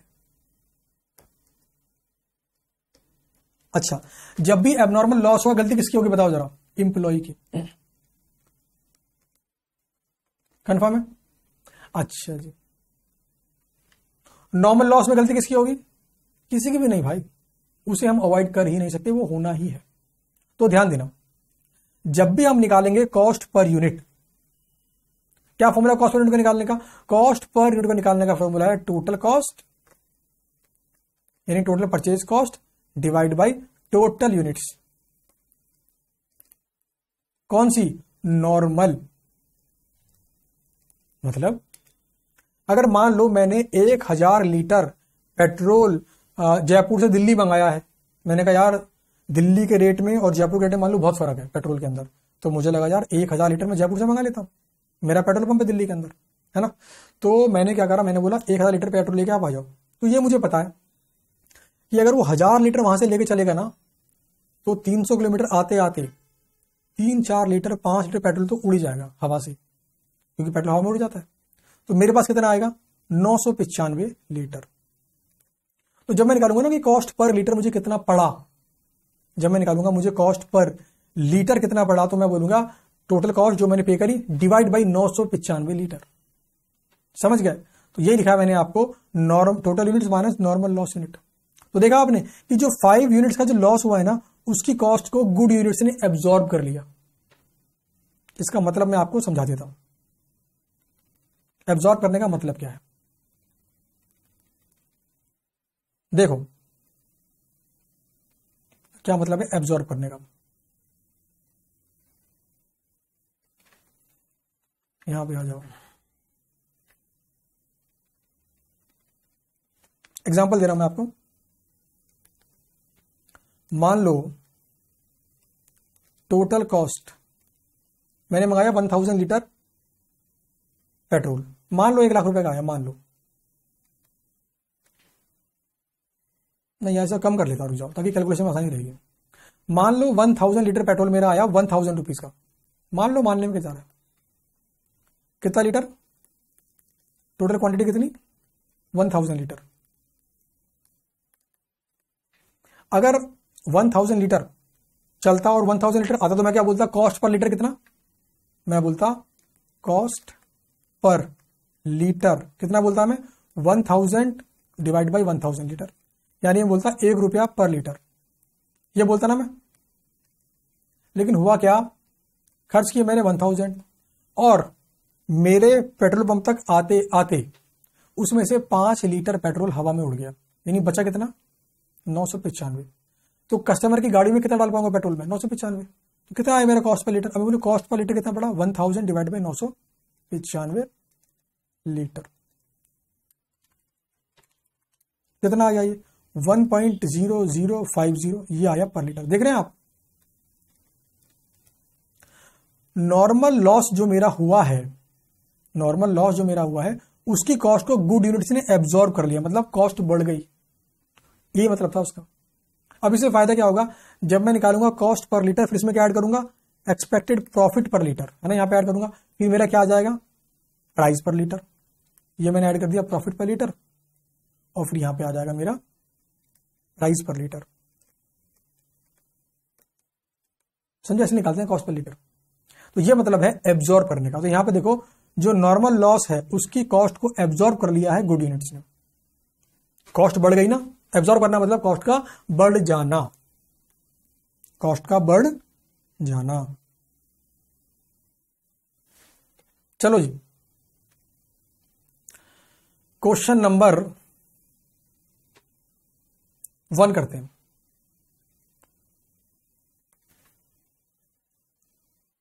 Question number one. Question number one. An invoice in respect of a consignment of chemical A and B provides the following information ठीक है? केमिकल ए खरीदा टेन थाउज़ेंड के जी ठीक है? केमिकल बी खरीदा eight thousand K G price कितना? Ten पर K जी thirteen पर K जी ये परचेज प्राइस हो गया। तो एक लाख रुपए लगे केमिकल ए के एक लाख चार हज़ार लगे केमिकल बी के फिर लिखा है basic custom duty ten percent bracket में क्या लिखा है? क्रेडिट इज़ नॉट अवेलेबल क्या मतलब? जो टैक्स मैंने पे किया है, जो कस्टम ड्यूटी मैंने पे की है, इसका मुझे फ्यूचर में कहीं पर भी बेनिफिट नहीं मिलने वाला। इसका मुझे फ्यूचर में कहीं पर भी डिडक्शन नहीं मिलने वाला। इसका मतलब क्या है? ये मेरी कॉस्ट का पार्ट बनेगी। फिर लिखा है रेलवे फ्रेट, कितना? तीन हज़ार आठ सौ चालीस। ये मैंने दोनों के लिए पे किया। ठीक है। आगे बोलता है ए shortage of 500 hundred K G in chemical A and 320 twenty K G in chemical B is notice due to normal underline करो वर्ड नॉर्मल ब्रेकेज भाई केमिकल आ रहा है। रास्ते में केमिकल हवा में उड़ जाता है। आपको पता होगा। तो भाई 500 केजी कम रहा केमिकल ए और 320 केजी कम रहा केमिकल भी। तो दोनों के दोनों क्या है? Normal loss okay you are required to determine rate per KG of each chemical यानी मुझे क्या निकालना है? Cost per unit assuming a provision of two percent for further deterioration provision मतलब कुछ लॉस तो ऑलरेडी हो चुका है, जो कि नॉर्मल था। अब ये कह रहा है कि दो परसेंट का और प्रोविज़न बना दो। प्रोविज़न मतलब क्या? एक्सपेक्टेड लॉस एक्सपेक्टेड लॉस मतलब क्या? नॉर्मल लॉस ओ नॉर्मल लॉस तो मुझे कॉस्ट पर केजी निकालने के लिए क्या निकालना पड़ेगा? Total cost divide by total normal units मैं लिखू इसको? मुझे कॉस्ट पर केजी निकालने के लिए निकालना पड़ेगा total cost divide by total normal units in KG कह लो। ये निकालना दो इन्फॉर्मेशन चलो निकालता हूँ फिर। ये रहा केमिकल ए ये रहा केमिकल बी प्रॉपर फॉर्मेट के अंदर आंसर नहीं बना रहा हूँ। समझा दूँगा पूरा का पूरा, क्योंकि प्रॉपर फॉर्मेट में आंसर बना के आपको ऑलरेडी दिया हुआ है, ताकि थोड़ा टाइम बचे। सबसे पहला क्या है मेरा? परचेज प्राइस कितना है जी? एक लाख दिया मैंने केमिकल ए के लिए, और एक लाख चार हज़ार दिया मैंने केमिकल बी के लिए। ठीक है? फिर इसके बाद क्या दिया? बेसिक कस्टम ड्यूटी तो ये रहा मेरा बेसिक कस्टम ड्यूटी कितनी है? टेन परसेंट इसका बेनिफिट नहीं मिलेगा मतलब टैक्स का पार्ट बने कॉस्ट का पार्ट बनेगी। तो एक लाख का टेन परसेंट दस हज़ार, और एक लाख चार हज़ार टेन परसेंट दस हज़ार, चार सौ। फिर इसके बाद ऐड होगा रेलवे फ्रेट अब ध्यान देना जरा। रेलवे फ्रेट मुझे गिवन है तीन हज़ार आठ सौ चालीस। और यहाँ पर यह गिवन नहीं केमिकल ए के लिए कितना और बी के लिए कितना। तो ध्यान देना इसको मुझे बांटना पड़ेगा। किस रेशो में? क्वांटिटी के रेशो में। क्यों भाई? क्वांटिटी के रेशो में क्यों? क्योंकि रेलवे के अंदर नॉर्मली जो किराया लगता है वो क्वांटिटी के बेस पे लगता है कि कितना आ, कितना केजी माल आपका जा रहा है।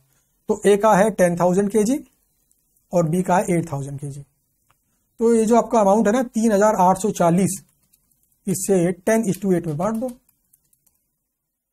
तो ये आ गया टू वन थ्री थ्री और ये आ गया सत्रह सौ सात। खत्म हो गया? ये क्या आ गया मेरा टोटल कॉस्ट तो लो जी, एक फिगर तो मेरी आ गई कितनी आएगी ये एक लाख दस, एक लाख बारह हज़ार एक सौ तैतीस। और ये होगा one one, six, one, zero, seven. तो लो जी, दो इन्फॉर्मेशन है, पहली इन्फॉर्मेशन तो आ गई मेरे पास टोटल कॉस्ट अब मुझे क्या निकालना है? टोटल नॉर्मल यूनिट्स तो ध्यान देना जरा। टोटल नॉर्मल यूनिट्स निकालनी है मेरे को। मैं यहीं पे निकाल लेता हूँ इसी वाले कॉलम के अंदर, इसी वाले टेबल के अंदर। देखो, सबसे पहले क्वांटिटी मैंने कितनी परचेज की थी?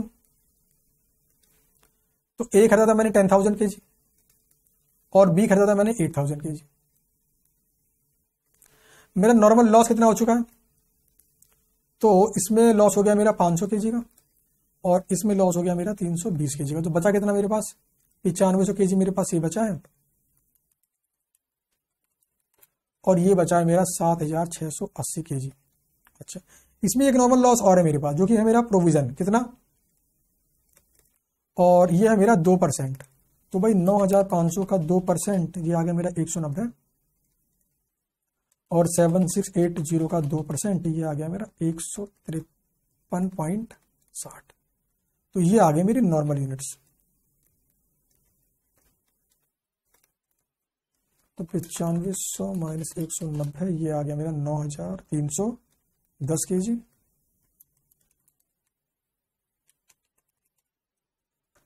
Seven five two six point four zero K G. तो लो जी, यह है टोटल कॉस्ट और यह है मेरी टोटल नॉर्मल यूनिट्स तो कॉस्ट पर के जी, आप निकाल लेंगे ए बटा बी कैलकुलेशन तो आप कर ही लेंगे ए बटा बी ए कितना है मेरा? One one, two, one, three three divide by कितना? Nine, three, one, zero.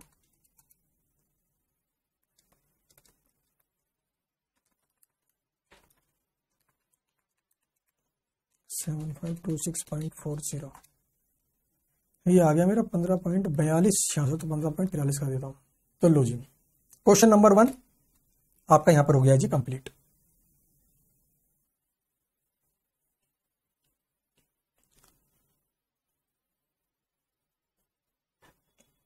ठीक है जी? तो टाइम हो चला क्लास का। तो आज की क्लास को साइन ऑफ़ करते हैं। Thank you